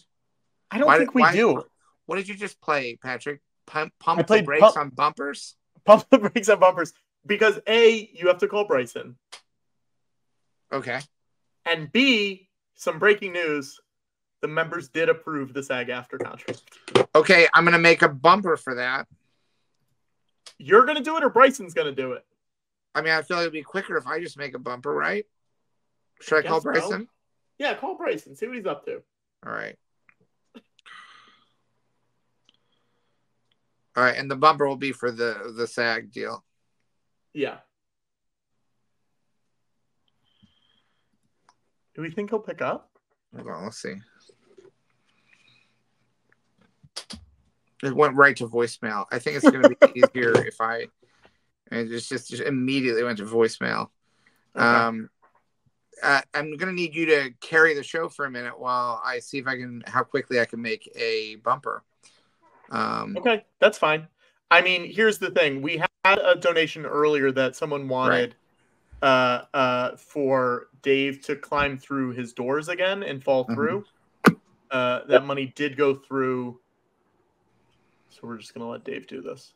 Okay. Um, hold on. I'm gonna. George, watch the screen.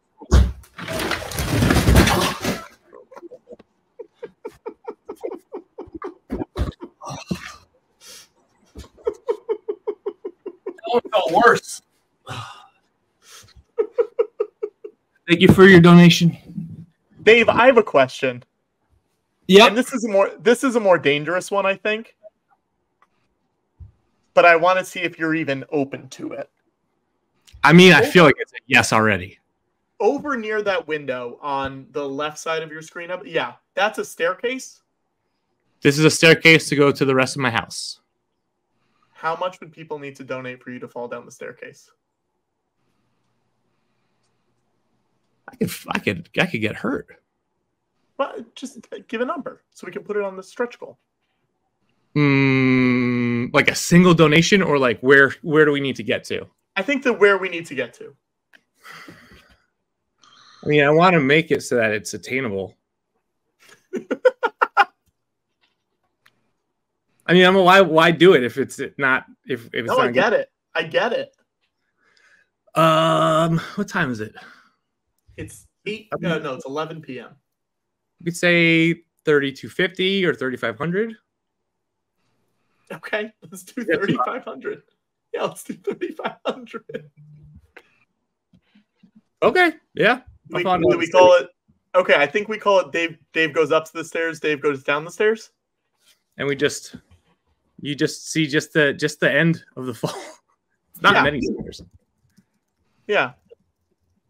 Sure. Yeah, I'm in. Okay. Great. I knew you would be. It was just a matter of asking. You know. All you gotta do is ask. Yeah. I'll Uh-huh. throw myself downstairs. Um. Now people are saying they don't want to donate because of that. Right. Oh, Right. Should we say you'll only won't do it if we get to that number by the end of the night? Otherwise, you're doing it. down these stairs unless you all intervene. Yeah. Uh. No one ever asked for this. Yep, that's true. huh. How much did not fall down the stairs? I think same amount. So okay. So do we want to say that you, if we do not reach that number by the end of the night, you will fall down the stairs? sure. yeah, whatever, I'm- whatever gets the money flowing. I'm still gonna call it. Dave goes up the stairs. Dave goes down the stairs. okay. Um. This does feel illegal. I, I'm fine with that. It's for a good cause. So. It's for a great It's cause. for a great cause. Yeah. I do want to remind everyone George is currently making a bumper. Uh, that's, why, because that's why this is happening. Yep, we hit this point in the stretch goal. Um, 3,000, a visit from an old friend. And it's Life Day, and I feel like we want to see that. So we'll get there. We'll get there before the end of the night. But if we don't get to 3,500, Davy, baby, you're falling down those stairs. They're carpeted. It's gonna be fine. It's gonna be it's gonna be okay.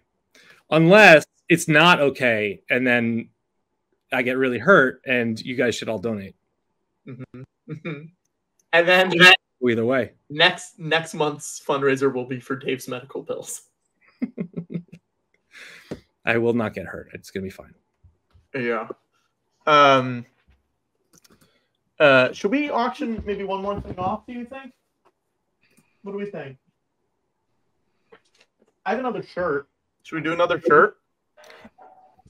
I do have this still. I don't know where it is. Okay. Oh.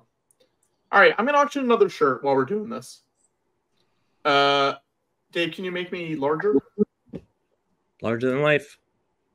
This is from uh, our Detroit show. This is another Bring the Noise shirt. This is Motor City presents the Boonta Eve Classic. Now this is pod racing. I believe I only wore this at our Detroit show, so it's only been worn once. But I'd like to get a couple bucks for it. I think this is a good one. I think it's a cool one.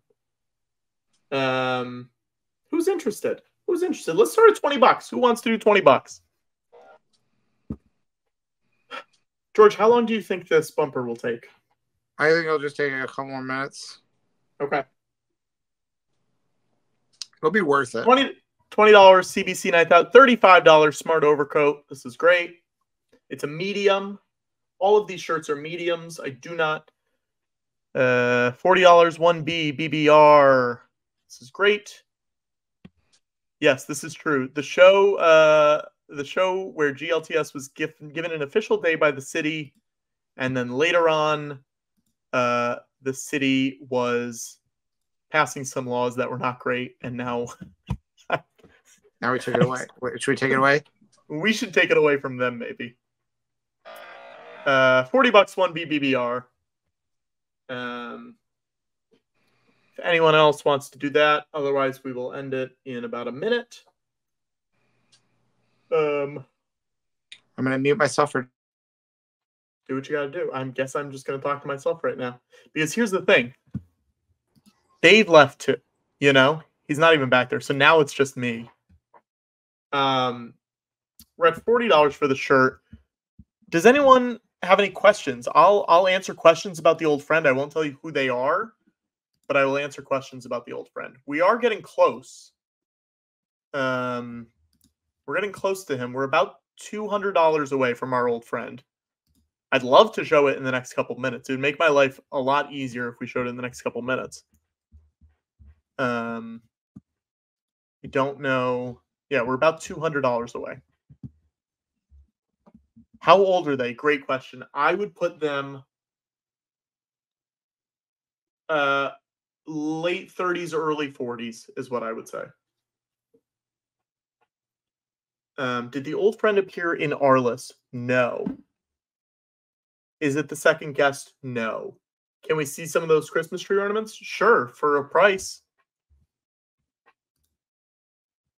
You know? All right, let's end this shirt. So we are at $40, one BBBR. Going once, going twice. Okay, sold. One BBBR. Donate and uh, send us your address, and then we'll go from there.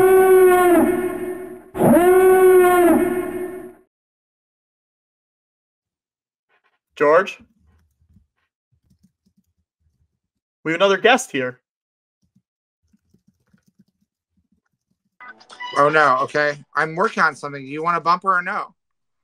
No, I do. I do. I'll bring the guest on. We'll see. Uh, okay. No, wait. I'll do the bumper after this guest. Yeah, this is great. This doesn't count as time I was working on the bumper. That's Okay. fine. That's fine. Uh, to our guest that's backstage, uh, we always on our live stream shows have people write their own introduction for how we introduce them.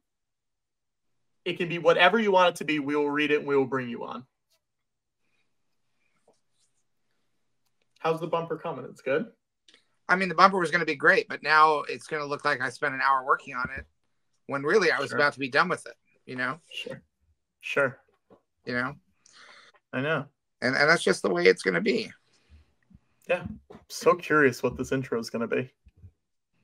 Because here's what I'll say this guest is technically an old friend that is returning, but it is not the old friend that was mentioned in the fundraiser. Keep that in mind, everyone. Because in a couple, uh, in like 200 more dollars, another old guest is going to come back, which is fun. An old friend. All right, I just finished the bumper. I'm going to drop box it, and then we'll play it after this segment is done. Okay. Okay. Great. All right. Great. I'll send it to you, the Dropbox link. Great. I'm still waiting on this intro. Well, and that's the thing is the intros are ready when they're ready. They're not. And they are freaking out. than they need to be.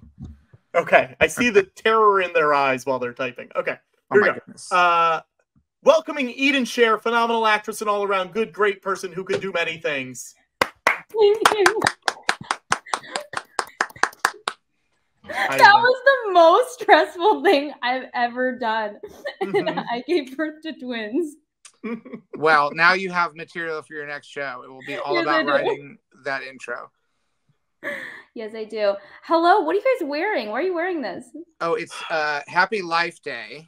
Today's it's Life, Life Day, Day? which is the Star Wars winter Of holiday. Of course. I've seen that movie. Uh-huh. Uh-huh. Well, that's these are our robes. These are our official Disney It's a, licensed it's a, Life it's Day a robes. Wookiee, it's a Wookiee holiday. We celebrate a day No, of I- peace, a day of harmony. Mhm. That is this it's the strangest movie I've ever seen in my entire life. Good. Good. I'm very happy I should have known. Yeah, I'm it's it's some of your best work. Thank you. I appreciate it. I appreciate it. Now, Eden, you were on one of our fringe shows. Yes, I was. you were I on was our honored. first fringe show. Honored. I was. You had a good time at Fringe? Oh, fantastic. And a fantastic time on that show. That really set the stage for my entire fringe experience. It was a good it was a good show. And and your show was great. We really going to see. You're touring now. Tell people where you can they can go see your show. Oh, yes. That is I didn't know if I, okay, so here's the thing about my I wasn't even yeah. I wasn't sure if I should like plug my stuff already or if I should Do Um, it. Okay, well, yes, I am going on tour all through 2024. It actually technically I did some soft launch. I did like a show in LA and I did a little show in Portland. But starting in January, um, I'm gonna go all over the US and you can find tickets at edensherlive.com. Just my Mhm. name, E D E N S H E R L I V E. Maybe it's Eden Sher Live, who knows? But Eden Sher live.com. All the tickets are there, all the cities. Um, I'm going to be in Seattle January 14th and in LA January 6th. I should have started there. Ooh. Yeah. That's exciting. No, Where are you sometimes you, have to tell the story in a different order than the events occurred chronologically. that is that is one of the main pieces of wisdom that you've learned from me. It is. that is exactly. You are the person that I learned that from. I Yeah. wouldn't have told it in that way were I not in the I'm proud of you, Eden. I'm proud of you. Thank you so much, Georgie. Eden, what's your poster behind you? I don't know. It's my husband's. It's oh, is it is it something you did, George? I don't, I don't know. Bond. Moonraker. James Bond. That James Bond. There's also I th- so there's also an Emmy behind me. It's not mine. Oh, can we see it? of course. Are you kidding? Yeah. see that Emmy. It's just always casually behind me, and sometimes people notice, and I'm like, "Yeah, yeah, that's right." See the, see the Emmy in my house. Mhm. Season four, season four of the middle was a good year for Eden. No, it's a it's for fucking robot chicken. My husband writes on things. Eden, you're gonna lose your damn mind. oh!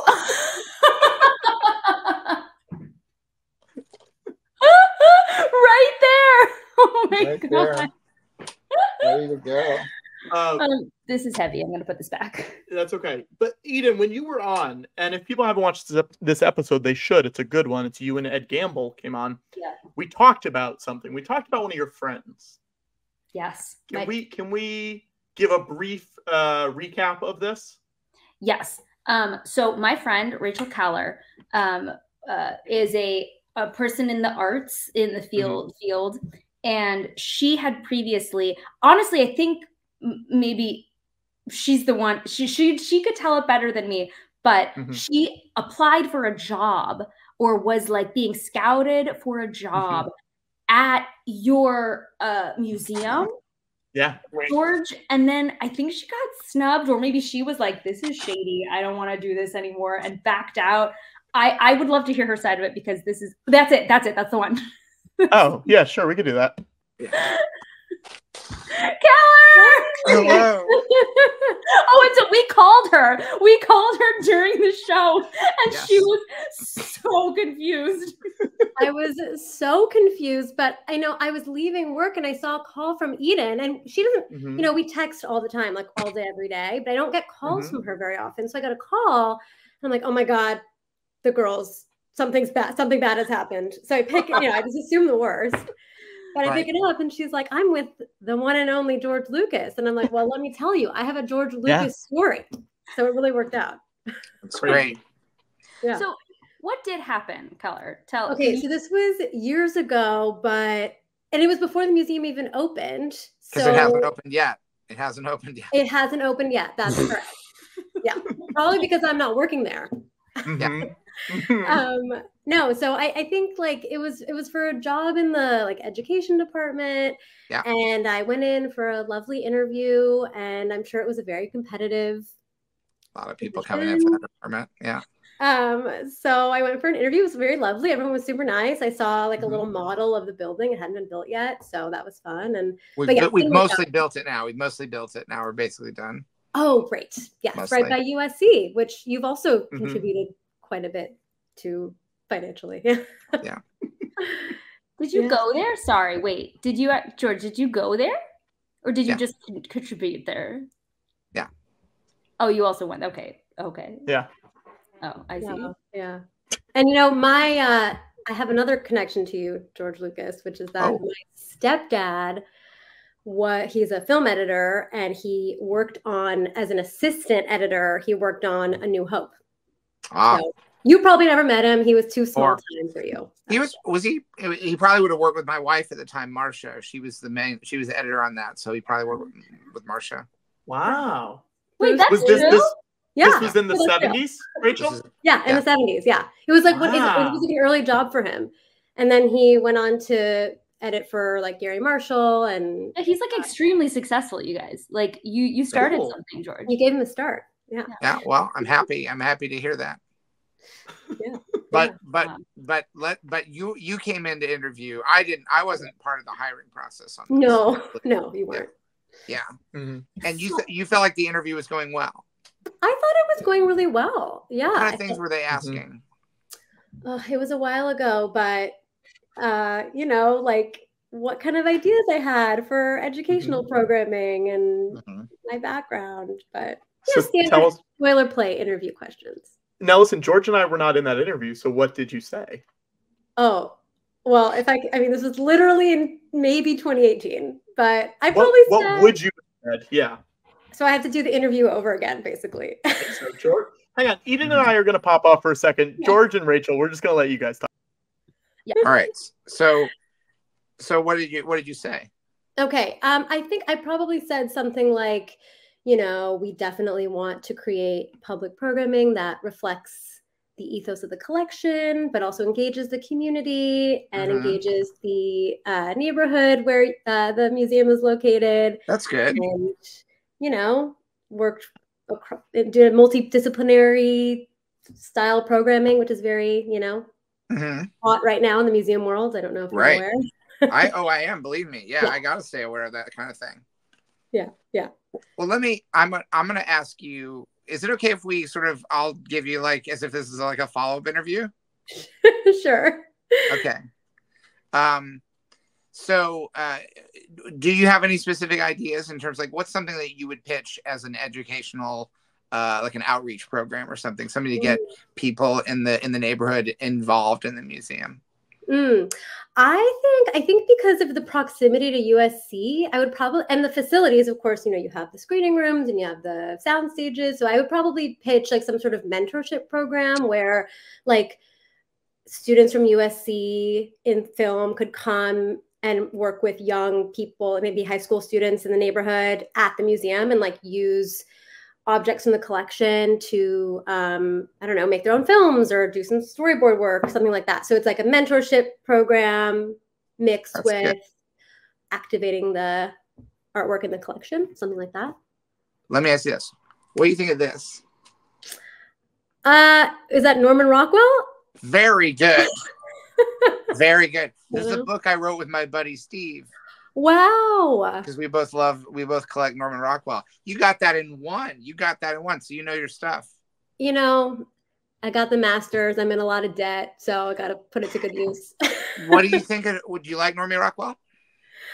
i think he- he serves a purpose you know That's interesting. What a what a what a tactful answer.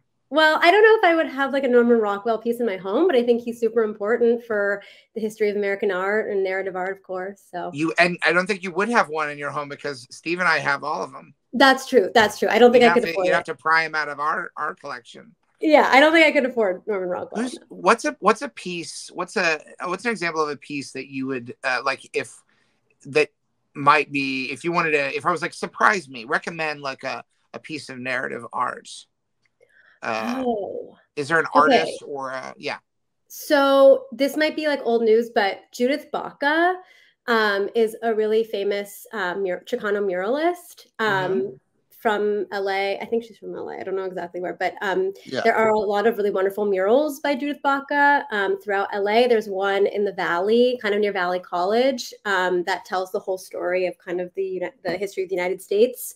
Mhm. Really, really long. It's like all along the LA River in the Valley. Yeah. Um, she's one to check out. She has a. I oh yeah. she Uh, is that hold on? Is that this uh, Judith Baca? Ah, that's her. Look at that So headline. Look at that headline. You're yeah. Uh-huh. Lucas Museum acquires. Uh, yeah, Judith Baca's The History of California. So this is this is great because you were not aware of that because you haven't been following the museum thing. So you this is you are right in tune with where the museum is. That was not a planted bit. I don't know. Maybe I, I may, might have read the that headline years ago. I don't think so. I don't sell yourself short. I think that was classic parallel thinking, meaning that you are in the pocket. Wow. So I guess you all should rethink your hiring decisions, and maybe I can I can uh, have a Are second. you do you have a job right now? I do. I do have a job right now. But I can be bought. I don't know. Well, that's interesting because I have a lot of money.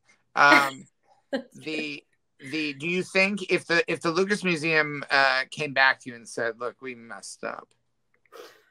Please, please reconsider." Would you be open? Would you be open to it? I'm not saying I can make this happen. I I might be open to it. Listen, Alright. cutting edge facilities. We have so many shared connections already. I mean, it seems like a no brainer. What's something that you might screen? Do you have a favorite? Do you have a favorite, uh, uh, like a film that you think would be uh, um, uh, instructional or inspirational uh, in a museum setting, uh, like a work that that might pair well with a, a particular kind of exhibit or something? Oh my gosh.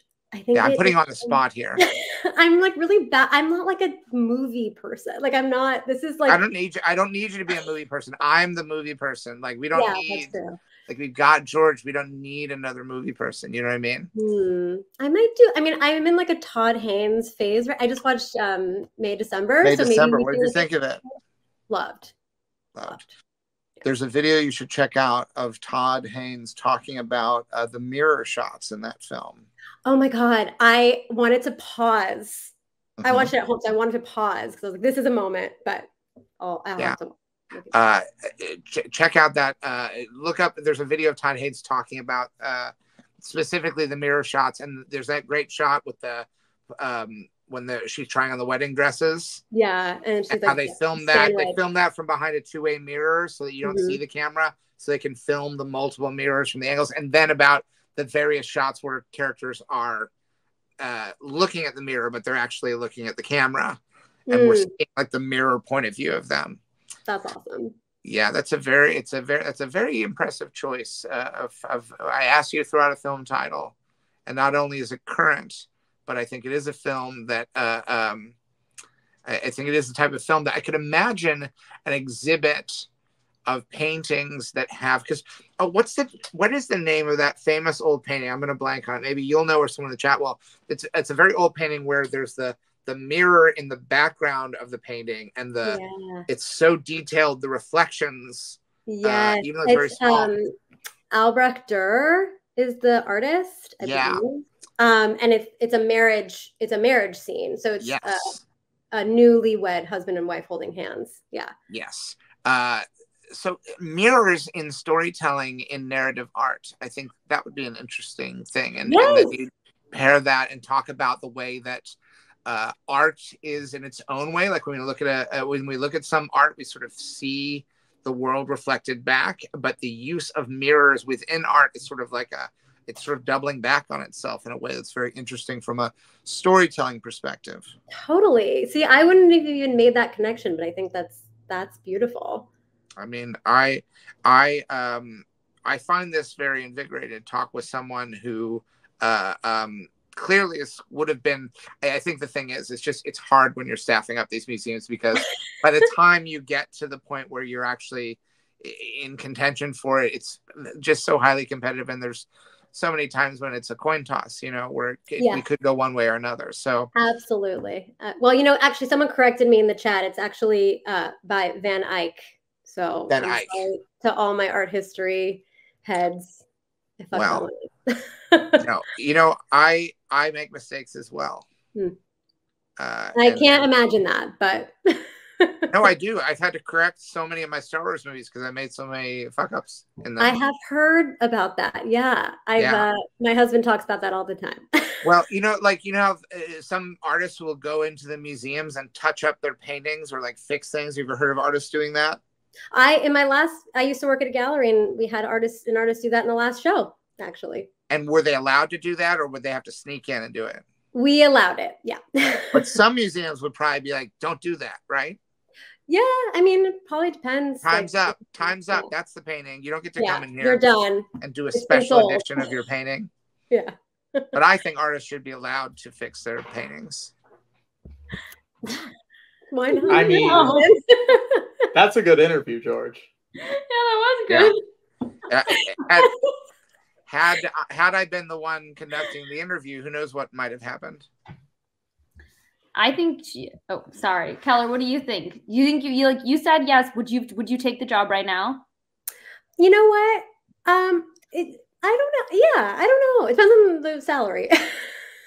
What about your current job? Uh, Don't you like? Uh, how would they feel? well, I just actually just started a new job two days ago, so I don't think it would be right if I left so soon. Right. Or now's the perfect time. right? They don't care about me yet. Exactly. Exactly. What would the what would the hang on, wait, George, what would the the rate have to be, Rachel, for you to leave right now? Because I think George has got money. George has got money.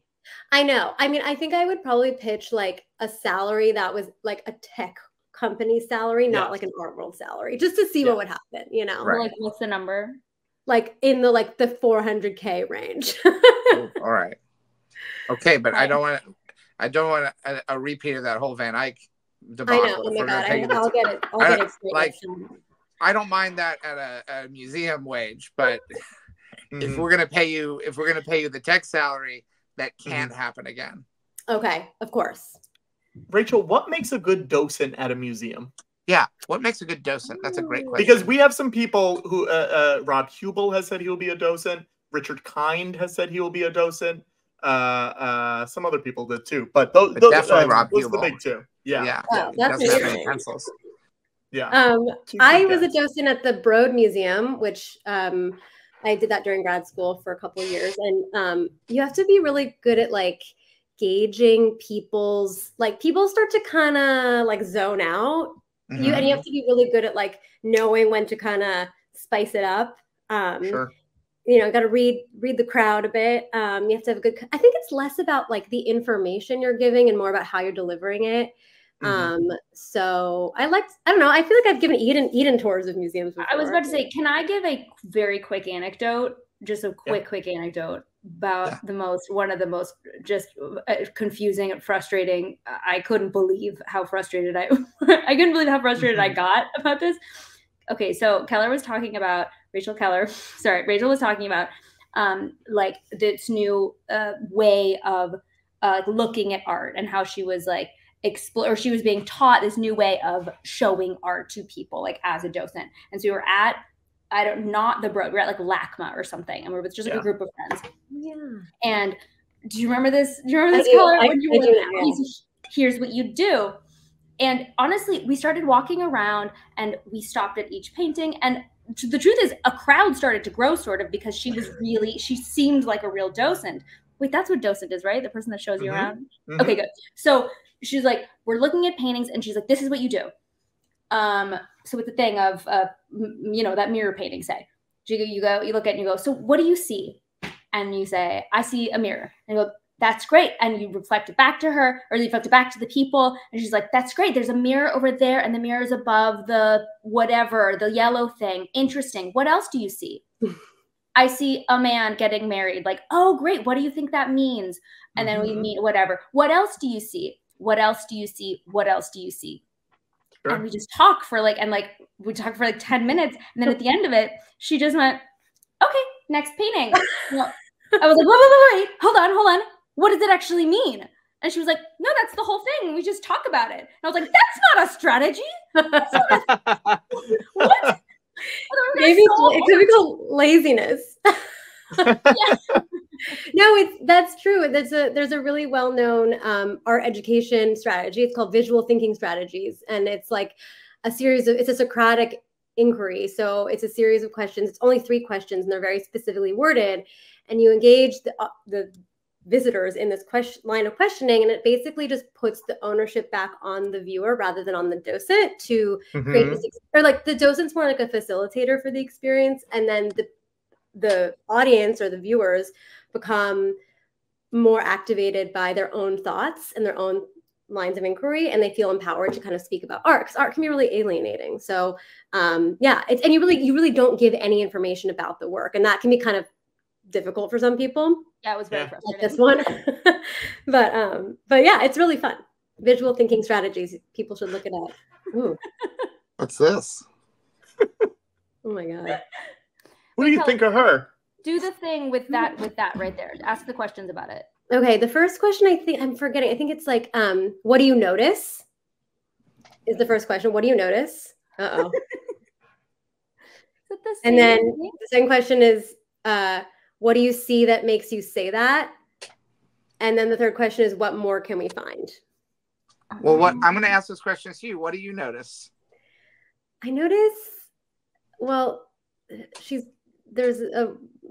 It seems to be a little girl cutting butter, but it's weird because she's like almost putting all the butter onto the bread Mhm. instead of spreading the butter on the bread. Like it's Mhm. odd. You're on to something here. Oh wait, is it the same? Is she? Is, oh, is that Annie? In the figure. Whoa. In the figure. Wow. It, it is supposed to be the same girl. It's too bright, so I can't. It looks like Annie. What the hell is that? This is Butter Girl. From, do they sell that at the gift shop at the. George Lucas Museum Narrative Art Museum? Uh, they better. or uh, they butter. Yeah, this is Butter Boy and Butter Girl by Norman Rockwell. hmm And you asked exactly, you said little girl who cuts butter. And that's basically what it is. It's Butter Girl. and then Butter. Boy. But see, that see how Uh-huh. differently? Like she cuts whole cubes of butter. And that's exactly and, and then he spreads it on, but like not all of it, and only on one piece. Yeah. And I And bought they're this both this pretty week. happy about it. And George, I bought this this week, and it showed up, and it was completely smashed, and I had to glue it back together. Oh no! But those One are some Norman few- Rockwells as well. Yes. Yeah. Uh, okay. Well, before I let you guys go, there's there's one piece of fan art that came in, and I do want to hear Rachel's take on this too. and Eden, I also want to hear your take on it. I mean, Keller will know better than me. What do we think about this? Uh, this so is this is a Nor- this is a Norman Rockwell, but that's George's face replaced. is this a real? man's- it looks like he, it's like a union man, like standing Mhm. up or something. You know, like something about it looks political. I don't know. Mm-hmm. I, I quit the Directors Guild. Is that real? Is what Have you real? quit the Directors Guild? Yeah. Yeah, they Yeah. The, the DGA fined me uh, two hundred fifty thousand dollars because I put the director's name. The credits are all at the end of Star Wars movies, and you weren't allowed to do that back then. So they fined me a quarter of a million dollars, and I uh, turned in my DGA card. what? Wait, how can you make films then? Don't you have to make? How do you? Are the you only back in? Union? I'm not. No, I. But I mean, I did make films. Did they make an exception for you? Like, how did you get around that? Are you a scab? I know Scab. I know Scab. I,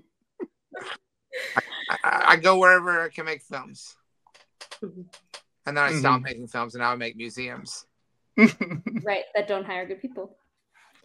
Well, it's not that. It's that there is one example we know of of a good person that the museum didn't hire, but it could be an uh-huh. outlier.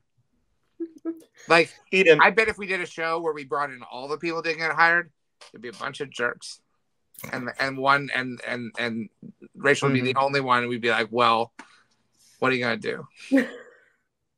We all make. Now, Eden, we're raising money tonight for the uh, food bank, New York City Food Bank. Yes. Uh, we're doing pretty good. Um, we've raised over. We've. They will be able to purchase almost fifteen thousand meals with the money that we've raised, wow. which is great. That's a lot of a lot of meals. Someone is asking in the chat, and I'm gonna ask this. I don't know if this is doable, Uh-huh. but I'm gonna say it. Serious inquiry. How much do I need to donate to get added to the comp list in Eden's sold out Boston show? Oh, that's a great, great question. Wow. Um, I, w- okay, can I? What is? I want to say what is fair because I do have the power. Like, it's Yes. like, that's this person. What's I the could get this ticket person. price for that? What's the ticket price? Great question. Well, the, I think the ticket price for a VIP in Boston was forty-eight. I want to say maybe it was fifty-two with fees and stuff. Mhm. Okay. Um, should it just be that? I don't. I guess I don't want to like price gouge. I feel like this is for a good cause, so it should be like Yeah. a little. Yeah, it's like it's that. like the good kind of prou- price gouging for charity. It's one of those Right. things where you want to be like, because they're asking the question, how much? We're getting an 85. I'm gonna say, can we bump that up to 100? Can we get that bumped up to 100? Yeah, I think I think that's. A, I think that's a good round. Even. I think that's a steal. also it is a think sold out show. It's like, a sold out If you show. Yeah. steal at a Yeah. hundred, you'd be crazy not to. Pistol McDaniel says uh, they think the VIP ticket was $2,100. Oh. Hundred dollars done. It, it actually Yes! says a hundred dollars. It actually says a hundred dollars dome. I don't know if that means anything else, but we'll pretend. Uh, I Uh, think they're requesting that some sort of dome be placed over them so that the other people in the audience know that they're a, a- it was a special ticket. They paid extra. Okay. So smart overcoat, you email me your name and I will get that to Eden and we'll figure it out. Yeah, I need to. Yes, yes, yes. Get it. Yeah. ASAP Yeah, so. I can get the venue so I can do it. Yeah, Um, and that, then that'll and that'll pay for 500 meals. Is that true. That's incredible. Yeah. For every one dollar that's donated, they will make five meals. We don't know how they do it, but that's Whoa. what they say. whoa? Yeah. So That's incredible. Yeah. Um, thank you guys for coming on. This was Yeah, it was very nice to be able to close the loop on this. Yes. This was You know? one of the weirdest things I've ever done. So Also, I'm not like a also- public person, so this is very odd. Also, No, uh. Eden, did you hear about the the SAG deal went through? You mean? Oh, oh, it did. It like went through, went through. It went Yeah, through. yeah. And and Patrick, do we have a bumper for it to announce it? Oh, we do have about George made a bumper for this. All right, here we go.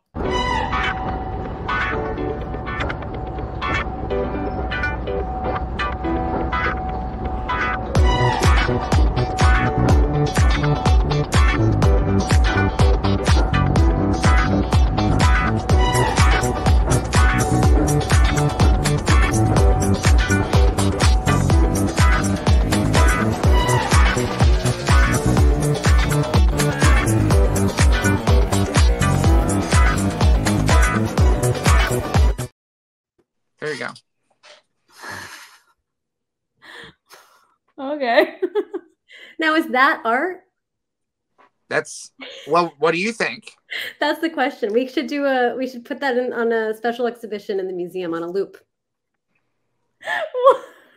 You gotta hire her, George. Yeah. What was that? That's the official video announcing that the, the member, the actors have voted on the contract. Um, very exciting. Thank you guys for coming on. Come back anytime. Come Come back back anytime. again. This was very fun. Thanks so much. Go see, Bye. Oh, wait, say that. Wait, What were you saying? go see Eden's shows all over the country. Find a sitting near you. Thank you. That's great. Thank you so much, you guys.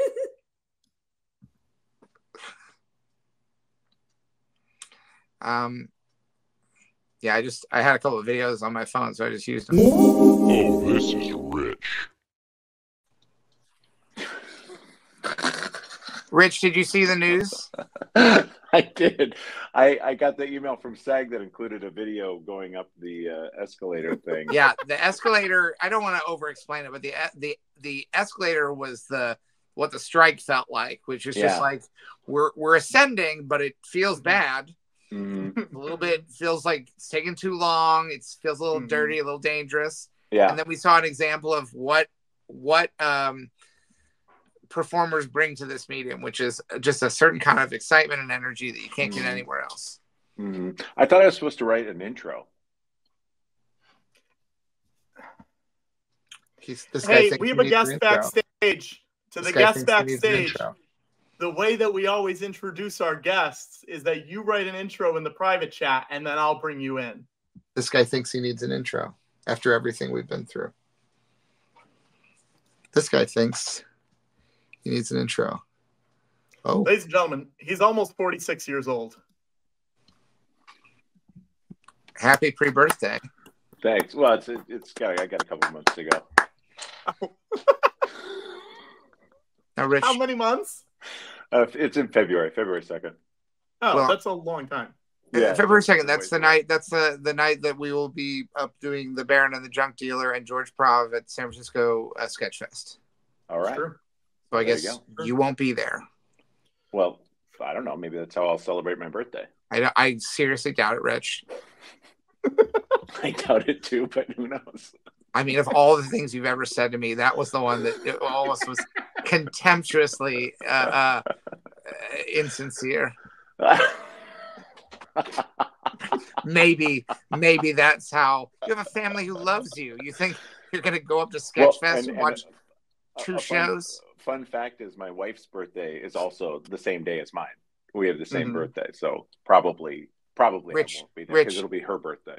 Rich, I apologize for saying this, but that's disgusting. it's, it's, I hope fair. that's Rich. Yeah. I hope to God that's not why you married her because that's a silly reason. it's well, Tell me that's It- not why, Rich. it's it was a part of how it all came together. Certainly, What was the main reason? the Love. main re- love, Patrick? love. Mhm. I think love. Uh, This guy yeah, hasn't seen Strange Magic. What was the second reason? birthday. Okay, third reason. Oh, third. There's a third. Mhm. Um, Pistol McDaniels is asking if you met at a birthday convention. we did. We met in the February second uh, section of a birthday convention. You know, How'd you guys whenever they meet? Tell us how you met. Oh, Jesus. Um, we met. Oh, in, I'm sorry. We're not the ones who brought it up, Rich. We, we met in we met in graduate school. Mhm. We met uh, the first day of, of graduate school. Oh, when they're like you, go, you stand up against the wall and the teachers pick. yes.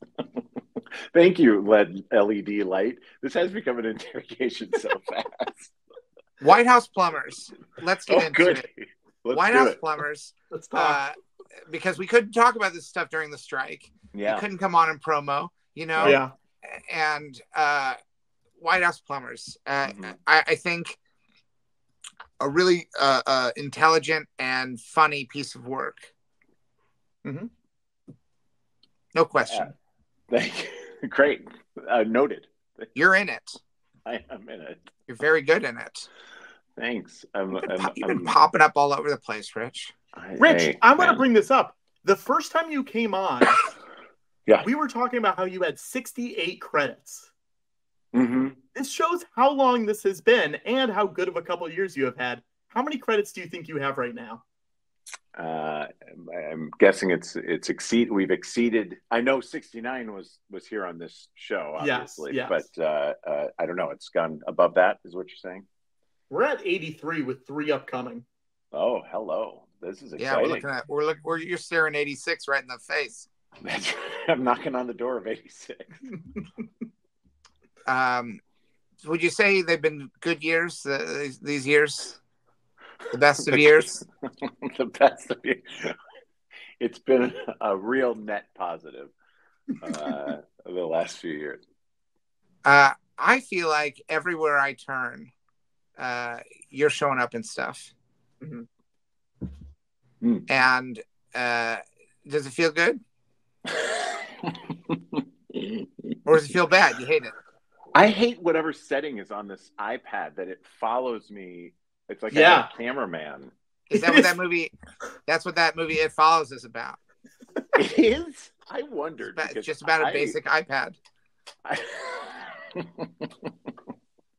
thought it was on a bed, and every time you moved, Oh, it I would, would. move the bed. That's, Would would that that were the situation? You were picturing that right now he is lying down on his stomach, and at some point we're going to see like heels kick up in the my back. feet behind me. Uh-huh. Uh-huh. See if I can get there. like, hold on. Oh fuck. Oh, there. There he goes. Look at Go. this. Rich, What kind where of are lenses you? on that? What kind of lens is on that? Because you're not like eight feet tall. Oh Jesus. Yes. Knock some things. My hotel room is a little. It's in. It's in disorder. A hotel room. Are you on a shoot? I'm. I am on a shoot right now, George. Is this number eighty-seven, It might be. or is this one of the? Is this one of the missing three? It, it- I think it's one of the upcoming. One of the upcomings. Yeah. Uh, have you signed paperwork? You can't talk about it until it's done. Uh, maybe I don't know. They didn't tell me whether I could talk about it, so I'll just I'll Okay. on the side of caution. That, that's very wise, especially. I mm-hmm. mean, we just got out of the strike. Everybody's going to get back to work today. during our show. We did it. I know. Thank you for doing it. I'm, No I'm one- so glad. No one done. watching our show will ever know if you're there in production on Charmers or the Book of Jobs or the Sterling Affairs. Nobody has any idea. Well, I will narrow it down. Sterling Affairs was the last thing I worked on before the strike. That was my last day of work in January. So Seth Burton. Seth Burton. So you That's finished. You finished. Can't that? wait to meet fin- Seth Burton. I you met finished Seth work Burton. on that. He's a real Real guy. guy. He's a Real real guy. guy. Yeah. What's his deal? He uh, he was the uh, oh god, what was his title? Something like head of communications or something for the uh, for the Clippers, the Los Angeles Oh. Clippers. Oh, so this isn't about Roger Sterling? Uh, it's not about Roger Sterling. It's about Donald Sterling, the racist former owner of the Clippers. His little have you seen that video of the the his girlfriend? Uh, when I have. she she's doing the interview V- and she's V. she's like yeah she's like we love each other. I'm his i'm his love. I'm the light of his life. I'm his little rabbit. And they're like you're his what? And she goes i'm his little rabbit. And they said did he call you that? And she says no yeah, they're a tough Great couple. video. They're a real Sure. tough set of personalities. sure did you meet them No, I didn't get to meet them. I don't believe they wanted to have much to do with this project. It doesn't show them in a in a, a glowing light. Well, Sure. Rich, Rich, if I Mhm. may, Yes. love is love is love. Thank you, George. I couldn't agree Right. more. That's why I married my wife. It's the number one reason I married my wife. Number two, birthdays. That's correct. Um, let me let me ask you this. So Mhm. you're on a shoot now. Um, Mm-hmm. There's been a lot of speculation uh, about uh, whether Robert Downey Jr. is going to come back as Iron Man. They're all saying Mhm. they won't do anything to undo uh, the sacrifice that Tony Stark Mm-hmm. made at the end of the Infinity War during Endgame. It was so Right. noble. Mhm. Um, it was at the end of endgame george yeah, I know that, but it was the Infinity War, and then at the end of Oh, Endgame. sure. Jesus Okay, Christ. God, you know what? You don't still work for them, Patrick. Get off the clock.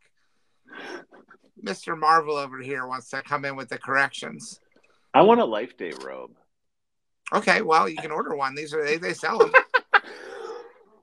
Do you have a robe can in buy- your hotel? Do you have a robe in your hotel? I don't think so. No, I don't What- think so. Could you think fashion so. Really? a robe out of a duvet? I suppose I could. It'd be white, however. Well, that's okay. Hey, let me just. How about this? How about this? Okay. Uh huh. Anything on either in the room or on the room service menu that would stain the duvet red. We will pay for it. We will pay for it. I don't. I don't think so. I don't think this place has room service either. Well, what's Rich, that do you behind you? What's what's that behind you? Uh, It's art. that's art. Yeah. That's the color of the robes. It's all Mhm. three. All three uh, art pieces in the room are right there. Uh, that? Can you pick up that reddish orangish thing? I don't know. Uh, yeah, I guess so. Okay, Ooh, all right, it's- here's what looks we're like gonna it was glued down at one point. This Right. is amazing. It's like zooming in on you. It's really it's cinematic. It. It's so very cool. unsettling. Here's what I want to try if we can, Rich. If there's enough room in there and if the camera will allow, Mhm. Is there a way to place that on something so we can see the whole of that red thing and then you stand far enough back so we just see your head popping out the top of see. it? Mhm. I see. Mhm. Yeah. Uh, let's see. Well, I don't know what my camera will do in this. Yeah. Well, I mean, we're, a lot of it depends on the camera. Rich, this really looks like a bong. I'm gonna be real with you. I would again. I wish it were. You got to go back Hold on. further. You got to. I gotta You go gotta back up. I mean, truly, like when they say the camera loves you, Rich, this camera really Honestly, does this love you. this might this is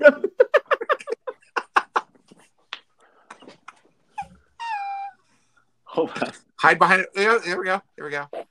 Uh, no, move, move your, move your body just a little bit more to the side. It's a wall. Yeah, yeah. There we go. There we go. Now you have a life day robe. You have a life day robe. Yeah, wave the Oh, arms this- out at the side. That's great. Oh This wow! is genuinely I have no idea the layout of this hotel room because the size the size of the space in the camera to you is so jarring. I have no idea. Oh god. It's so insane. Oh, Okay. Ah, wow. Rich, I have Yeah. to say, Yeah. and this is no disrespect to the work you did in White House Plumbers, but what, what we just witnessed some of your best work. Thank you. I really, I really thought you you took direction so well. You also were manning the cinematography, which what I, with what I assume is some sort of new horrible AI camera. Uh, I, it must be. It must They like be. threw out all the things that make a camera good, meaning like the camera just points at whatever the fuck you want it to point at and just films it. Like, no, what if the camera had a brain and it had desires and made choices? Ugh. It's just one of those things where I feel like everything is going to have a computer in it that's going to just do Uh-huh. something you didn't ask it to do. Yep. yeah. And Like that's it- the it- future. I feel that's one of those and- things where it's like in the old days you would make soup and it would just sit in the bowl, but the new AI soup just goes wherever the fuck it wants. to. You gotta catch it. you gotta catch it. Yeah, it's like everything everything that we used to just love about things that things that did what we want them to do now Mhm. will become things that have this sort of weirdly programmed in free will. So suddenly it's like like "Ugh, I bought a notebook to take some notes, but I don't know where the fuck it is. Like why? Well, it's an Mhm. AI. It's AI paper, so it thinks of places it wants to be other than with me. Someone just wrote, "No one likes soup, George." I didn't even Wow. hear that. Wait a That minute, can't be true. That's, not just Can't be true. true. The soup industry is thriving. Yes. So wait, I want to get some logistics here. You're in a hotel somewhere. Mhm. Your family is at home. That's right. That's the job. That's how it works. Did you leave him at home with them, or did you bring him with you? Oh. Uh, I, I don't feel comfortable leaving him at home. That's what I'm saying. So did they get you two beds, or is it a single bed? Oof, It's Rich. a long. It's been a long. It's been a long ten days and a long week to go. And I'm Is he assuming allowed it's on not like set? Yeah. What's that? Is he allowed on set? Well, he, they part of the deal was that he, he he had to pay his own way, so he's been given Uh-huh. uh, odd jobs. Okay. earn your keep. Mm-hmm. How that's has he been at helpful. them? I mean, I'm sure Uh, he's. Yeah, I'm sure he's in the room with you right now, so you probably can't talk about it too freely. But let's just say uh, the, the the the bar isn't set super high, so they're Sure. easily achievable uh, jobs. sure, yeah, okay. Is Uh, what do you- what- in the what's your beverage Affairs? there? What's your beverage at- there, Rich? I'm enjoying a uh, a cherry bubbly. Mhm. Right. hmm Yeah. So he's in the room with you. Yeah, uh, so, someone just said Steven is the one controlling the camera.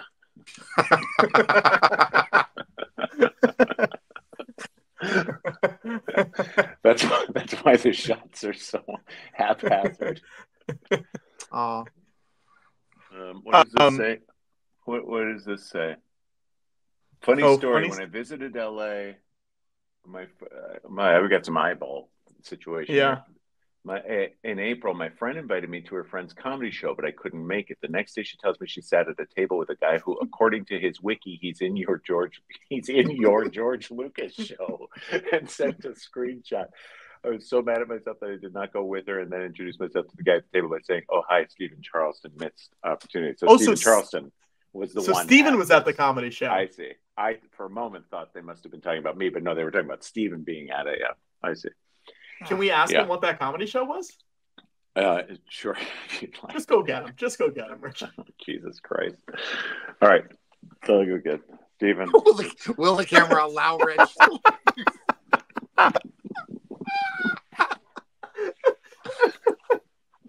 Oh, I just wanted the to camera fully is so lonely right now. Like you, you, it's so sad to watch this camera just hunger for like, where is the one person that I was designed to care for?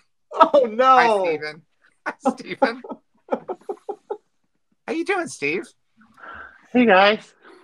We haven't seen you in so long, Steven. It's been a, it's been a minute. The last time The we la- saw you was, I, I, was it in 2022 It was at the live show. at Dynasty Dynasty Typewriter? Typewriter. You Yeah. ran from backstage out into the audience and said, "Who who wants? Does anybody want a pickle?" I got some pickles.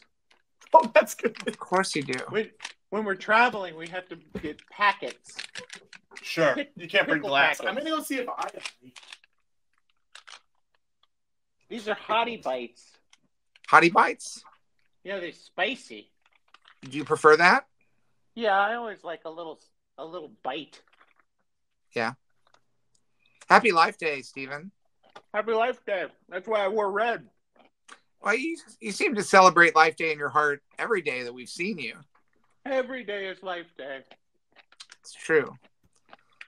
You know, in a way. I mean, it's not true technically, but it's true in a in a in a in a deeper way, I guess. George, have you ever worked on a movie? Yeah, I've uh, made quite a few films and worked on on many more. I feel like we have that in common now. Yeah, we do, Steven. You're you're crewing on it. I I was sort of in your position for my mentor Francis's first few movies. It's helping out, doing what I could. Your mentor is Francis. Francis Ford Coppola. Mm, I just watched. Rich and I just watched a movie of his that I that neither of us had ever seen. Was it Jack? It was it was filmed forty minutes from here. What is it? The Outsiders. Oh yeah, Mm. yeah. Mhm. I've just poured pickle juice all all over this desk. Well, Steven, it's crazy that Rich wasn't in the deal. Did Rich audition for the deal? the Or the offer? The offer. The offer. The offer. Rich chose not. He told me he chose not to audition for it. Oh, Oh, it was it was an offer he could refuse. It's because they asked him to audition for. Who was the guy? I hope it wasn't for me. Cause I'm No, I was like, I'm No. not in it, but they have someone playing me in the background. it was the guy. The guy who. Oh no, what was it? There was a guy who did. I just Rich didn't feel he was exactly suited to be, Sure. but I can't remember. Brand- Brando? No, it was a different guy. Sinatra. Okay. No, keep going though. Mario Puzo. Should I hang on? Wait. Should I Yep. read everyone on IMDb? Yep. Oh, it's Mario Puzo. Yep. Wow. Wow. Mario Puzo. Okay. It didn't really fit. I'm covered Yeah. in, in pickle juice. I don't. I'm surprised that that sounds like you're complaining. I feel like it almost would feel. No, no, no. I, what I meant to say is I'm covered in pickle juice. That's a, that's more like it. Um. So, what have you been doing on this set? Mm, this and that. Yeah. Sometimes someone will have something they need. They say, "Hey, this is over here. This should be over there," and then Yeah. I go, "I'm on it," Sure. and I'll move it over there. What has been your favorite thing to move so far? An envelope. Stephen, someone's just pointed out a very well observed uh, uh, little little uh, observation. which is You're wearing a wedding ring. Do you Oh, have shit. something you'd like to announce? No, I wear this just to keep to Oh. keep people from asking too many questions about me. Very clever. Yeah, because sometimes people they go, "I wonder if that." Oh no, never mind. Mhm, And then mhm. Yeah. You think you think that happens a lot? it well, no one ever asks me whether I'm married because they just see the ring and Yeah. they just presume. Now, Stephen, something we've never talked about, Hmm. and I feel like we've gotten pretty deep in the Stephen Charleston lore at this point. Have we ever talked about why the towel, what the towel is, what's going on? I don't think it's come up. No, It's a really dramatic zoom in too that I really like. I wish it would stop. I wish it would stop. I mean, Pat, Patrick, I don't know if you heard this before, but he did say he was wearing it for Life Day. Oh, that's true. Oh yeah. Okay. I said that's why Where'd I'm he wearing go? red. I'd love Oh, to no, rinse George- my hand. What? George left. Now he's. What There happened? I don't know. What happened? Oh, I don't know. Don't rinse your hands. Just lick it. You like pickles. yeah. I just. Um, Patrick, just bookmark that because that's a shirt.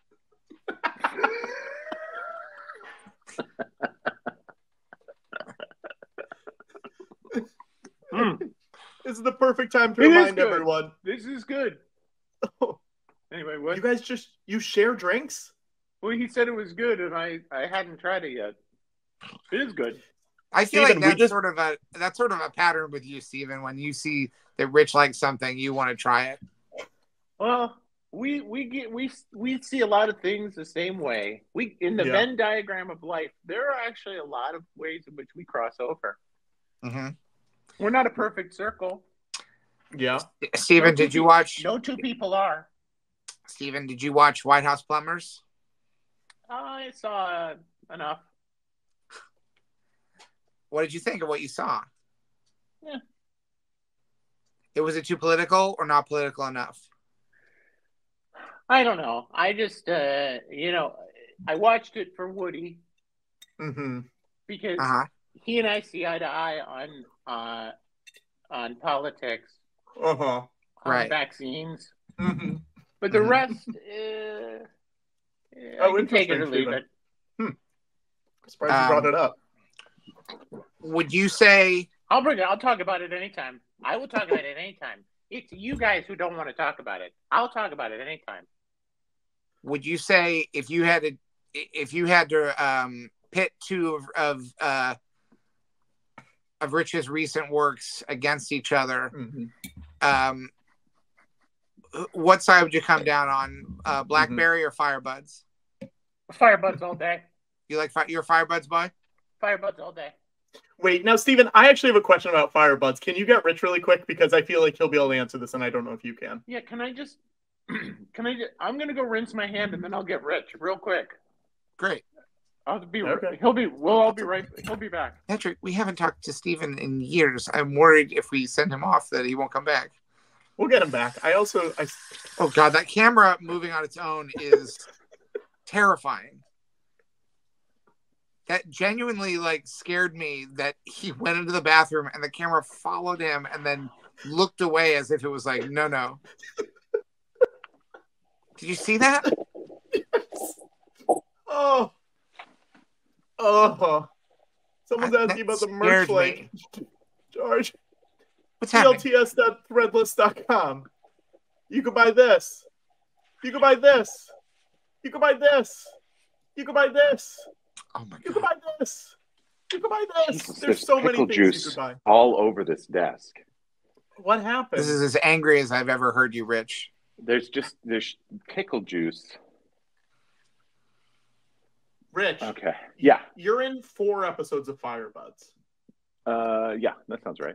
At least four released episodes. Yeah. Uh, Uh-huh. as as Mr. Wexel. Yeah. Three of those episodes, Wexel is spelled with two L's. One of those episodes, Wexel is spelled with one L. Right. What's going on? It's a it's a it's a little wink, a little wink to the audience. Uh huh. Just to the but to the real ones who are checking the IMDb to catch the spelling, Oh, okay. you know. Okay, great. That's all. That was my question. Not fire butts. No, the show is not fire butts. It's fire buds. Yeah. Yeah, like buddies, buddies, fire trucks who are buddies. Air buddies, snow buddies, space buddies, spooky buddies, treasure buddies, super buddies, Santa buddies. Um, Rich, is there more of you in the? Is there more of you in the uh, TV cut of BlackBerry? Is there bonus Rich in Oh, the TV I, cut? I believe I believe there is a there's like one in fact I asked the director, I was like, What in what the fuck is on the TV thing that's not in the movie? And he said, Oh, you remember that scene where like I show you around because the director is also uh, one of the stars Yeah. of the movie. He Mhm. said, Where I show you around the office and like introduce you to it. I said, Yeah. He said, like that scene's in the TV one. And I was like, Oh. Well, I didn't like miss it from the movie, so I'm not sure how it's gonna Hmm. work in the TV. I like cut, that but- movie. If people I like haven't seen that that movie movie, it's, it's good. It's really good. I, I was very pleased to be a part of it. Yeah. Um, I feel. Can we talk to Stephen again? It's come? unbelievable the way you uh, treat our guest, Patrick.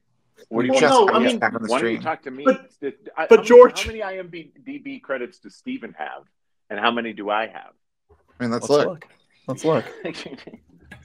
I mean, who do you want to talk to here? Did you know that Stephen Charleston is the name of a bishop? American There's a- American Episcopal bishop and academic. He was the bishop of the Episcopal Diocese of Alaska from 1991 to 1996 and dean of Episcopal Divinity School from 1999 to 2008. He has a Wikipedia page. It couldn't possibly be the same Steven. I mean, the dates line up. We didn't see him on the show for the long dates after do line up, which I find a little unnerving, but uh, I don't can't know. It says he's 74, that feels that feels on the high side for the Stephen. but it that says we his know. birth. It says his birthday is February 3rd. Well, that doesn't work because my birthday is February second. That's what I'm saying. So you're so you're suggesting to me that I was born February second, nineteen seventy eight, but you're suggesting that Stephen Charleston, the one that Was we born know, February 3rd, 1949. right, right, was was born uh, uh, nine months before my dad. Have they ever met?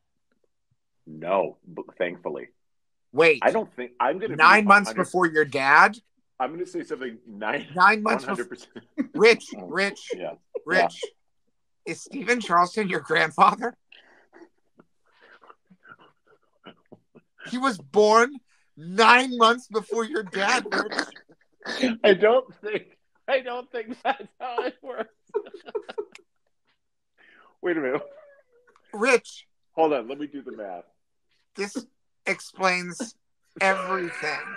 So if Stephen was born nine months and four days before my dad,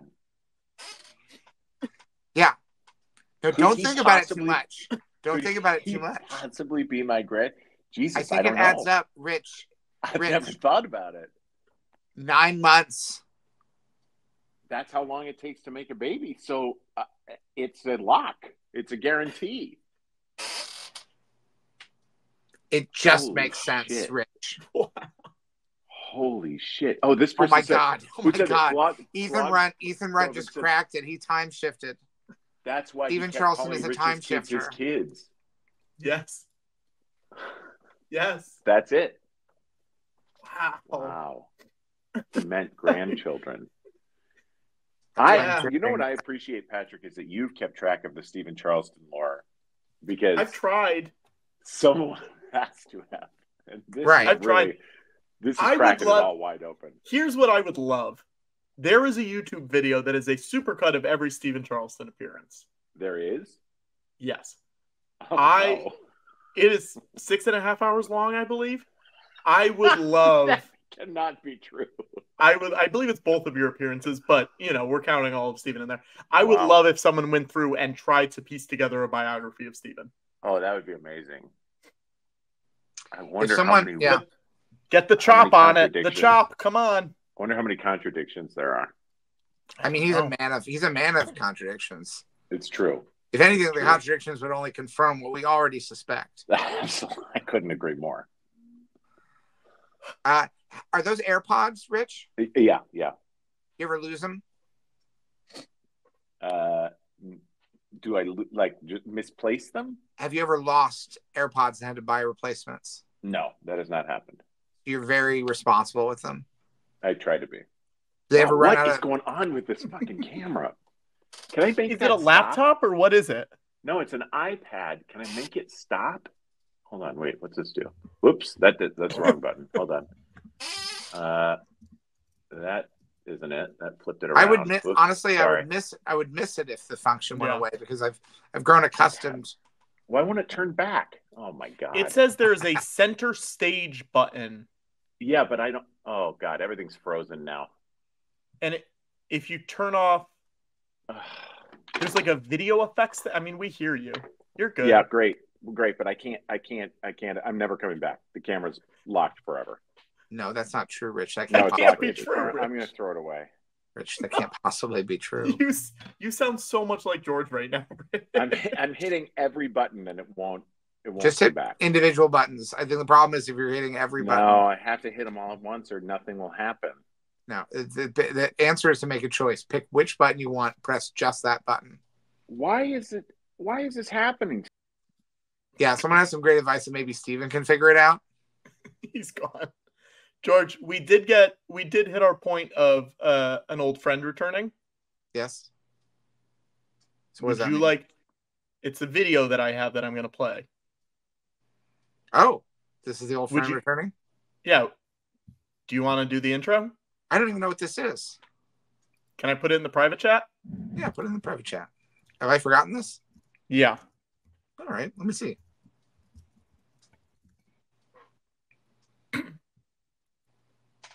Oh, we could do it in a little bit. I don't know. I don't know what happened. I don't know what. We're back. But I, I didn't figure out how to make this all stop. We like it.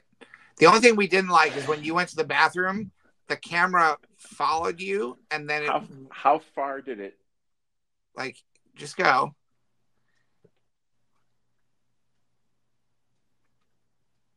And then when you duck out of sight, oh, Oh. it starts to lose interest.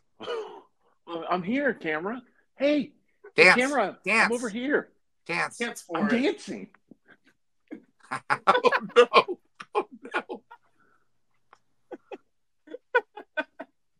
Come on, come with me. Come on, It is. Yeah. Oh, I hate it. I hate it so much. come on, camera.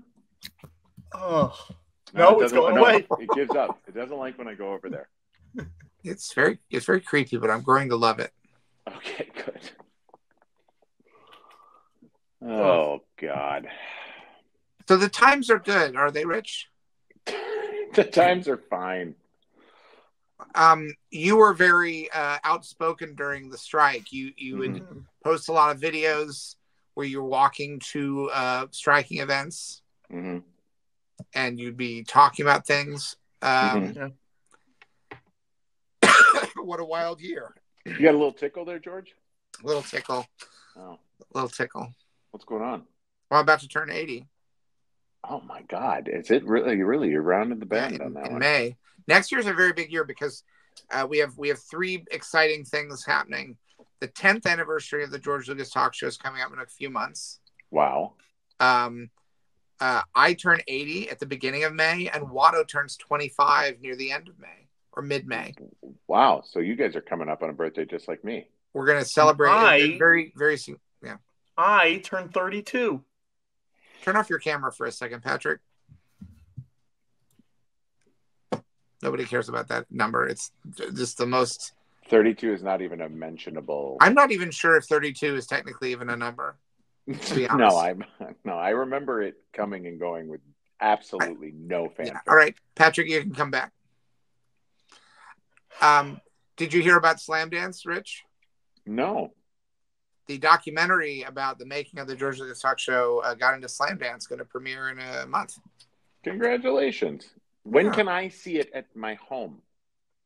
Um, well, we sent a copy there tonight for one night only, uh, but you're not there. Oh, why would you send it? You didn't even ask if I was going to be there. I, I wanted to surprise you, and now you now look what you've done. What maybe your done? maybe your wife and kids are watching. Yeah, maybe your wife and kids are watching. That's what's happening. Are there swears in it? Yeah, mostly it's mostly swears. Mostly it's so It's many mostly swears. swears. Yeah. um. You want to see the poster? Yeah, you want to see the poster, Rich? I do. Um, where is it? Here we go. Oh, that's Isn't that fun? it's really fun. I like that. It's fun. I like that. Yeah. Um, who's who's Connor Ratliff? Great question. it's a story about him. Yeah. Oh, I know. be. I know. I actually do know the answer to this. Oh, Uh, he's the guy who put himself on tape for White House Plumbers, but you won't find him in the show. who did he put himself on tape for? Um, multiple parts. okay. Did you did, That's my did, did he did he put himself on tape for Egil Bud Krogh? No, you want to know? I'll tell you exactly who. Hold on. Yeah, let's find out. Yeah, because I got Richard uh, Nixon. I- I'll find out because uh, that guy, uh, what's his face, was emailing me about it. What? What's That his guy, face? what's his? Yeah, Who's what- this That guy, Just emailed you about White House plumbers? Dave Mandel. no. Um, what's Woody? his face? No, Justin Theroux. No, Krumholz. no, uh, Toby Huss? no. Okay. Uh, uh, uh, Oh. the, the the woman from Game of Thrones. No. Cersei? No. Kiernan Shipka? Thalmal Yeah. Gleeson. Domhnall. Domhnall. Domhnall. Judy No. Greer. No, uh, Paul Judy Begala. Greer, Judy Greer was just here. She was in this this movie as well, but she's Really? gone That's now. She's already left. Paul Begala. Oh, sure. The the oh wait, that's who you were up for, or who he was up for? No, that's who emailed me this stuff because uh, Paul Begala and I were in a White House Plumbers uh, chat group, a WhatsApp. What are you, group. George? What are you talking about? I was in a White Former House pl- Plumbers WhatsApp group. Don't ask me how. I found myself in there. We were all talking about it. George Lucas and former political consultant to President Bill Clinton were in a WhatsApp group about White House There's plumbers? hundreds of us. It's just one of those things that happens where you you're like, I like White House Plumbers. And I end up in a WhatsApp group, and then we're like trading around. Like, you know how like people will trade around. I don't know if you know this, Rich, but like for character actors, whenever people are into a show, people will Mhm. trade around the sides that like unknown and and um, sort of like who's that guy kind of actors. We'll trade them around like trading cards. Like, guess who was up for it? Here we got their sides and their watermarks. That's what power players, power I- players in the I've- industry. First of all, Yeah. I consider I I mean I don't know if I match the description of character actor. It's what I've always considered myself, but uh, and I've never done what you're talking about. Uh, No, you wouldn't do it. why wouldn't I? Well, you might get in. You might buy your way into a WhatsApp by passing out a few of your watermarked sides, and then they and then we pass them around. We pass them around like trading cards. What? We, we trade them like pogs. like box. Yeah. Rich, power players, if we're interested in a show, we'll see if we can get it's like a sign of status if you can get you get like an under five or a, Uh-huh. someone who's up for an under five or someone who's up for a guest spot. You can, and you because you're not supposed to give out your watermark sides, Of course. right? That's why they're watermarked. Yeah, but uh, uh, actors to buy their way into the the WhatsApp groups where people are buzzing on shows, they'll buy their way in with the watermark sites, and then the power players will trade them around. I've got a handful of Rich Sommer's watermarks. I don't know if you gave them up or somebody you know might have passed around a few of your watermark signs. Ah, I'm just Steve. really having trouble. the role was one of the roles was Steve, and one of the roles was Who played um, Steve in White House I'm trying to figure it out. Yeah. one of the roles was Steve, and one of the roles was Baldwin. Baldwin. Alec? No, just Baldwin. Steve. I'm looking Who for did Neil Steve. Casey play? He played an attorney. Did you audition for that? Neil Casey plays Douglas Caddy. I didn't Okay. audition for anything, Rich. Follow the story. I'm a Oh, I'm power player in a White Connor, House I'm- plumbers sorry. I forgot. I got mixed. up. Okay. Oh, Jon Glaser played Steve, the CIA disguise maker. Yeah, no wonder this Baldwin. guy didn't get it. They gave it to Glaser, Baldwin. he never had a chance. Who played Baldwin? Oh, and uh, Michael Ian Black's former uh, co-star Zak Orth played Oh, Baldwin. yeah. We love Zak Orth. Zak Orth is Yeah. great. Have I told you my Zak Orth uh, thing that I Zak Orth was like my we would he was on at every audition I ever went to in New York. Sure. He was just sort of you know we had a very similar. I mean I'm younger than him, but we had a very similar thing, and I I uh, I'm such a fan of his. Um, and we have now had the chance to work together a little bit, and so we've we've hashed it all out. But that Mhm. guy, I'm not, yeah, there, there's really no story. That was really the whole story. I don't know why I would have ever told. When I said, "Have I ever told you?" Like, what what story was there? There wasn't one really. I saw him in a play where uh, John Lithgow played Bill Clinton and Laurie Metcalf played Hillary Clinton, and Zak Orth was, I think, the only other person in the show. Wow, And it was on Broadway. that's amazing. Yeah. Uh, Yeah. He was on Broadway with those guys doing a thing. Yeah. Look at that. You ever meet Lithgow? No, I saw him uh, in Central Park once. He's very tall, Mm-hmm. very tall. You ever meet Laurie? Laurie Metcalf, uh, her daughter used to do the same sort of community theater group that my daughter and son are in, and so we never. I- I mean, I think we had like a hi, how are you? Hi, yep. Uh, but that's that's as close as we came. We used to be in a lot of the same audiences, but that was it. Here's a question: Who was your favorite person you saw on the picket lines? Um, my favorite person that I saw, like that I talked to, or that I just saw going by. I think someone that you were like, "Whoa, that's cool." There's so and so. Alfred Molina was out there a few days. That was good. Beau Bridges, I liked Mhm. seeing him out there. He he was uh, Cranston. Bryan Cranston uh, Mhm. was out there a lot. That was good. Um, I Did you, saw. get, did you get any food? Did Drew Carey give you any food? No, he gave mostly the writers food. Yeah, You didn't try to get any food? I'm not. I'm not in the Writers Guild, so I didn't try to get any of the Writers Guild food. I just want to know if you got any of that writer food. I didn't. I did not get any of the writer food. I want to be clear. You got zero writer food. Believe I've believe I've, I've stated it, but uh, Okay, uh, there's no reason to get defensive if you truly didn't get any of the rider food. You can just you can just let it stand. I don't know what's going on here, George. Let me ask: Have you put yourself on tape for anything this week, Rich? this week, no, no. Slow week. slow week. It's been a slow. I have a since the end of the strike put myself on tape uh two or two two or three times. So it's been pretty slow yet. I'm I'm hoping the new year has a little bit of a little kick in the pants. Right. Uh, did you um did you have any um during during this period that you've been striking uh were you able to do any non-struck work Like an interim agreement type thing. or just like like there's like motion capture things or animation there's things like that anything like that Oh, pop up I did. I did do a Firebuds episode um, during the strike. Can you do us a favor? Mhm. Do you have the script on your email, and can you check and see how his name is spelled? Oh, that's a good idea. Yeah, let me see. Great idea. Let me see what I've got. Actually, here. do a search in your email first for the one spelling and then for the other, and see if you get, get matches for both. Okay, here I'll I'll do two L's first. Yeah.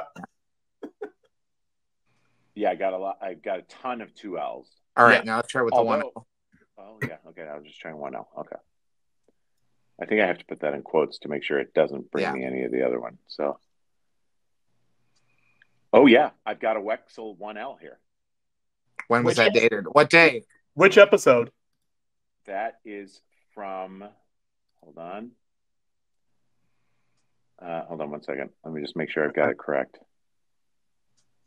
Yeah. So this was from uh, Science Fair Snafu. You're not even credited in that episode. Uh, Maybe it's not out yet. Oh, maybe it's not out yet. I have seven lines in it. Although maybe I got cut out. I mean, we recorded it in July of 22, so I feel like it would have been out by now. But Yeah. I don't know. yeah. Wild. So I do have one one L Wexel, and the rest are all two L's.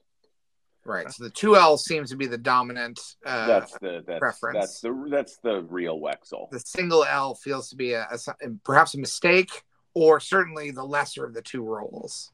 Do you know that um, you don't know this? I'm going to just tell you. In one of the episodes, I had to, I, I, they sent me the thing that said, "Hey, there's going to be a song, and you're going to sing," and I was like, "Oh, okay." I mean, I, I, I don't mind singing a little bit.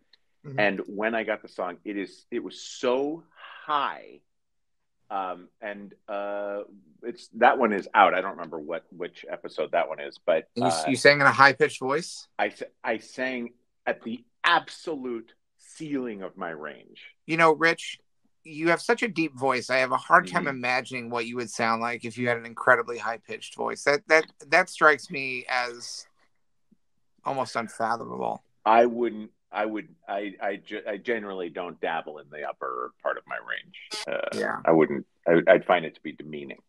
Yeah. Have they ever asked? You do a lot of voiceover stuff now, and I just feel like with Steven, I don't want to say riding your coattails, but riding your coattails.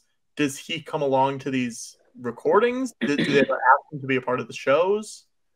No one has asked Stephen. No one has asked Stephen to be a part of anything that I'm aware of, ever. I think Stephen. I have asked people to Yeah. allow Stephen to be a part of something, but I have never. Other than actually, you know what? That's not true. You guys have said, "Can we talk to Stephen?" That's the most anyone has ever asked for Stephen. George, should, should do we work on an animated thing for Steven to be in? Um. Well, let me. Let. I think there is a world in which uh, a show called "The Animated Adventures of Stephen Charleston."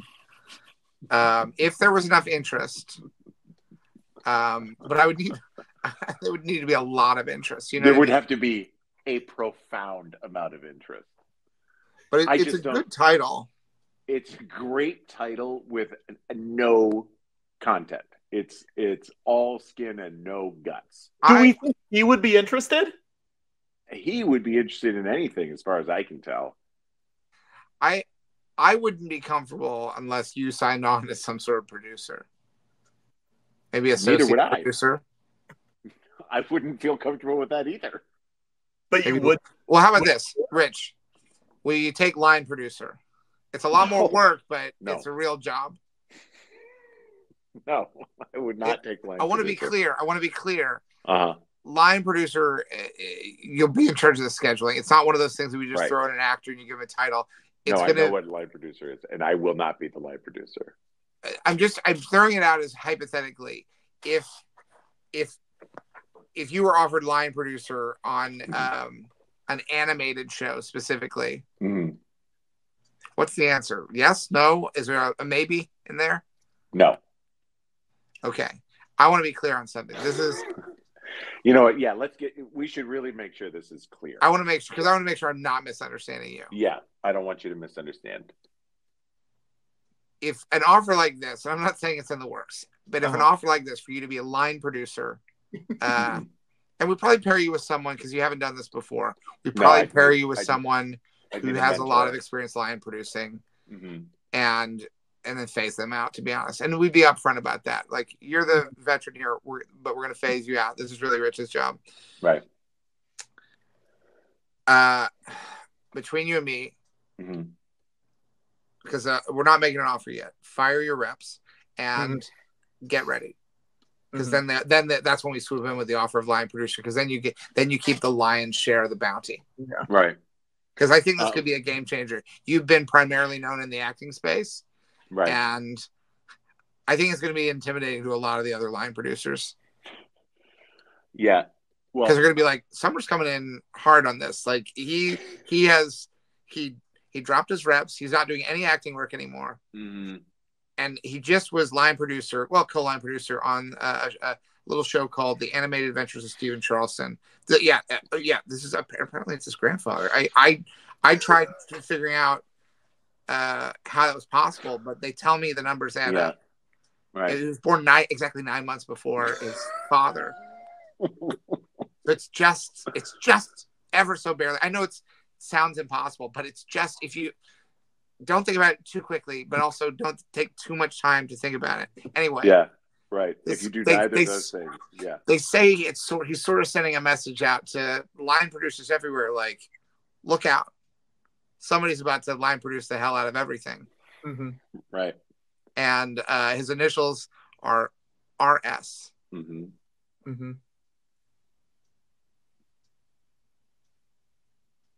Do you think Just think about Steven would Just do think about ASSSSCAT? Uh, would he? Would he what? Do you think Steven would do ASSSSCAT? uh, for monologues or playing? Oh, a little bit of both. I have a feeling Steven would be one of those people who would do the monologues and then Does jump monologue in about halfway through back to one of the scenes. Yeah. I. Uh, I. Uh, uh, yeah, I think he'd probably. No, no, he wouldn't do that. Let's Oh, be okay. clear. Can I tell you a that. fun story about an improv show that I witnessed recently? Uh, I Yes. was visiting New York City over the over the holidays, and I'm not going to name names, but I, I went to see an improv show in which uh, uh, the monologist got up, uh, did some monologues, and then um, in the second half of the show, he got up, did another monologue, and then halfway through the scenes, uh, the monologist uh, jumped up on the stage and entered a scene as the drug police um, and didn't arrest someone for drugs, but fired someone from their job. Uh, and then walked off the stage again and made no further moves. Now, can I ask, George? I know you were just in the audience, so you Mhm. wouldn't maybe have intel Mhm. on this, but Right. did you get the vibe that this monologist had been given license to join in? No, absolutely not. No. There, there was no. It felt like a moment in which everyone involved in in the process was somewhat baffled, because normally you would think this kind of impulse wouldn't be so completely isolated to such a, a disciplined amount of stage time. It wasn't like a, a bid for more attention. I want more stage time. They didn't stay on stage. They made what, if they had been on the back line as another improviser, it would have been considered a, a, a, baffling but somewhat judicious uh, uh, Mhm. support move. Mm-hmm. Um, but they jumped on stage, announced that they were the drug police, didn't arrest the person who'd been caught with drugs, but fired them from their job and then left.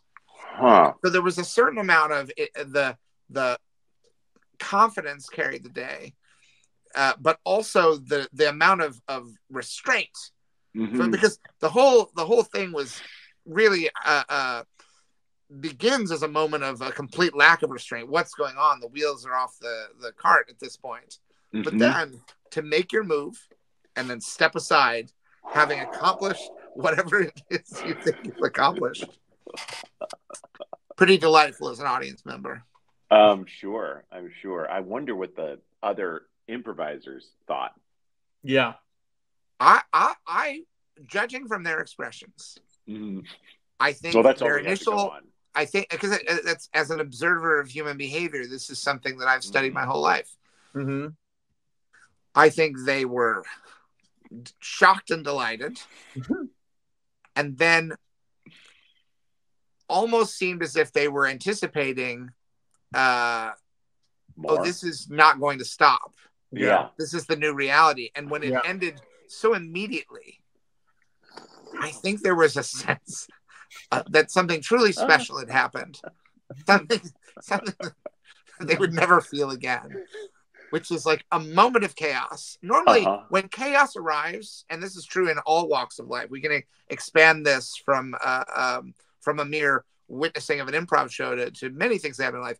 Normally, when chaos arrives, it arrives in full force Mhm. and is devastating, and uh, and the aftermath of it is is uh, immense. Mhm. It's so rare to have a moment of chaos. It's just like a tornado that goes whoop, and then immediately Just uh, one little just like picks up a house, lifts it up, drops it down, and then leaves. in roughly Um, the same place. It sounds like like there wasn't yes. any real destruction. There, yes, it, it- as if it had never been there. that kind of tornado. A tornado that demonstrated the power to destroy, and then showed an, uh, uh, an almost moving level of inadvertent mercy. Wow. Well, I wish I had been there because I'd love to know. I'd just love to know more. But but you know, Well, That's- you are a working actor, Rich. So I'm afraid uh, the only wish that is going to come true for you this year is the ratification of the SAG TV and theatrical contract. I'll take it. I'll take it. I'll Um, take it. but mostly the wishes of actors are among the most neglected forces in the universe. It's true. You think about it. How often? Oh yeah. every Don't day, every day, every day, most actors wish for something to happen that absolutely does not happen. Uh huh. I haven't seen the latest Disney movie Wish, but I have. My, I'll tell you. I'll tell you if it happens. I've seen it. so my understanding is there's a, a guy. He seems like a good guy, but he's really a bad guy, and he's hogging all the wishes, and he's only granting the smallest percentage of them. Yes, Mm-hmm. that is basically how show business works, Yeah. Great. right? Great. Yeah. That's Where it's just movie. like, oh, a thousand of you want to do this. Well, guess what? One of you gets to. Hmm. Keep trying.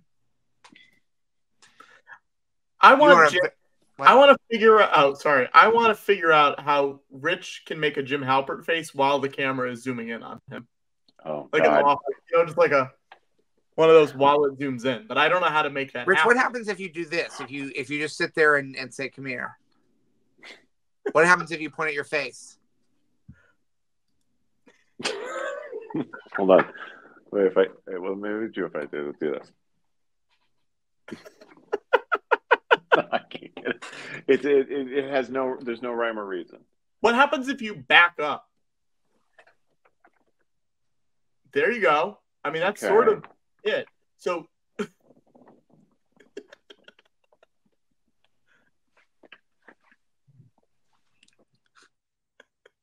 left. I don't know what happened, but he left. How, what is going on tonight? There he is. Yeah, I don't know. I, Yeah, I still I can't know. really suss it out. Oh, it really wants to keep me. I guess it just really does keep you like center. Yeah. That's wild. It's a good feeling. Listen, gentlemen, I hate to do this, but my, my children just got home. My uh, I need to say goodnight to them. How do you know this? How do you know this, Rich? I got a got you sense it? I got a thing on my phone. It Oh. I just got home, but I have to say goodnight to them. I barely talked to them today. Oh my God! Well, they must think you're furious with them. When you're I don't. I don't want them to think that. I need to. I need to allay their fears. Yeah. When you're done talking, if like Steven wants to come talk to us, that's totally fine. Just you know, If Steven wants to come talk to you when I'm done, think- when I'm done talking to my kids, just to like say goodnight to people, you know.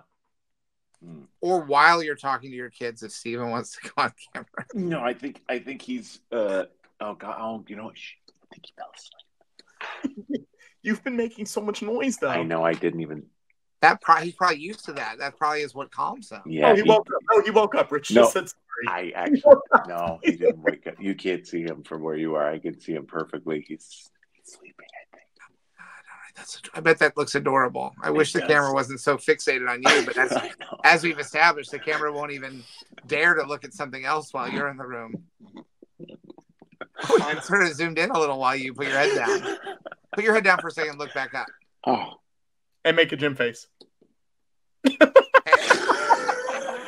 Not bad. Okay. All right. Bye, Rich. Um, Thank Good you. to see you Seasons, all. seasons greetings. Season's greetings. Happy, Life Day. Happy Life Day. Thank you for having me. Bye bye. Well, what are we at, Patrick? What did we what did we do? We are currently at 3071, which means if we don't get there by the end of the show, Dave goes up the stairs, Dave goes down the stairs. I'm gonna Wait, get what was our goal? What was our goal to get him fall down the stairs? 3500. That's too much. That's if that does not ha- if we do not hit 3500, he does it. If we do hit 3500, he does not do it. Wait, so you have poor Dave has to fall down the stairs if we don't get like 430 more dollars? Yeah. Yeah, I have to. Dave, can you do me a favor? Is there something this is a big ask. Is there something maybe a little fragile that you could demonstrate what happens if it falls down the stairs? Uh, something that's like okay to break. I mean, I didn't want to say it, but now that you've gone there, yeah. Um, Just as an example of a cautionary example of what um what might happen to you. yeah, maybe I could find something. Okay. Well, Yeah, I while wish you're you had, while you're doing had one of those. We have something to show, George. Oh yes, we do. Uh, well, let's. What's the? We were at three zero seven one. Yeah, 3071. Let's get up to um thirty one hundred before we show this. Wait, but we've already passed the goal to show it. Oh, we did. Well, then never mind. Uh, this is uh, kind of a life day tradition on the George Lucas Talk Show, um, particularly in the in the live stream era of GLTS. And uh, ladies and gentlemen, Gran Bel Fisher.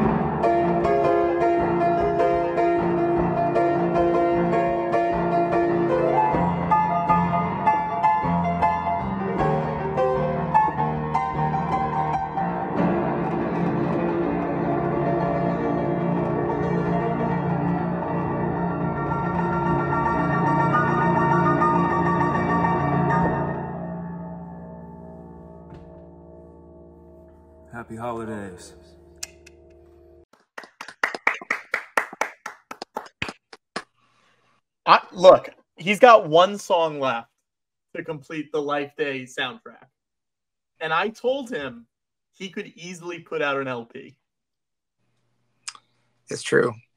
I also think there are um, patches of dialogue uh, throughout the special that he could set to music very easily.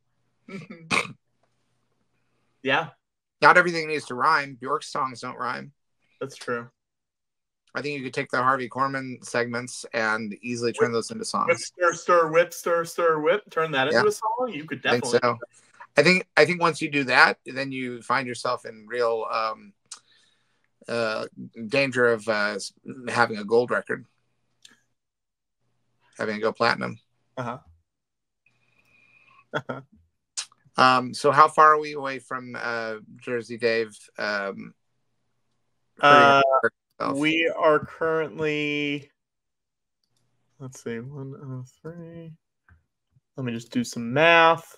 just some basic math. That's all we need to do here. Just a little bit. We're like three hundred and twenty dollars away. And how many people are watching right now? Two hundred and ten.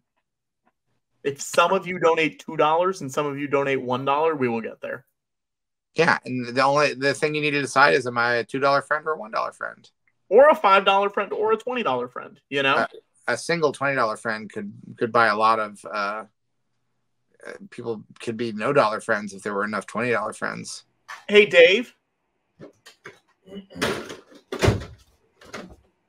Hey, How much? How much was it for you to fall out of the door again? I mean, I did it for ten dollars last time. we, I wouldn't mind upping What a it. bargain! What a bargain that was. Scratch my, my back a little bit. How much? Uh, well, plausibility says another ten. So, you know, honestly, I'm good with that. No, up it, up it. All right, twenty dollars for me to fall again. I don't want you to get your back too scratched though. Hmm. Because you're gonna have to go down those stairs too. Did you find something to show us what the stairs look like? I don't know what exactly you mean. Like just something to drop it down the stairs and it Like an egg. have, will fall You apart. you Like have them egg. your hands. I was gonna make a little tower of Legos, big, big That's good. Legos. But Dave, I think you just pushed that bucket down. It's You loud. It's late. He has kids. They're two floors up. It's fine. Oh well, then do it.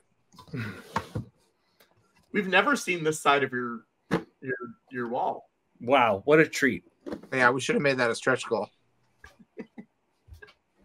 so this is what's going to happen to Jersey Dave if we don't make another three hundred and twenty dollars.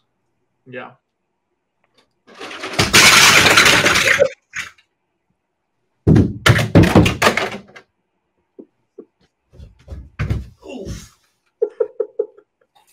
Now, We don't want that. interestingly enough, in the future, that's um, how they'll make movies. They'll just throw a bunch of Legos down the stairs, and AI will turn it into the actor. they won't need actors anymore because they're just like dump a bunch of shit down the stairs, and then we'll make it Bruce Willis. Can't do that. We don't have that kind of budget. Mhm. No, what I'm saying is we'll use the AIs. Wow. How's your night going, Dave? I'm sorry we haven't talked to you a lot. Oh, that's fine. Um, it's good. It's good. Yeah, we um, we bought a, a, a an indoor like garden thingy. It's like a hydroponic tower where it just pumps water through it, and then you A can water feature. It's a water feature. It's an internal water feature. You don't really see it. It's And- basically three PVC pipes just upright, and then you grow like lettuce and shit uh, inside. I'm super excited about it. Hmm. Yeah. That sounds like the most Dave thing possible.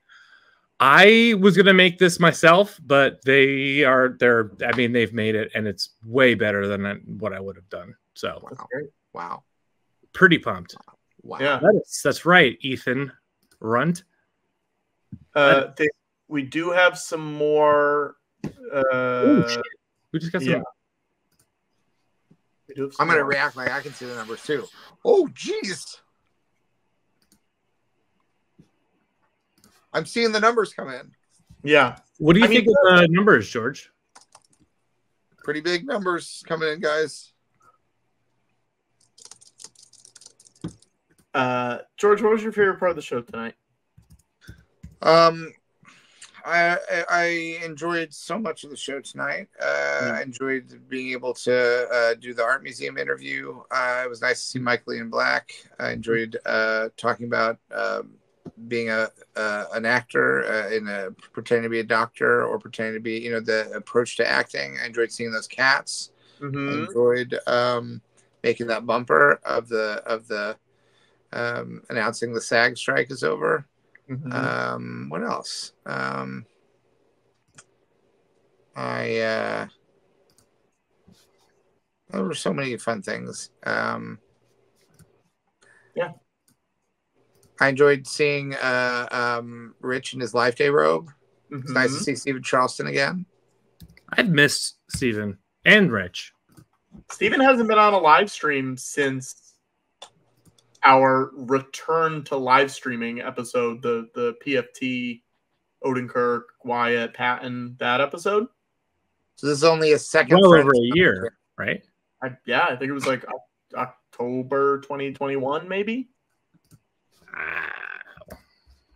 Um, uh, Jersey Dave blog blog is asking what kind of friends does Jersey Dave request we send him to make new friends? I mean, do you have so many action figures that you have to choose? Uh, I mean, any anything. I th- I, I don't. You, you never know where inspiration is going to come from. You never know where inspiration is going to come from. So anything that's like got a, a- an interesting name, uh, anything that you just think looks cool.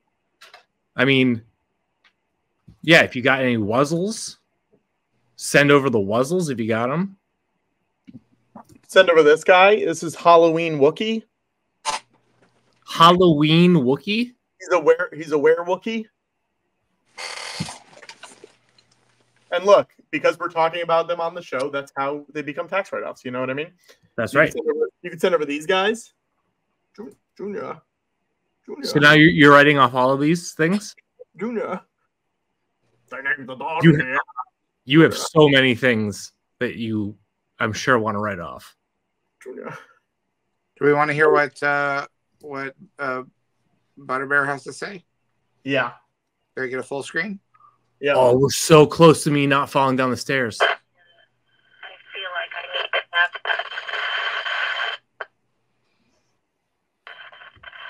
I need to have this conversation to make sure that this is something he, if it is true, that he has dealt with it with the Lord?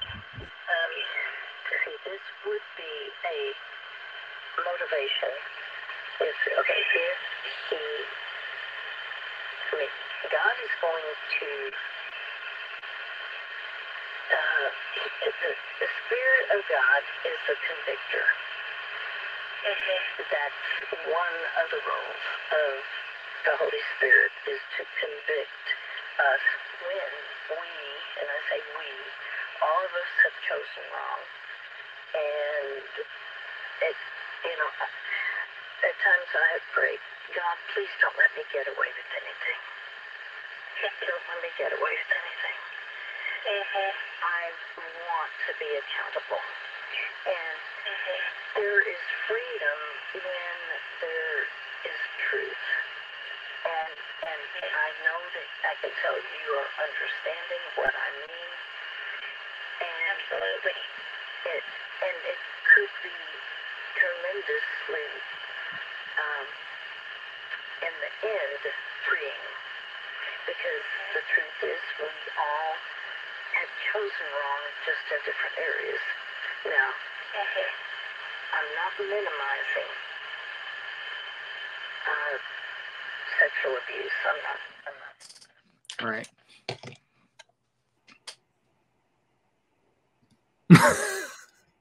So it asks if I have Davy still, and I can't find the. Oh, here we go. Blogtoven. Yep. George, because we're talking about that, I feel like I should bring this up, which is the shirt that's available in our store. I just made it today. It is a Wuzzles shirt, uh, and on it, uh, it says, I mean, do you want to read this, George? I can't read that from here. It's a, a two point type. Okay, well, it says the Wuzzles are not a George Lucas creation. They're a Walt Disney creation, specifically Michael Eisner's Disney. In the 1980s, the Disney Corporation was floundering and they were looking to create some new characters, so they created a couple of made for television franchises featuring all new characters. You might be familiar with the adventures of the Gummi Bears, but did you know that there was also a series called Disney's Wuzzles? The Wuzzles are animals that are a combination of more than one animal, usually two different animals, a la a bear cat, retired filmmaker George Lucas. Pretty good shirt. Right now, fifteen dollars. They're normally twenty two ninety five. All of our shirts are on sale currently. Uh, we that means we only get like a dollar from it. So if you want to get it, get it now. You know. Yeah. But we're not really, we don't really need to push that right now because we are trying to raise money for the food. And I'm also We- you know, we did sell a Wuzzles notebook, so you can get a like a journal, and any of these designs can be on the cover of the journal. Yeah. And so someone did buy this uh, that that, That quote design, just a paragraph of words. I think mean, that we- would be a great pillow, to be honest. let's just go through. Look at this. Uh, we're gonna do home. You can get it as a fine art print. That's a you can great get it- fine art print. You can get it as a framed fine art print. Oh my God! If, if this isn't the best present for to get someone to hang in their home, You can get it as a stretched canvas up to 24 by 24. oh my God! Uh, you can get a tapestry. Uh, Really lovely, you can get it as a rug. great rug. Uh, you can get it as a throw pillow. I like it as a throw pillow. I might, I might get the throw pillow myself. How could they possibly make that as a rug? You Up- there's no way that you, they could make that as a Yeah, rug. it's a circle. It's a Excuse circle. me. Up to a 26 inch by 26 inch throw pillow. It's a great pillow. Uh, you can get it as Someone get it as a rug and let me know if you can read it. you can get it as a blanket. Blanket's nice. You can get it as a duvet. You can get it as a bath mat. I do love that one. You can get it as a shower curtain. Come on, where is it? There. it is. Uh, I feel like that that's a hard one because of the the the folds of it. You know. yeah, you can get it as a mounted aluminum print.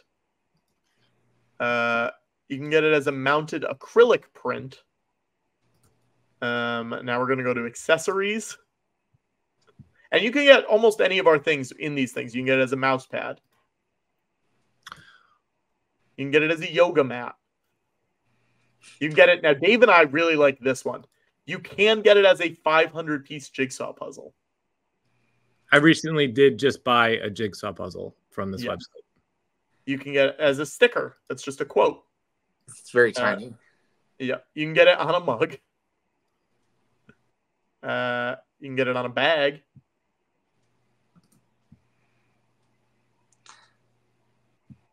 You can get it as a tote bag. You can get it as a weekender bag. You can get it as a drawstring bag. Or you can get it as a laundry bag. This is a great idea. Yeah. You can get it uh, as a magnet. Uh, you can get it as a notebook, which I think this on the cover of a notebook is kind of great. I- someone someone bought this. Yeah, the actual thing is is I yeah. think it's pretty great. It's pretty Uh, cool. You can get it as a zip pouch. Uh, I mean, some of these it's incredibly hard to imagine reading it on. sure. Not this one. You can get it as a skateboard, baby. You can get it as a button. Where's this button? Where did the button not come through? You can get it as a button. There it is as a button. You can get it as a uh, shoot. You can get it as a phone case. Hmm, what's going on? Hmm. There's a phone case. We're almost we're almost through them. Phone case. It looks like get that looks like a weird minion. you can get it as a greeting card. You can get it as a face mask. you can get it as a neck gaiter. And I didn't want to put neck gaiters because I feel like people pretend like those are uh, workable face masks and they're not. Uh, but they're on there. Uh, you can get it as a beach towel. Um, is that it for? I like that it's it's that way. It's the the small way. Like they could rotate it. Yes. They get large. No. but then you can also get it. These are the things that I like. You can get it on a jacket. You can get it on a bomber jacket. Oh wait. Oh, oh, that didn't work. I'll have to figure that out. Yeah, not all combinations are. I'll figure that one out. I Oh, it's on the it's on the pocket. Yeah. No, no, no. It's on the. I like that. Uh, no, it's on the back, but it's in black, so you can't read it in black. Um, I mean, these are so weird. Uh, there's so many things. There's so many things. Um, so we have. I, I thought you said a face mask and that it was like a full face mask where you just see the quote. Uh-huh. Like I was thinking of like a face shield where you just go out and people just read the quote and you'd see through it. Yes. So, Dave, we hit it. You said We did. I That's do not have to throw myself down the stairs. That's great. Hey, what a what an anticlimactic end to a, a show we designed. Dave, It you know- ends if we reach our goal. It means that you don't have to do something. I mean, we could just say like anyone that doesn't want to see this, that this is the end of the show. We can't. No, We can't really do that because people paid for you to not do Not it. do or, it. or Dave, we can make one last stretch goal to make you do it again. I feel like there's a precedent within our bidding system, within our fundraising system that was established a while ago, which is that like once people have bid for something to happen or not happen, we have to live up to it. You know that like But here we go. Here we go. Look, I'm glad Dave is uninjured, but I will watch. You don't have to, but if you feel like it, but I I don't feel like I don't I I, feel like people Dave's paid choices. good money for him to not risk his uh well being by doing it. And if we just tell those people to go away and then we do it, It's sort of just like a really silly angle from here. You wouldn't be able to see much anyway. Dave, do you have pillows you can put at the bottom? Oh, I have a whole couch full of pillows right here. Okay. Let's That's put some we do it. pillows. Let's put some pillows. And can I design this a little bit for you? I Um, would love that so much. okay. So get some pillows. God, all these pillows are so covered in cat hair. So covered in cat hair. well, Hey, that's babe. something that's Hey, Rit- you're already Yes. covered in cat hair. yeah. All right. Yeah. I'm allergic to cats. Yeah. I take pills every fucking day. My life is terrible. Are you I have really? a cat and I'm allergic to cats.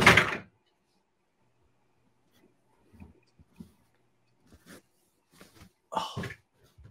There's so much hair. There's so much hair. Okay.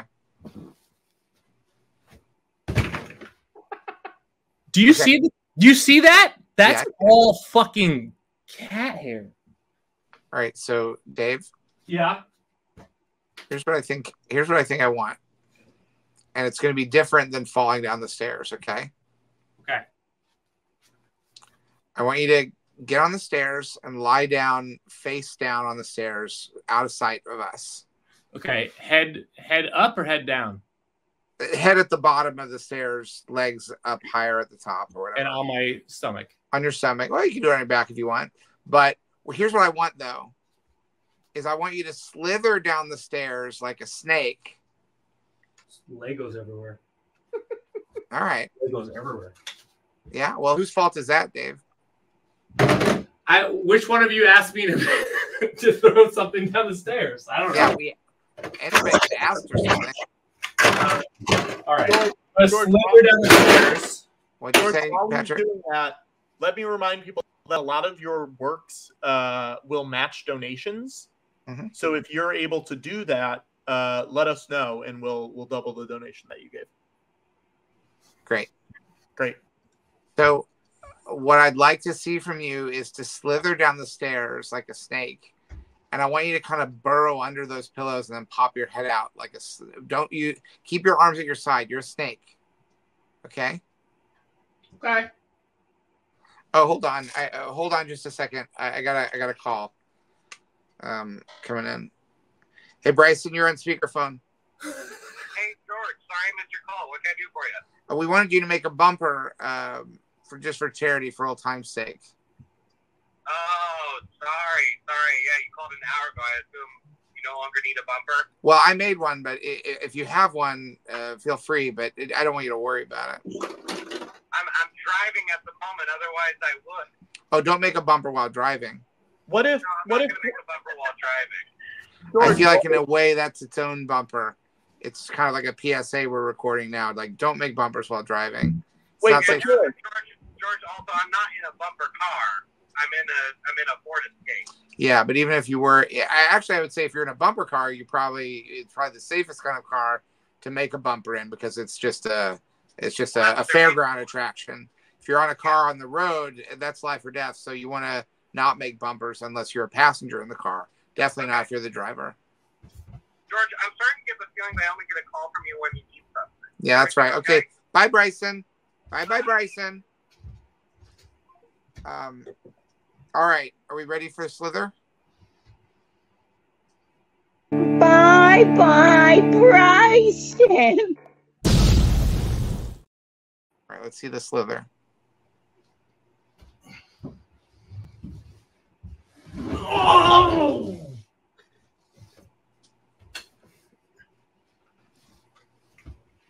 Now I want to see the Slither. He's slithering under the pillows. Right, and then pop his head up out through the pillows when you get a chance. There he is. Just an ordinary garden snake. He's harmless. Don't worry, he's as frightened of you as you are of him. Jersey snake. Oh, You okay? fuck. Oh, I think I pulled a muscle on my back. For real? Yeah, I'll stretch it out. I'll stretch it out. I do feel like that was very impressive looking. It looked cool. I had I felt like there was zero reaction from you guys, so I had no idea. what? Well, Patrick cut away right at a crucial moment. He wanted my reaction, but I was engrossed. Mm-hmm. I thought it looked really good, Dave. Thank you. Very good snake work. I appreciate it. It's my first that's my first snake roll. I think your kids will like that. You think you'll do it for them? I could. Um hold I- on I- one second though. I have to say, if you build a, a snake nest at the bottom of the stairs, then do that same move. Hey, hey Bryson. Hey, Oh, he's gone. Oh, he's there? Hey. Hey, I, I wanted to call you. I just got the weirdest call from retired filmmaker George Lucas. Oh yeah, he's on one tonight. Well, he here's the thing, Dave. Can I confide in you privately? Yeah, this could be private if you want. Okay. Well, it's just that I feel like I feel like I spent a majority of like my quarantine with retired filmmaker George Lucas, and I feel like we got really close, and like we all we all got like really tight knit and everything. We had like a good time working on the show and everything. But I don't really hear from retired filmmaker George Lucas all that much anymore. And whenever he calls me, he seems to want something. Yeah. Is it well, can I guess? Is it usually a, a bumper? Yeah. Yeah. Does he do that with you at all? Well, no, I, I'm uh, absolutely rubbish at making bumpers. The thing is, you're really good at making bumpers, so I think that's probably why he asked you. I just, I mean, I, I, I just wanted to confide in you as a friend because, you know, I, I, I like George. A lot, and and uh, I just, you know, I wish we were closer. You know. So you wish that you he saw you beyond just your bumper making abilities? Yeah, like has he asked you to do anything weird recently? Uh, no, just like normal kind of stuff. It's like, you know, hell, I I help with the donations. I sl- slither down the stairs like a snake.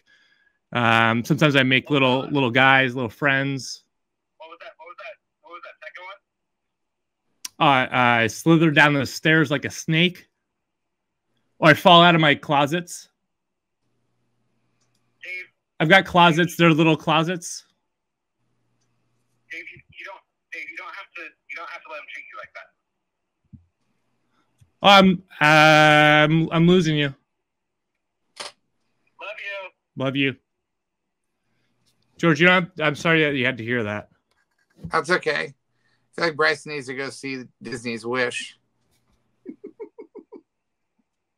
he wishes we were closer. He should go see that movie and see how uh, the deal with wishes is.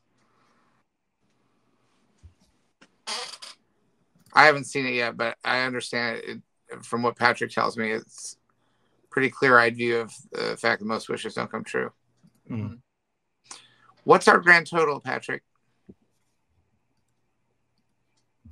Uh, as of right now, we are at three three five two one point nine zero, which means seventeen thousand six hundred and nine dollars and or seventeen thousand six hundred and nine meals. Meals. Point five. So if we can get that point five fixed, that'd be great. But that's probably our our end. Uh, well, I want to thank everybody for uh, hanging with us tonight. Um, if you want to see part two of the holiday special, it'll be a, another Life Day celebration. Because the thing about Life Day is, it's not just a day; it's at least two days. That's what I think. Maybe more, but more than a day. It's a way of thinking, and I, I think everyone who contributed a little bit or a lot to uh, the Food Bank of New York uh, tonight. Uh, you are in the you are in the life day frame of mind, uh, and you should. Uh, it's something to feel good about because you know a lot of days it feels like there aren't necessarily. It's it's very easy to think about all the things to not feel good about. So every now and then, it's very nice to be able to focus on even just one thing to feel good about. And uh, everyone who uh, spent a little time with us tonight and gave a little bit, gave a little bit back, um, it makes us very happy um, to be- to be able to um, make things a little bit better. And uh, Jersey Dave, I want to say Happy Life Day. It was very nice seeing you tonight, and I I applaud your snake work and your artistry on the action figures. Uh, the art piece is really uh, very impressive. I'm always so impressed with the work that you do. Thanks. Yeah, we I had a love great life day. Thank you guys so much for for spending it with me. We love you and we appreciate you, Dave. I feel very appreciated. It's just like it's like sort of turned to a little bit of a dark, you know, sort of mood here, but um I'm just very very happy that I can make some weird things for you and slither down. I've never slithered down these stairs before. Why would So I ever got- do that? And I, I think your kids will genuinely Oh, enjoy yeah. that. I think you get some good laughs out of that if you build a uh, if you do that and say, "Look, Daddy's the snake." They love they love physical comedy. Yeah, well, it's very good. If you when you watch Pretending the to drop tape, something just like oh hours. They'll watch that forever. Yeah. Hey George. Yeah. We did just get another one hundred dollar donation in. So I think the only way to end this show, Dave, is with you falling out of those closets again. Okay. Should you? Okay. All right.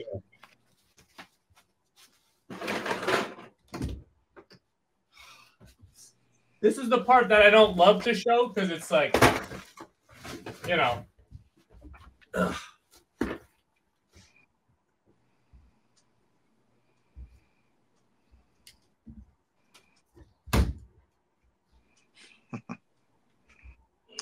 the struggle is part of the fun. You just can't quite close that door. I like how those look like eyes. They're a little bit cross-eyed.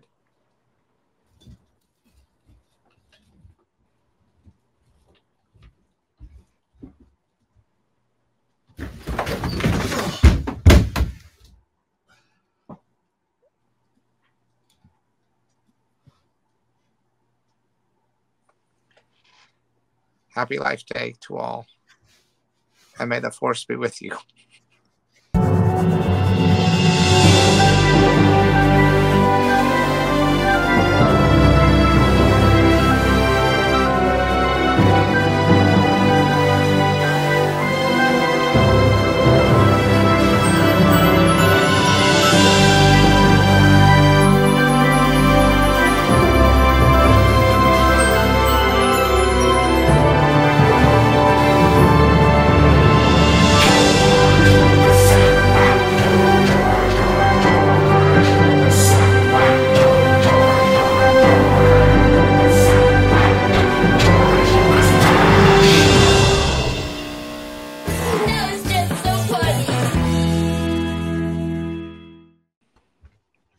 Okay, Dave?